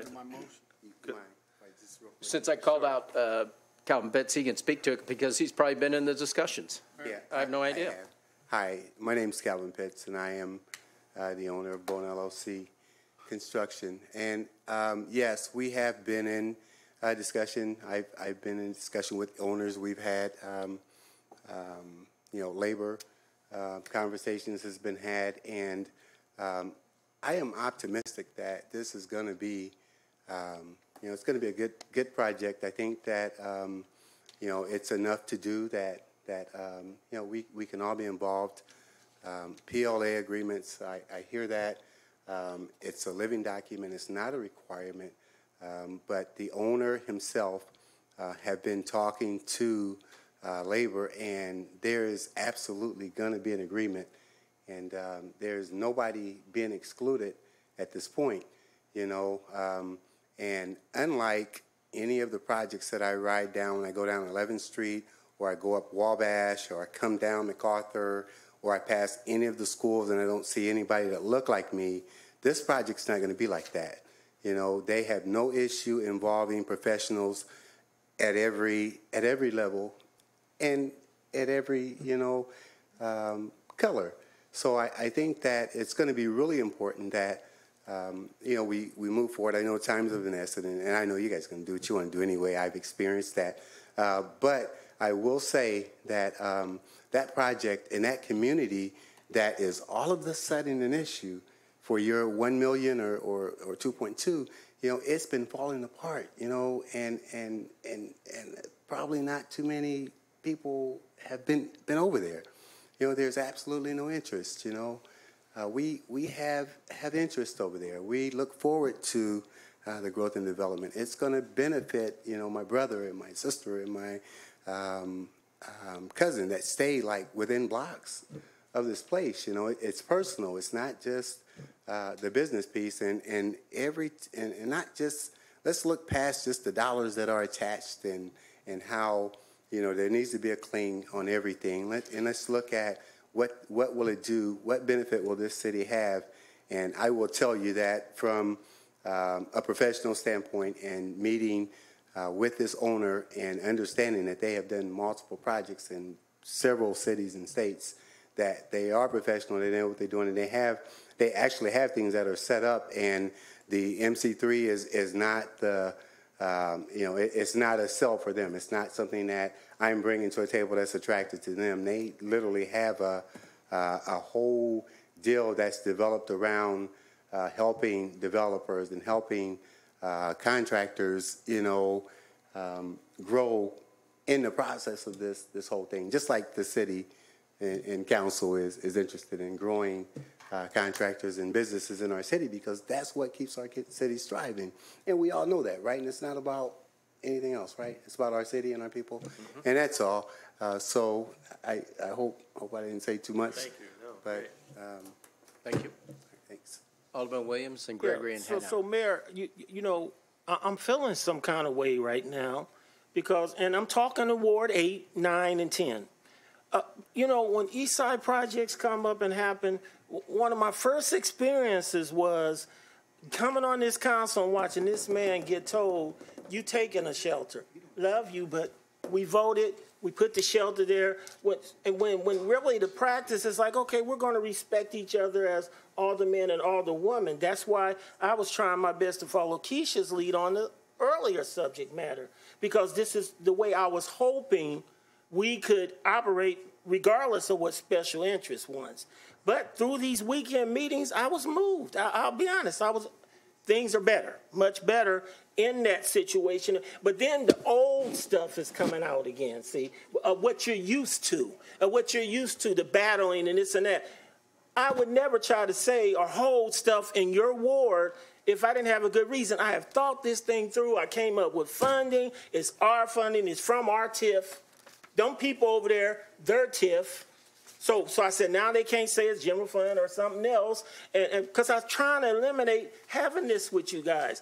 And then we have to worry about the community listening and watching. This happens over and over and over to the point where I said, skip eight, nine, and ten, and we had to go straight to the uh, what's the guy, Shivey guy. You know, we had to start having these conversations and being sincere, and we had some good ones, and I thought it was some good movements. I think we're in a good place, but I don't like holding stuff because we did this last week to me.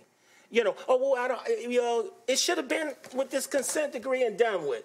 That's how good this project is. That's how good the funding is. I got the right funding, the right mix, and thank God over the weekend. So I thought we had the right mix of, of workers, it looks like. So everybody said, we get here to city council and we get played.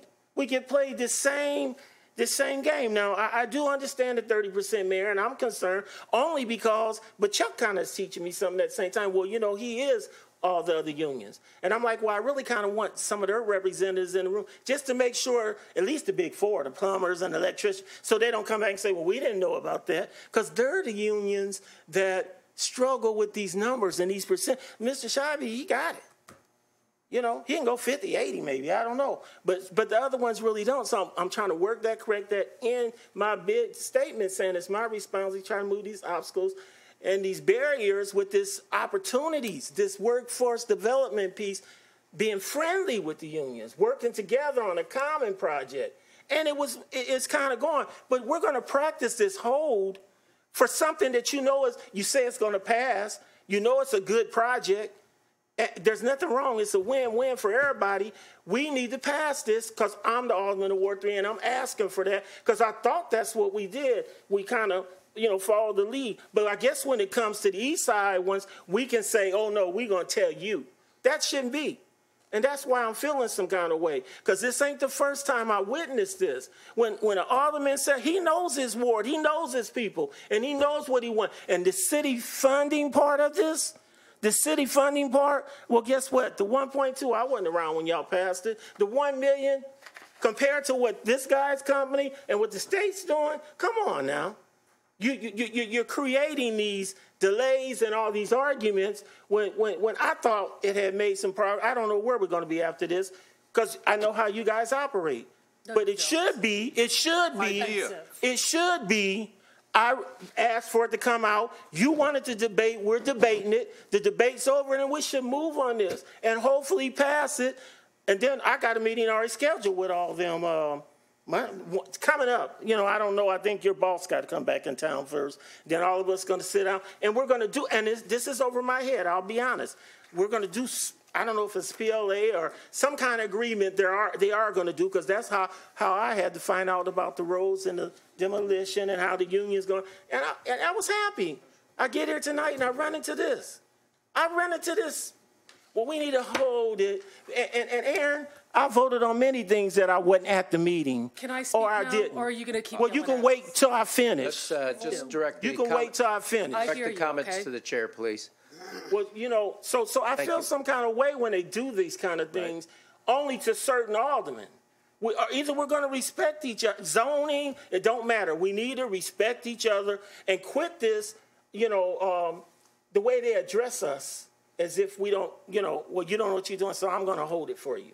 I don't need you to hold nothing for me, Hanauer. Could I, could I respond, Alderman Mayor? Gregory, yeah, after Alderman Gregory, you can. turn. I just, I just want to be, I just want to be clear in my, in, in, in my approach for this. Is, is it it wasn't to never cut, cut Calvin out. I'm actually uh, uh, in this tr- to make sure I wouldn't, I wouldn't co-sign for anything that's going to cut our, you know, a- a, person from, anybody from our community out of, of this agreement. But I really think from the conversations that have been had that this is this this project is going to be a hurdle uh, uh, over this this minority um, shortage that we have on workers and workers in general. Um, the the agreement that and this is why we just spent three hours on the window.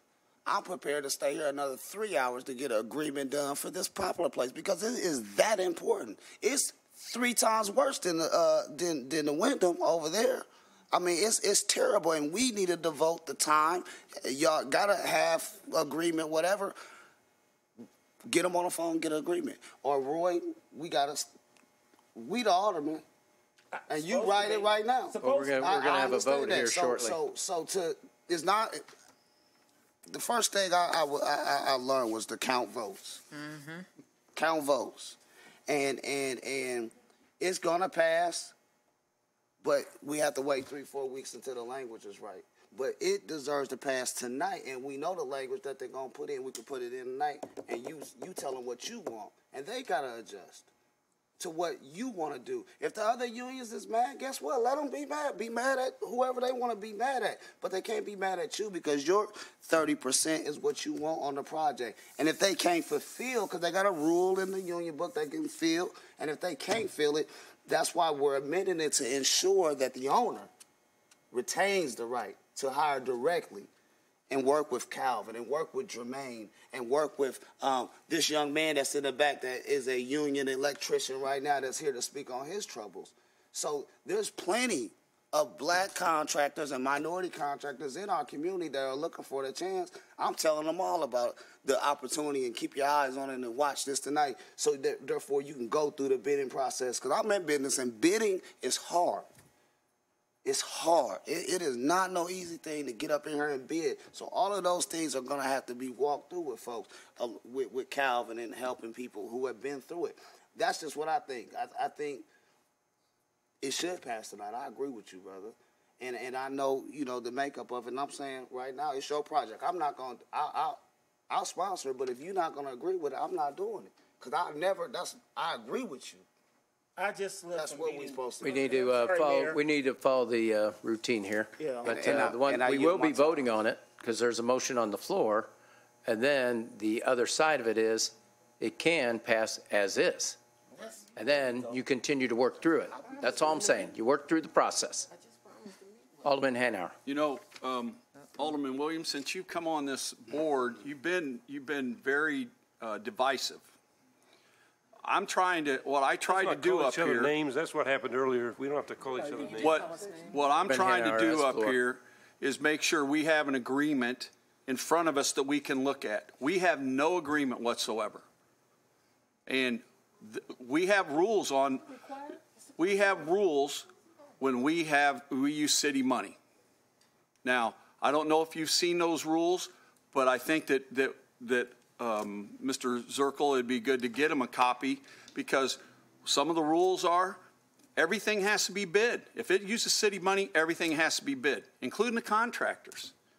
And, you know, the bid has to go out, it's got to be fair and all that. But we also have to have a developer's agreement. We don't have that. Forget whether, whether the PLA or not, we don't have a developer's agreement. That's, that's one of the first things. The mayor said, we got, we, you know, to, to make everything fair for everybody, we need it. Two weeks, he said it's not going to hurt him. You know, you just got to get together, get the development agreement, get things, you know, whatever other negotiations you got. But you got to understand, all the contractors have to bid for the job. I all of started them. off saying they're bidding. I said that. They're bidding for the roles. They're bidding. Well, it That's seems what I like you're, said. you're. Alderman you- you- Hanauer has the floor. You bring, you bring Calvin up and nothing against Calvin, but he has to bid on it too, and he may not get the job. He may not bid the, the point where he may not get the job. And, and that's what concerns me. You, you know, you want to just give it away, you don't want to follow the rules. I don't think saving this for two weeks, where we'll act on it next week. Hopefully, we could get a developer's agreement. We can push it forward and be done with it. I don't even care if we have a, a develop, uh, have a special meeting after next week. But I don't, I just think it's not good for us as a council to pass something forward. And, and we've had other, other aldermen up here that have stopped other projects because there was no developer's agreement. Now, this has nothing to do with east side, west side, but you want to make it, you want to make it east side, No, west side. no, but you know This what? I'll n- practice it. I'll practice what you Alderman practice on Hanauer me. I'll has, be practicing Alderman on. Hanauer has the floor. Is that it? I'm just saying that this is, if we don't have a developer's agreement, we're voting on something that we have no idea about. And that's the reason why I asked to hold it. With regards to the uh, need for bidding, uh, again, this is a developer's project. Um, It's my understanding is, and I'd ask Corporation Counsel, with a job training program, it's not bid out. Is that correct? Well, it depends on the, process. I'm not, I'm not certain how they're organizing the work. Any of the work uh, paid for by the city is going to be required to be bid out. In other words, uh, any of those elements and so on, if it, TIF is used, it has to be a uh, prevailing wage project. If you do IDA, it has to be a prevailing wage project. So that process, IDA has a process, the city has a process in terms of the soliciting bids, how it's done, all of those different things. All of those things will have to be followed in a normal fashion. Mm-hmm. And IDA, IDA has its own set of rules, you know, relating to how they process it and so on. Have you done IDA projects before? We have. And how's that typically work with job training? Uh, LR Contracting is our contracting firm, and they'll be the GC on this project. Uh, They have, they have extended experience with working with IDA, um, and they will be uh, leading the bidding process. Thank you. Alderwoman Con, oh, Yeah, Well, just for clarity. uh, sure. there- At this point, anything that uh, I've submitted has been a bid. It's been um, a proposal. I, yeah, I haven't been given anything. Calvin, could you speak into the microphone, please? Yeah, so everything has been bidded up to this point. Um, As it relates to the training, that is something that uh, Related is going to offer to the surrounding community. Uh, They're going to have me do that, and it has nothing to do uh, with any of the funding or, or and, and, and the, the funds that you guys are referring to is the, the, the streets and, and the demolition, uh, you know, and, and I think that there's, there's no other interest in that. And one thing I think we'll probably be surprised with, you know, uh, the laborers can, can say, or any, any um, um, labor group can say that, you know, there needs to be this, this, and this, but unless you have a contractor that wants to bid, you know, and, and hire the workers, because the unions, they provide the, the workforce, but it's gonna, it's gonna take a contractor to say, hey, I wanna go in and I wanna do this work, and, and then they have to submit a, uh, an effective bid for them to be on the project. So, you know, business managers don't typically put people to work. They provide workers for the employer, and the employer put them to work. Is generally how that works. Thank you. Alderwoman Conley, then Alderman Donelan, then Alderman Williams, and Alderwoman Purchase. Thank you. Um, And, and um, Calvin, thank you for that clarification. I'm, Alderman Williams, I'm going to speak to you. uh, I am, I know, Mayor, we speak. That's right. But I just, I was Allow called it. out by name, so I'd like to respond. Um, And I'm going to speak to you as a woman, because that's where I'm coming from. And I've been plenty of spots where I've been told one thing's going to happen. Hey, this is how it's going to go. It's going to go like this, and yeah, we're going to have you there. We're going to have women at the table. This is going to be diverse. And then when we get to the end of that path, nothing's. All of a sudden, it's a bunch of. And, uh, no offense to other people, but it's it's a bunch of people who also don't look like me. And so when I have gotten the short end of that stick, it's because I took someone's, and I'm not saying your word, Alderman Williams. I am just saying I haven't seen anything in writing. I think that what we've got here is a fabulous project, and I'm not trying to disparage anyone by saying, let's commemorate this and put it in writing so we have something to hold people to. Contracts are binding. Developer agreements give all of us an assurance that, that what you, what you want and what I agree, I think what everyone around this horseshoe wants for this project is to see it be something that doesn't just generate safe, clean housing in a neighborhood that desperately needs it, but it also, as, as Mr. Pitts alluded to, generates work and, and, and tra- workforce training opportunities. But we have that in writing. I mean, it, it seems to me that you you've made some some good progress and you're talking to the right people, and I do very much appreciate that. I also know that you're this, this is the same company that's owned this property for the whole time that it's gone into disrepair. And I'm not casting aspersions on you, but I want you to know I'd like to see that this project that is being talked about as being transformational is, is, is, is put in writing in a way that we can hold you to it also. Because I've, I've gotten that short stick. And, and you can, you can point at me like you think I'm, I'm trying to undermine. I am trying to be very supportive of this. I want to see this go. I'm not talking weeks. I mean, I, I, I'd be happy if we have a developers agreement and, and there are strong language in there so we know that we're going to have something for our entire community come out of this project, which is fabulous. It's so exciting.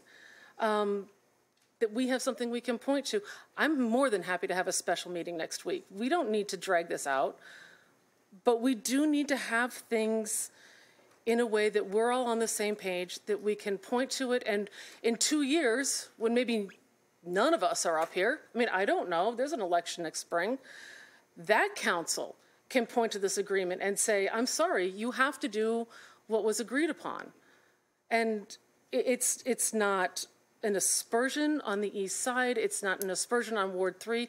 I listened to Doris Turner talk about Poplar Place for years. This is, I know the, I know the enormity of having this project finished, absolutely.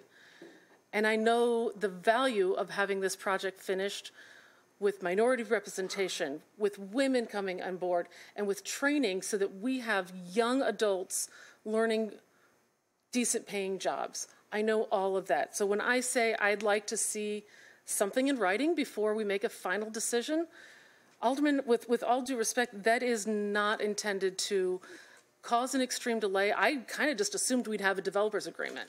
I kind of assumed it'd be sitting on my desk when I got here, but I still assumed we would have something. No surprises. Um, and I, I think it's it's important that we represent best project. We, we bring the best project forward. I'm hearing that it's there. I'm hearing you're right on. It's right there. There's details that need to be worked out. Let's get them worked out. Let's have a special meeting next week. That's not a problem. But please know that this is not coming from a place of trying to micromanage or tell you how you should be voting. I'm telling you from my heart, from my personal experience, of being the woman who gets left behind. When all the men get to go ahead and walk ahead, all of a sudden it's like, oh, we forgot, Erin, the door's closed for you, so come back next time and we'll talk to you again about it. Oh, I want to see it in writing. And again, I'm not doubting you, but that is a document that lasts past this council, and it's a document that lasts past this night and past this council, and I think it's important for us. Alderman Donelan? Yeah, thank you, Mayor. Um, I appreciate the opportunity to just say a few words. You know, uh, I, I tend to be one that I, I, I like to at times sit back and it's, it's, it's interesting. Come into the room a lot of times and I really don't know how I'm going to vote on something. And I like to be one that I sit back and I listen to the debate. And of course, you all know I'm not afraid to contribute to the debate. And I'm sitting back tonight. I'm here. you- you've been, and I said it first thing. You've been very patient. Sit three three hour meeting, and, and you've you've come up and been willing to talk about the project. I appreciate that. I think this is a wonderful thing. You know, Doris Turner was hammering this hammering this for a long time. I know we ran into an issue uh, with with who owned the roads and how we could do something, and the mayor pledged to try to figure something out. And when this ordinance came forward, I, I was excited. I am excited about it. Excited about it moving forward. Excited about the reinvestment in our inner city. It's so important. And I'm sitting here listening to the debate. You, you, my alderman to my left brings up the, the uh, desire to have the pro- project labor agreement and/or redevelopment agreement in writing, so we can take a look at it. I believe the alderman to my right, alderwoman to my right, makes the second. And I'm, I'm listening to the debate, kind of curious to how this is going to go, and all of a sudden, I'm against it. An alderman, I, I didn't even say a word. I was sitting here listening to the debate. So anyway, I, I take a little bit of an issue with it. I don't take a little bit. I take an issue with that. And uh, I, I think this is a great project. I hope we can work it out. Mayor, you suggested uh, not wanting to do anything until we uh, see, you know, see the documents in writing. If it I has think- a PLA language. Yeah, I think that has merit. And, uh, you know, but I want to see this moving forward as fastly, as fast as possible. And whether they have to have a special meeting or what have you, it sounds like you made some productive, had some productive conversations. I was interested in hearing that tonight. Thank you for sharing that with me. And uh, I, I intend on doing whatever I can to make this thing move forward as fast as possible, because I think it's important for the city. Hope that was clear enough. Thank you. Alderman Williams? Well, again, so you travel down here again and, and we got a delay. Your bosses were here over, over the weekend. They're gonna find out about the delay. So, so, and, and, and, and, uh, Alderman Hanauer wanted it on debate, but, but, you know, last week, we could, could got told that's gonna be a concern and then we'll have it here. You know, I know that we eventually gonna get to the agreement, cause that's what's been going on all over the weekend.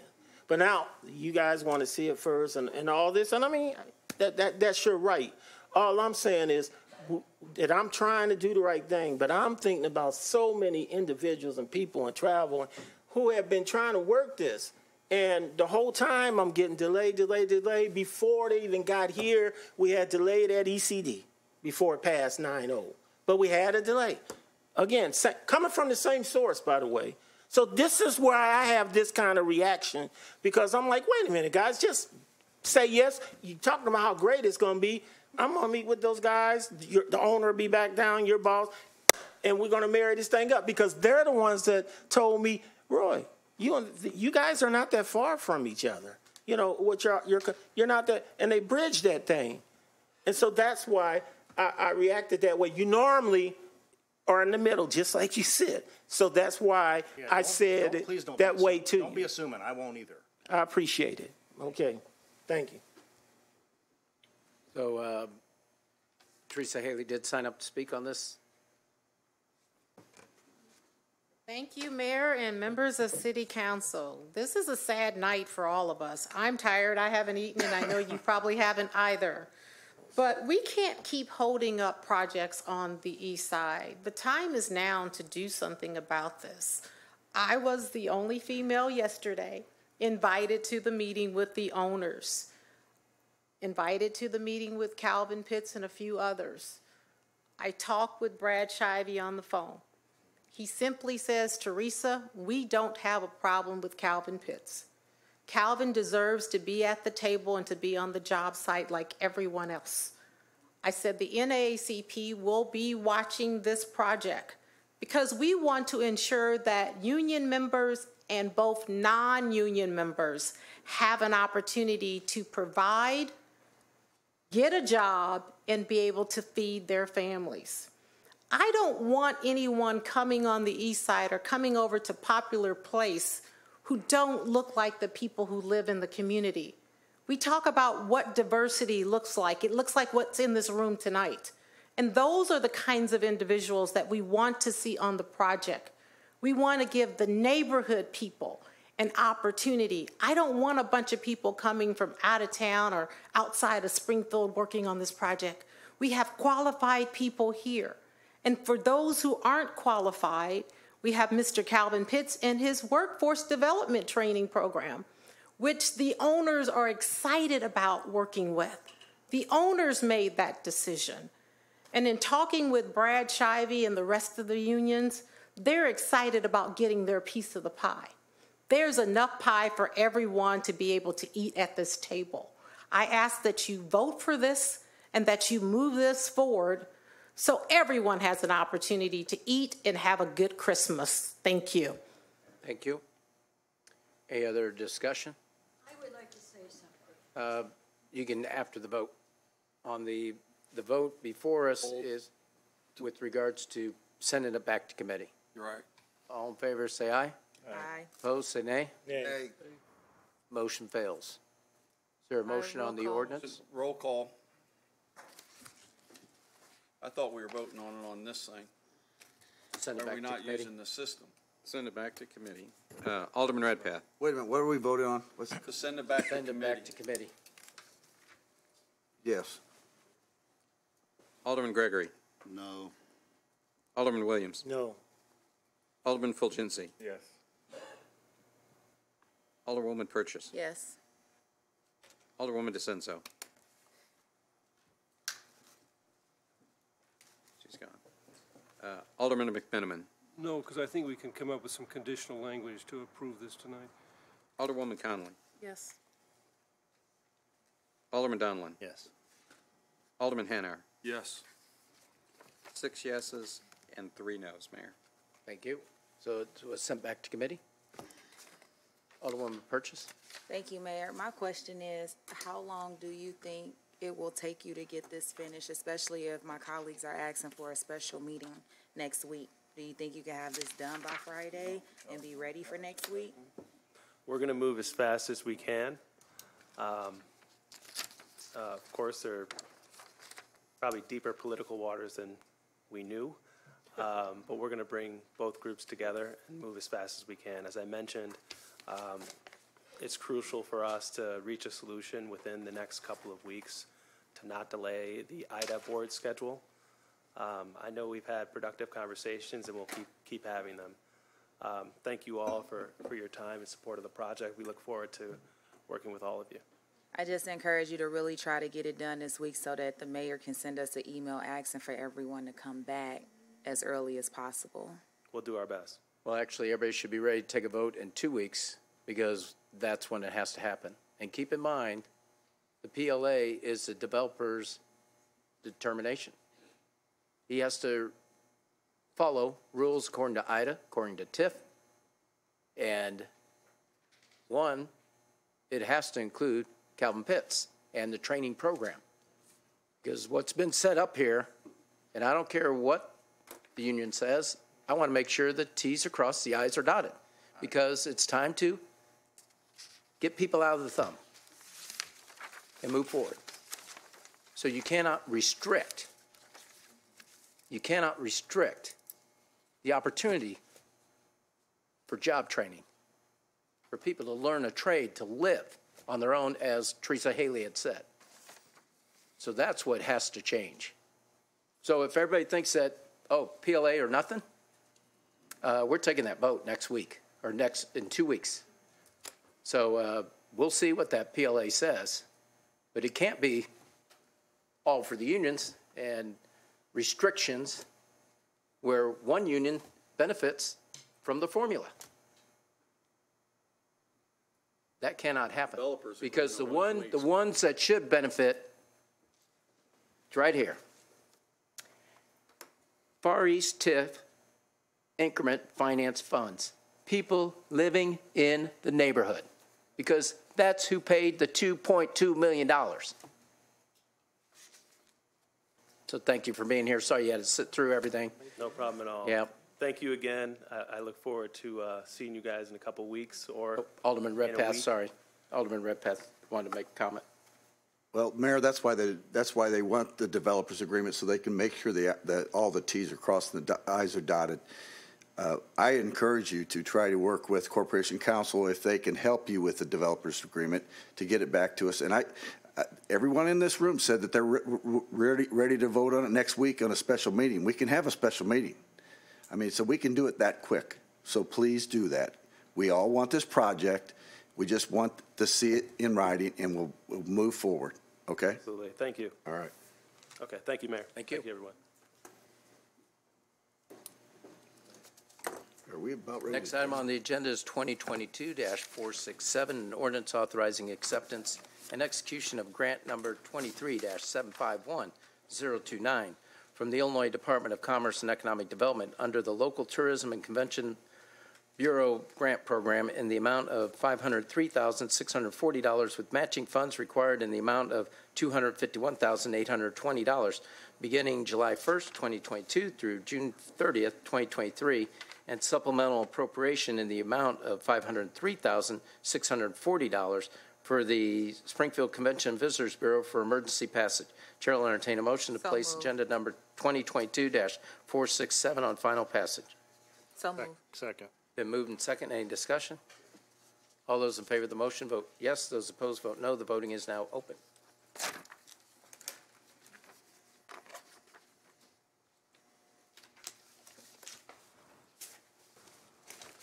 We got- We got one that stepped out, Mayor. Oh, boy. We need a vote? Hey, Kenny, could you Need grab seven or eight? Ralph? He just stepped out. We need his vote. Uh, since there's only, it's probably passed, since there's one No, absent. we need the additional, Need the eight? Actually, it fails for, a- it fails for a lack of a supermajority. Yep. oh, then we need one more. Oh, Or Joe could vote for it. That would be. no, two voted present. Oh, Alderman Hanauer's out. No pay for Hanauer this month.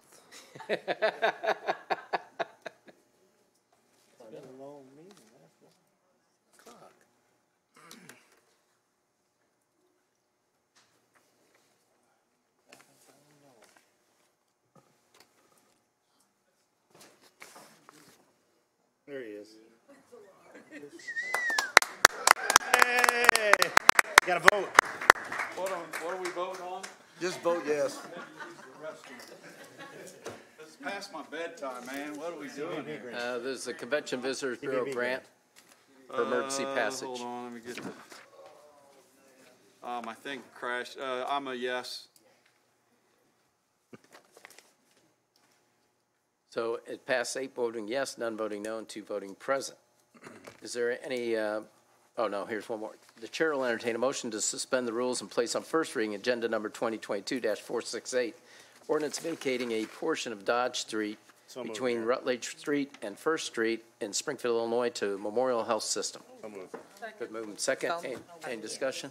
All in favor, say aye. Aye. Opposed, say nay. Motion carries. Is there any unfinished business come before the council? Any new business? No. Motion to Is adjourn. there, yeah. Oh, anybody wish to address the council? Is there a motion for adjournment? So moved. All in favor, say aye. Aye. Opposed, say nay. We're adjourned. Thank you very much. Thank you, Mayor. I just want to know. Did someone want to We speak? blame Gary Mosier for this meeting. Or do you want to Motion to speak? reconsider the vote. We got one gentleman that wanted Can we to. Sorry, there's, reconsider? uh, someone had his hand up. I didn't see. Wishes to speak? Yep, come on up. He sat here. Yep. Yeah, if you state your name and address for the council, we'd appreciate it. And address? All right. Um, my name is David Alexander. We're still in session, or let's do it officially. reconvene the city council meeting? Second. All in favor, say aye. Aye. Opposed, say nay. We're reconvene. All right. Um, my name is David Alexander. Uh, my address is 1623 West Capitol Avenue in Springfield, Illinois. Um, uh, I'm here under recommendation. Um, I'm uh, an electrician apprentice with CWLP. Um, I've been faced with some unfair treatment uh, and concerns that I think City Council needs to be aware of. Uh, so things are, are still progressing right now. Um, I'm really not used to this kind of thing, so I took the liberty to just write uh, what it is I wanted to say, if that's all right with you. It'll only be a few minutes. All right. Um, this is a plea to allow me to finish my apprenticeship that over the years I have fought to obtain and complete. I have faith the City Council will hear my plea and render a fair and unbiased decision in my favor. Here's a little background on who I am David Alexander. Uh, I'm a person of color who has had to reach beyond my scope and often beyond my means to accomplish my career goals. I believe in hard work, high ethics in the workplace, honor, and respect. I am thankful for the opportunities I have received from many mentors and professionals in workplace, the IBEW, and at CWLP. The road I have traveled has been difficult with many obstacles, but it is making me a better professional and man. I have grown in maturity emotionally and professionally. When I was an eighth grader, I learned about a school that would help prepare me for college. I knew college was good and valuable, so I walked into uh, Sacred Heart Griffin High School um, as an eighth grader to inquire about how I could get accepted into this pre- presti- prestigious school. they let me know that there was a cost associated with attending the school. I knew better than to ask my mom if we could afford it because I knew we couldn't. I asked the person in the main office about payment, a payment plan to help me attend the school. Uh, they sent me somewhere I'd never heard of, the financial aid office, um, where um, we we discussed uh, my interests, like in math and music, etc. After realizing I had no interest in sports, they found a way to help me by graciously giving me a scholarship and an opportunity to play in the band. I pressed my way through an environment in which I was not accustomed. I learned a lot, and I'm thankful for all my experiences with SHG. Then in 2016, at 17 years old, I graduated from SHG. Next, I went off to college in pursuit of a purpose. The financial aspect did not pan out in my favor or how I had hoped it would. I decided the best decision was to start working in order to take care of myself and to look out for my family. I was working three jobs at one time for about a year when I learned that there was such thing as trade school. Um, that's when my life changed trajectory. Uh, when I learned about trade school, I knew it was something I wanted to do. I went to LL to Lincoln Land Community College and got into the highway construction training program. The program taught me some basic skills with tools that, up to that point in my life, I had never been introduced. Um, I learned about specific trades as well. I learned more uh, as I was as I learned more. I was drawn to electrical work. I knew I wanted to be an electrician, and I could thrive due to my strong math skills and aptitude for the field. However, the apprenticeship at the time only took in applications during a specific time of the year. I applied for a position as an inside wireman or electrician apprentice, uh, but I ranked below number 10, and unfortunately, they only needed 10 people that year. The program I attended uh, with Lincoln Land, uh, upon completion, granted me an opportunity to obtain my CDL. I drove for about a year. I called Neil Hervey with the IBEW union, uh, asking about when I could apply again to be an electrician apprentice uh, and what things I could do to have a better chance of succeeding. I was adamant and insistent with Mr. Hervey because I knew it was my dream to work as an electrician. Finally, he let me know uh, there was a way for me to get in at a level lower than an apprentice. Um, I immediately and very gladly accepted that position. It was lower paid than the truck driving, uh, but I was overjoyed and thankful that that door of opportunity presented me the chance to be in the IBEW Local 193. After about nine months as a commercial wireman at Step One, I applied for the apprenticeship for the second time. This time was different. I ranked number one. I had been learning more about electrical work with Bone Construction Company, who partner with Ameren. And I completed that training during my first year as an apprentice with the IBEW. After being an inside wireman apprentice for a year, I applied for the apprenticeship with CWLP. In May of 2020, I got hired into the relay department as an electrician apprentice. I was so excited and ready to work and to learn and be the best I could be. And I admit, during this time, unexpected personal situations affected my ability to focus fully on my job. Life happens sometimes, uh, but I, I have matured and, I, and understand no matter what is happening at home, my focus at work is non negotiable. Last week, I was given an ultimatum to either resign from my position or be terminated. I was told that a decision was required to be made within 16 hours. At that point, I wasn't expecting to to be given such a choice, and I knew I needed time to collect myself and my thoughts. Uh, my union fought for me to be given an extension to choose, uh, and that day is today.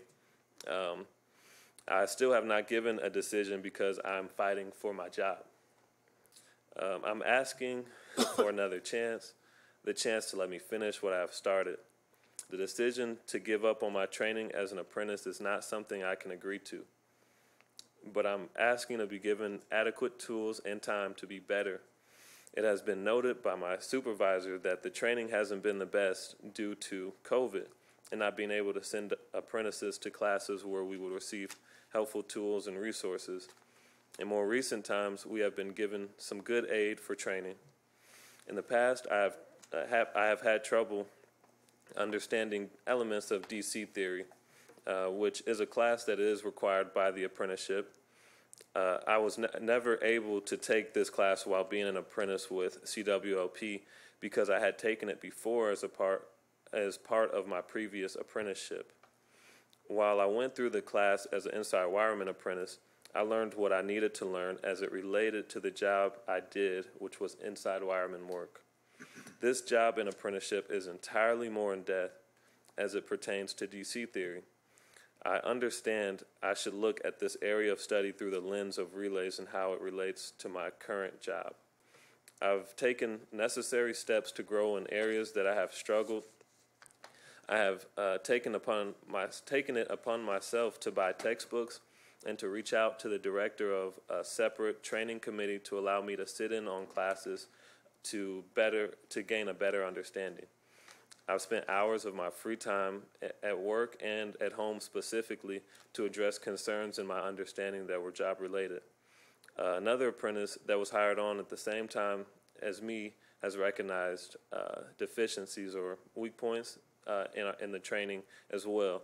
And between the two of us, we have spent over $1,000 to gain relay specific textbooks to help us grow in our career field. Since we have gained a new apprentice in our department, we have been given some useful resources to aid in our learning of the job in which I have thoroughly, actively, and noticeably engaged. I have been improving as an apprentice and in my job knowledge, and the records show.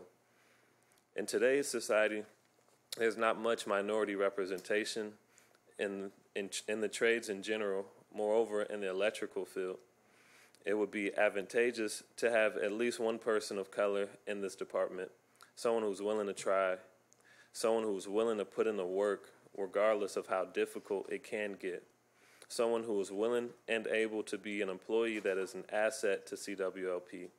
And I am that worker, and I'm asking for you to let me finish what I have started. There have been some things I have needed to correct in the past, and I've taken necessary steps, and I have corrected things. And I'm asking for sufficient time and an opportunity to get better in other areas.